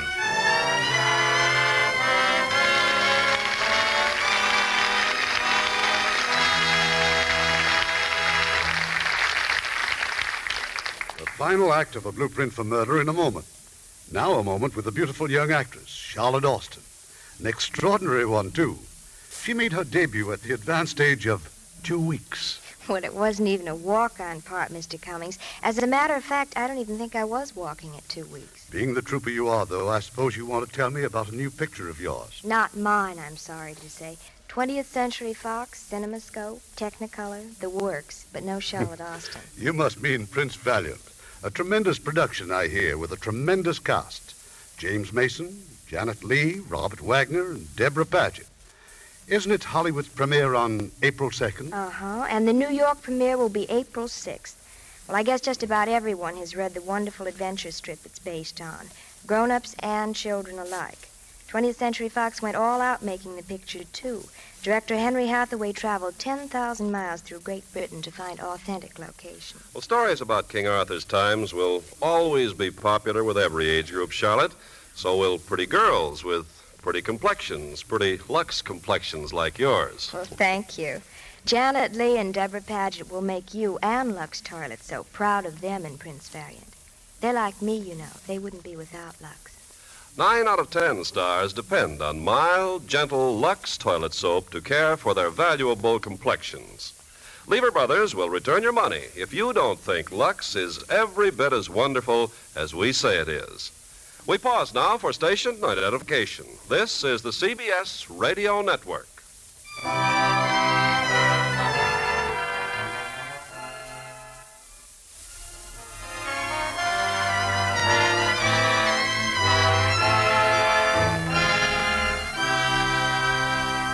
The curtain rises on Act Three of A Blueprint for Murder, starring Dorothy McGuire as Lynn and Dan Dailey as Cam.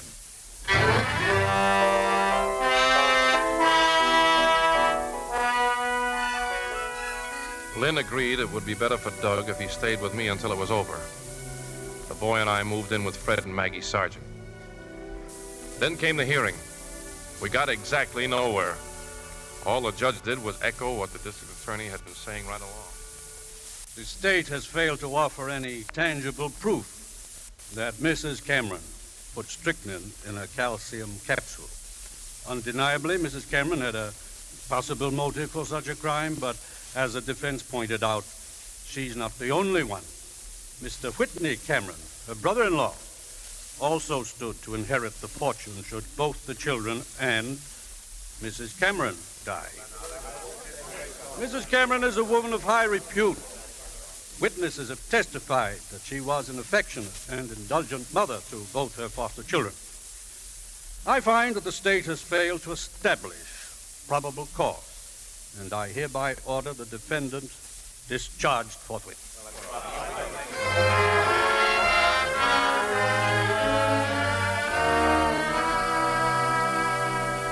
Well, I guess that's that, Mr. Cameron. We're licked unless we can find new evidence. Now, you spoke to her a few minutes ago, just before she left the courtroom. What'd she say?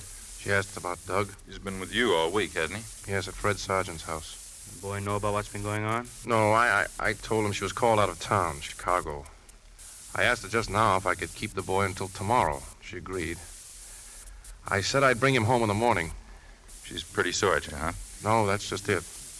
She doesn't realize I've had any part of all this. She thinks it's been entirely a police matter.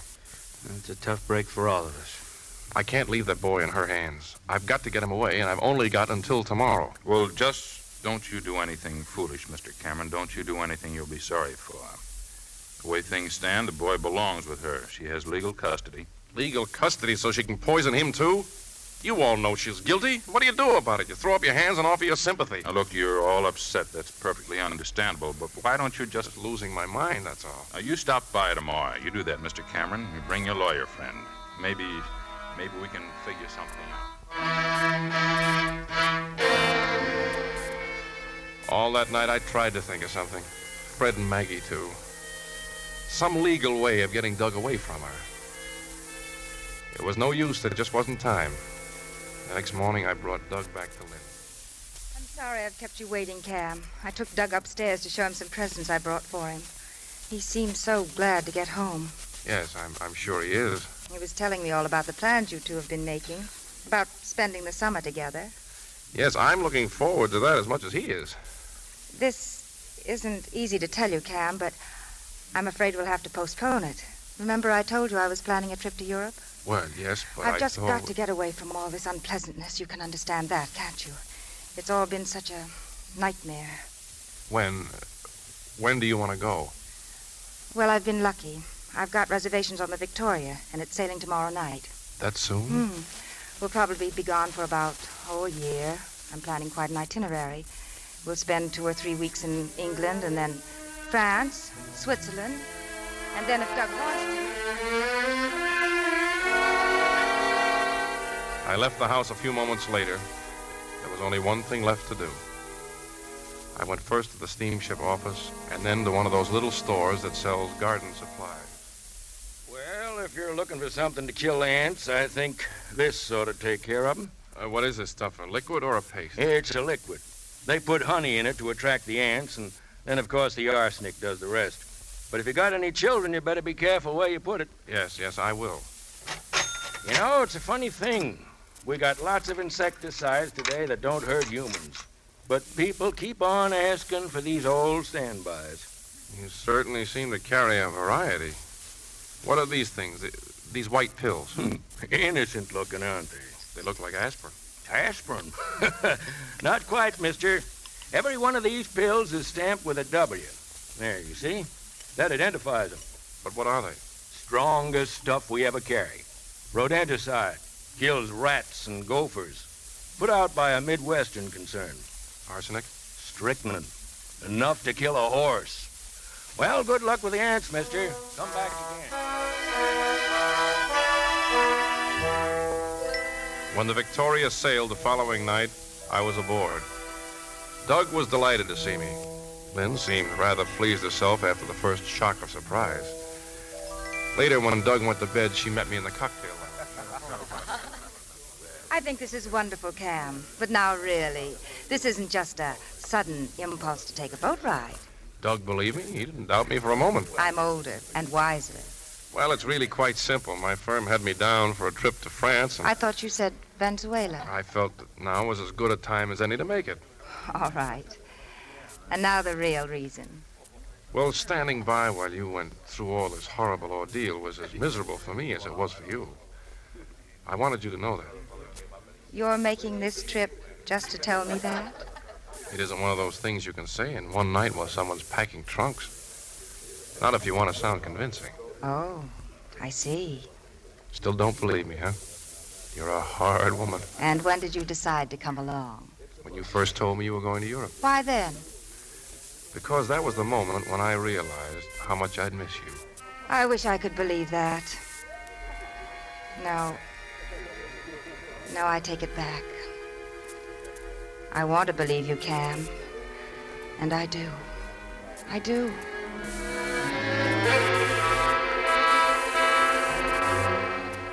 My plan couldn't have been working more smoothly. It could have been a wonderful trip if only the circumstances had been different. There were moments when I was horrified by the enormity of what I was going to do. And those terrible moments of doubt when I'd wonder if Lynn weren't innocent. But at the bottom of everything was the overwhelming fact that Polly had been murdered. It was our last night at sea. My time had finally run out. Where's Lynn, Uncle Cam? She's waiting for me out on deck, Doug. I told her I wanted to come down and say goodnight to you. There's a big dance in the ballroom, huh? It won't be long now before you'll be getting all dressed up and going to dances, too. You want to bet?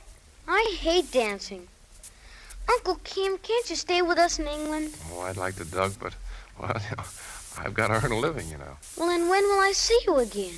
Oh, I don't know. Maybe I'll get a chance to fly over during the summer. You promise? Okay, I promise. Oh, you'll have a wonderful time in Europe.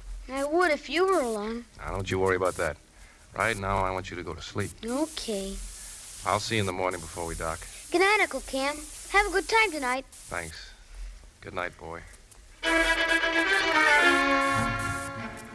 I went to my stateroom and put it in my pocket. That small bottle that I'd filled with poison I'd bought the day before the boat had sailed. I met Lynn. I suggested a cocktail in the lounge before we went to the dance. I'd rehearsed this scene a hundred times in my mind. But now my mind was numb. The idea of taking the life of a human being was like a hideous dream.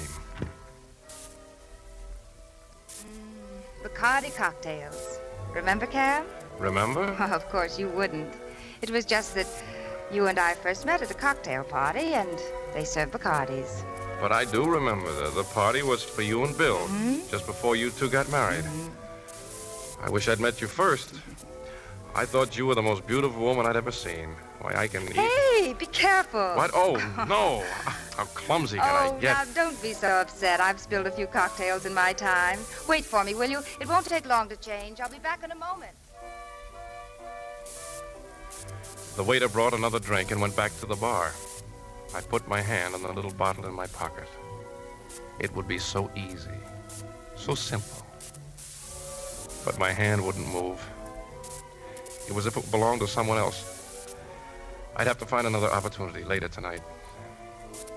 But suppose I was wrong. But Fred agreed, and Maggie, the DA, the police, all of them agreed. Only Lynn could have done it. If I could just be certain. Lynn was back now. We drank our cocktails and went to the dance. It went on and on as if it would never end, and then suddenly. Oh, no. No, what? Oh, can't you hear Auld Lang Syne, silly? Means the end of the dance. The end of the voyage. And it's been wonderful. Feel like walking? Hmm. How about a turn or two around the deck? I'd love to. I'd better have a wrap, though, hadn't I? Yes, you'd better. Give me a key. I'll get your coat. I knew then that I just couldn't go through with it. Out on deck, I took the bottle from my pocket and dropped it into the water. I picked up a wrap in her stateroom, and then as I was leaving, my eye caught the bright array of fancy bottles on her dressing table perfume, lotions. It seems crazy, but somehow I sensed an association between those bottles and the one I had thrown away. I stood there looking at them. They weren't all cosmetics, there were others, too. Neatly arranged in a little traveling kit medicines, things for first aid, and a bottle of aspirin. Suddenly, I was back in the store, and the clerk was talking to me. Aspirin? Not quite, mister. Strongest stuff we carry. Enough to kill a horse. I opened the bottle and dumped out the pills. They were all aspirin. All except three. Three pills, just a little different from any of the others. And stamped with a W.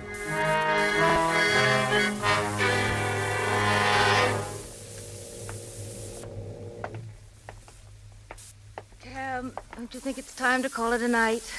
This is the last night we'll be alone for a long time. How about a good night drink? Fine, I'd like that. Your stateroom's closer than mine. Let's go in and I'll order something from the bar. You're not drinking.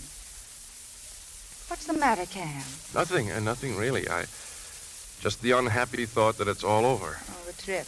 I'm sorry it's over, too. But now tell me something, and I want the truth. Why did you really take this boat? You know why? I know the reason you gave me. It's all very flattering. But it's a little difficult to believe. Why? Oh, I don't know. Of course, you are the sort of man who might do crazy, impulsive things. Like going to Europe so I could be with you for five days? Yes. Cam. Your hand, your hand shaking. What is it? It's nothing. uh, No, nothing's wrong. You know something? This drink tastes funny. It's it's bitter. Really? Uh, let me see. Mine seems all right. It's just my imagination, I suppose. No. No, not your imagination, Lynn. A few minutes ago, when I was in here getting your wrap, I found a bottle of aspirin over there. Oh? Three of the tablets in the bottle were different from the others. They had a W on them, Lynn. That's the trademark of a tablet containing strychnine. Cam, for heaven's sakes, Why were those pills different from the others? because they were another brand. But I refuse to go through all that again. Yet they were in the same bottle. Well, why not? I'd been taking another kind of aspirin. I had a few left over, so I put them in a new bottle to save space. Is that so unusual? Lynn, the W is the trademark of a poison. Ah, so that's the real reason you came on this trip. You were behind all those ridiculous accusations from the start. You still say they were just aspirin? Of course they are. That's good. I'm relieved. I'm very relieved. Why? Because that's why your drink tastes a little peculiar. I put one of those pills in your cocktail, and you've just taken it. I don't think we have anything more to discuss. Ever. Get out, Cam. Just a moment, please. Who are you? My name's Connolly, Mrs. Cameron. I'm ship's detective. Uh, Mr. Cameron sent for me as a witness. You've been listening to us Yeah. as a witness. So that's what you've been expecting. An hysterical admission that the pill contains strychnine. You never give up, do you, Cam? Well, I'm sorry to disappoint you. The, the tablet was harmless.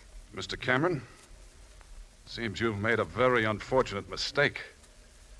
If you'll excuse me, I'd like to leave. This sort of thing's getting to be a habit with him, Mr. Conley. Conley, wait a minute. Look at your watch, Lynn. It's been almost five minutes since you took that drink.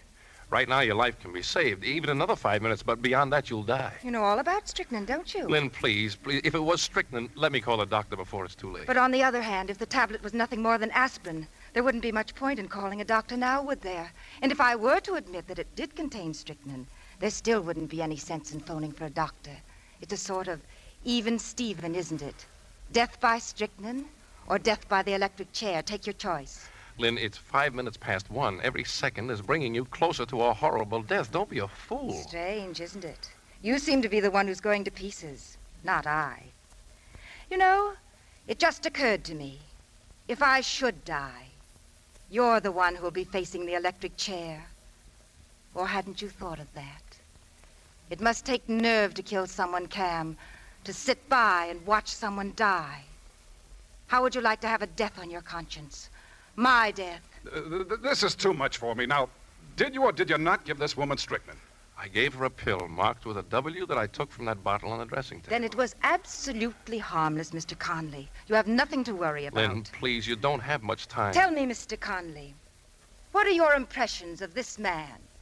Would you say he had character, honor, integrity? I'm sure you would. But I'm afraid his looks are quite deceiving. Let me tell you about him. He lived in my home as a guest, as a relative, as a warm friend. But all the while he was accepting my hospitality, he was taking everything I said, every incident that occurred, and was conniving to build up a case against me. Oh, but his betrayal didn't end there. Even after the court threw out his ridiculous charges, he kept on and on. But this last attempt, this is the most contemptible of all. You must really be proud of yourself, Cam. Only nothing's happening to me. Even you ought to be convinced by now you're being an idiot, a complete idiot. You were there with me the night that Polly died. You heard her screams. You saw the horrible agony she went through. Do you think that I, that anyone who'd seen that would take the same chance of dying in that same horrible way? Do you? Well, I've been an even bigger fool than you. You took me in completely. I was even falling in love with you. All right now, get out. Get out or I'll call the purser. I assure you that Mr. Cameron will leave at once. This is the most outrageous thing I've ever witnessed. You realize, Cameron, I'll have to make a full report of all this. Go ahead. Make your report.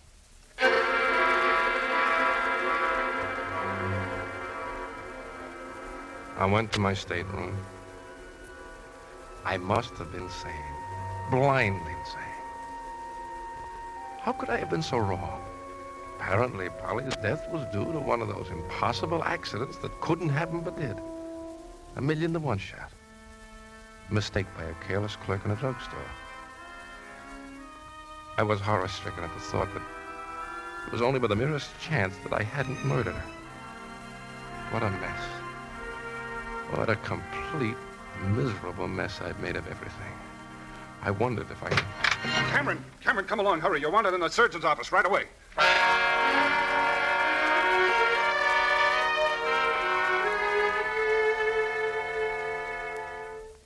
Mr. Cameron, I'm Dr. Wells. Mrs. Cameron is inside. Another few moments, and it would have been too late. She phoned Dr. Wells as soon as we left. Uh, doctor, she she live? Yes, Mr. Cameron. She'll live.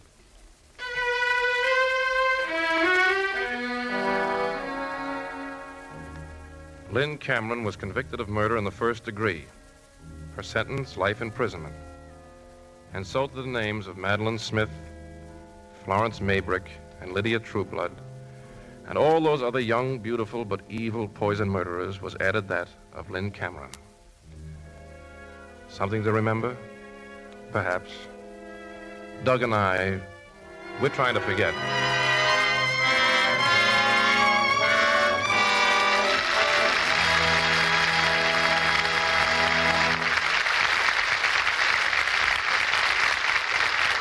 Our stars will return in a moment. Pepsodent's new flavor. Pepso Dense new flavor. Pepsodent's new flavor. Wow! Pepsodent's new flavor. And the clean mouth taste for hours. Yes, the big news is Pepsodent has a brand new wonderful flavor. Now, here's Mr. Cummings with our stars. Please step forward, Dan Dailey and Dorothy McGuire.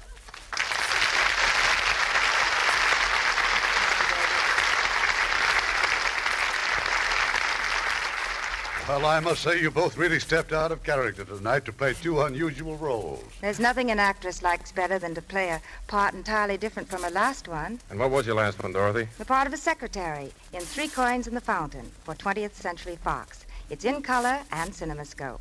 And Clifton Webb, Jean Peters, and I went to Italy to make it. I wonder I'm not getting anywhere in this business. All the pictures of me are made in Europe. I saw Night People, which stars Gregory Peck and Broderick Crawford, one of the most exciting thrillers I ever saw. And that was filmed in Berlin. Now, why don't I get those parts? I wasn't even considered for an Academy Award this year. Oh, what a terrible oversight. Why was that, Dad? Can't imagine, unless it's because I didn't make any pictures.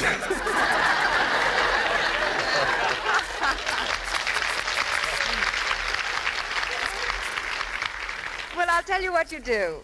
You find a fountain and you throw in a coin and make a wish. Now, where is he going to find a fountain around here? Never mind that. Where am I going to find a coin? I haven't been working.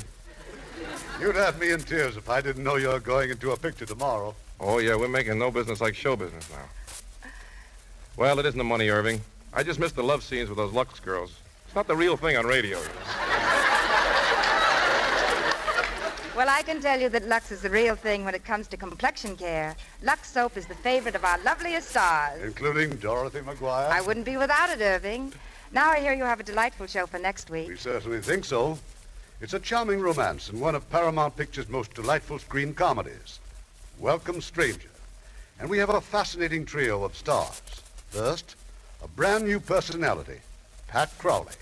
Then, one of the most lovable character actors in Hollywood, Barry Fitzgerald. And one of the screen's most handsome comedians, Cary Grant. It should be just great, Irving. Good night. Good night, and all our thanks.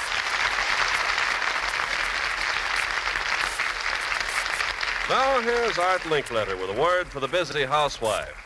When you're at the store pushing that metal cart around, have you ever noticed how many detergents there are? My gosh, you get dizzy just looking at them. So what's the poor girl to do? Try all of them? Some people do. And generally speaking, they find that a good detergent gets things clean looking and. Well, then it doesn't make any difference which one you buy. Just close your oh, eyes. wait, wait just a minute there. Open your eyes when you buy that detergent. But when you're trying to find out if your wash is really clean, don't rely on looks alone, because your nose can tell you what your eyes can't see. Oh, you mean that things aren't really clean unless they smell clean. That's right. If things don't smell clean, they aren't as clean as they should be. And like I said, all good detergents will give you a wash that's clean looking, but Surf, all purpose Surf, will do more. Surf gets things so clean they smell clean, too. So clean they smell like sunshine. And that means they're clean clear through. One wash day with Surf will prove that to you. And you won't go reaching blindly for just any detergent down at the store. You'll always reach for Surf. Now remember, no matter how tough a laundry job you've got, greasy work clothes and overalls, towels, sheets, Surf gets things really clean. So get the big money saver economy size box of Surf because I know you'll like it. Lever Brothers Company, makers of Lux Toilet Soap and Lux Liquid Detergent, invite you to be with us again next Monday evening when the Lux Radio Theater presents Welcome Stranger, starring Cary Grant, Barry Fitzgerald, and Pat Crowley. This is Irving Cummings saying good night to you from Hollywood.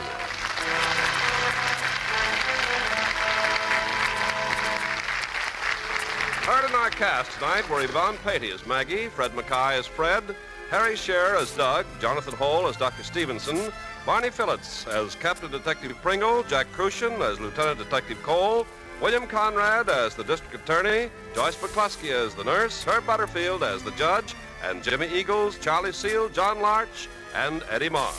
Our radio play was adapted by S.H. Barnett, and our music was composed and directed by Rudy Schrager.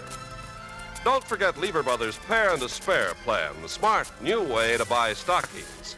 You get three nationally advertised, first quality Cannon nylon stockings, a dollar eighty-five cent value for just one dollar.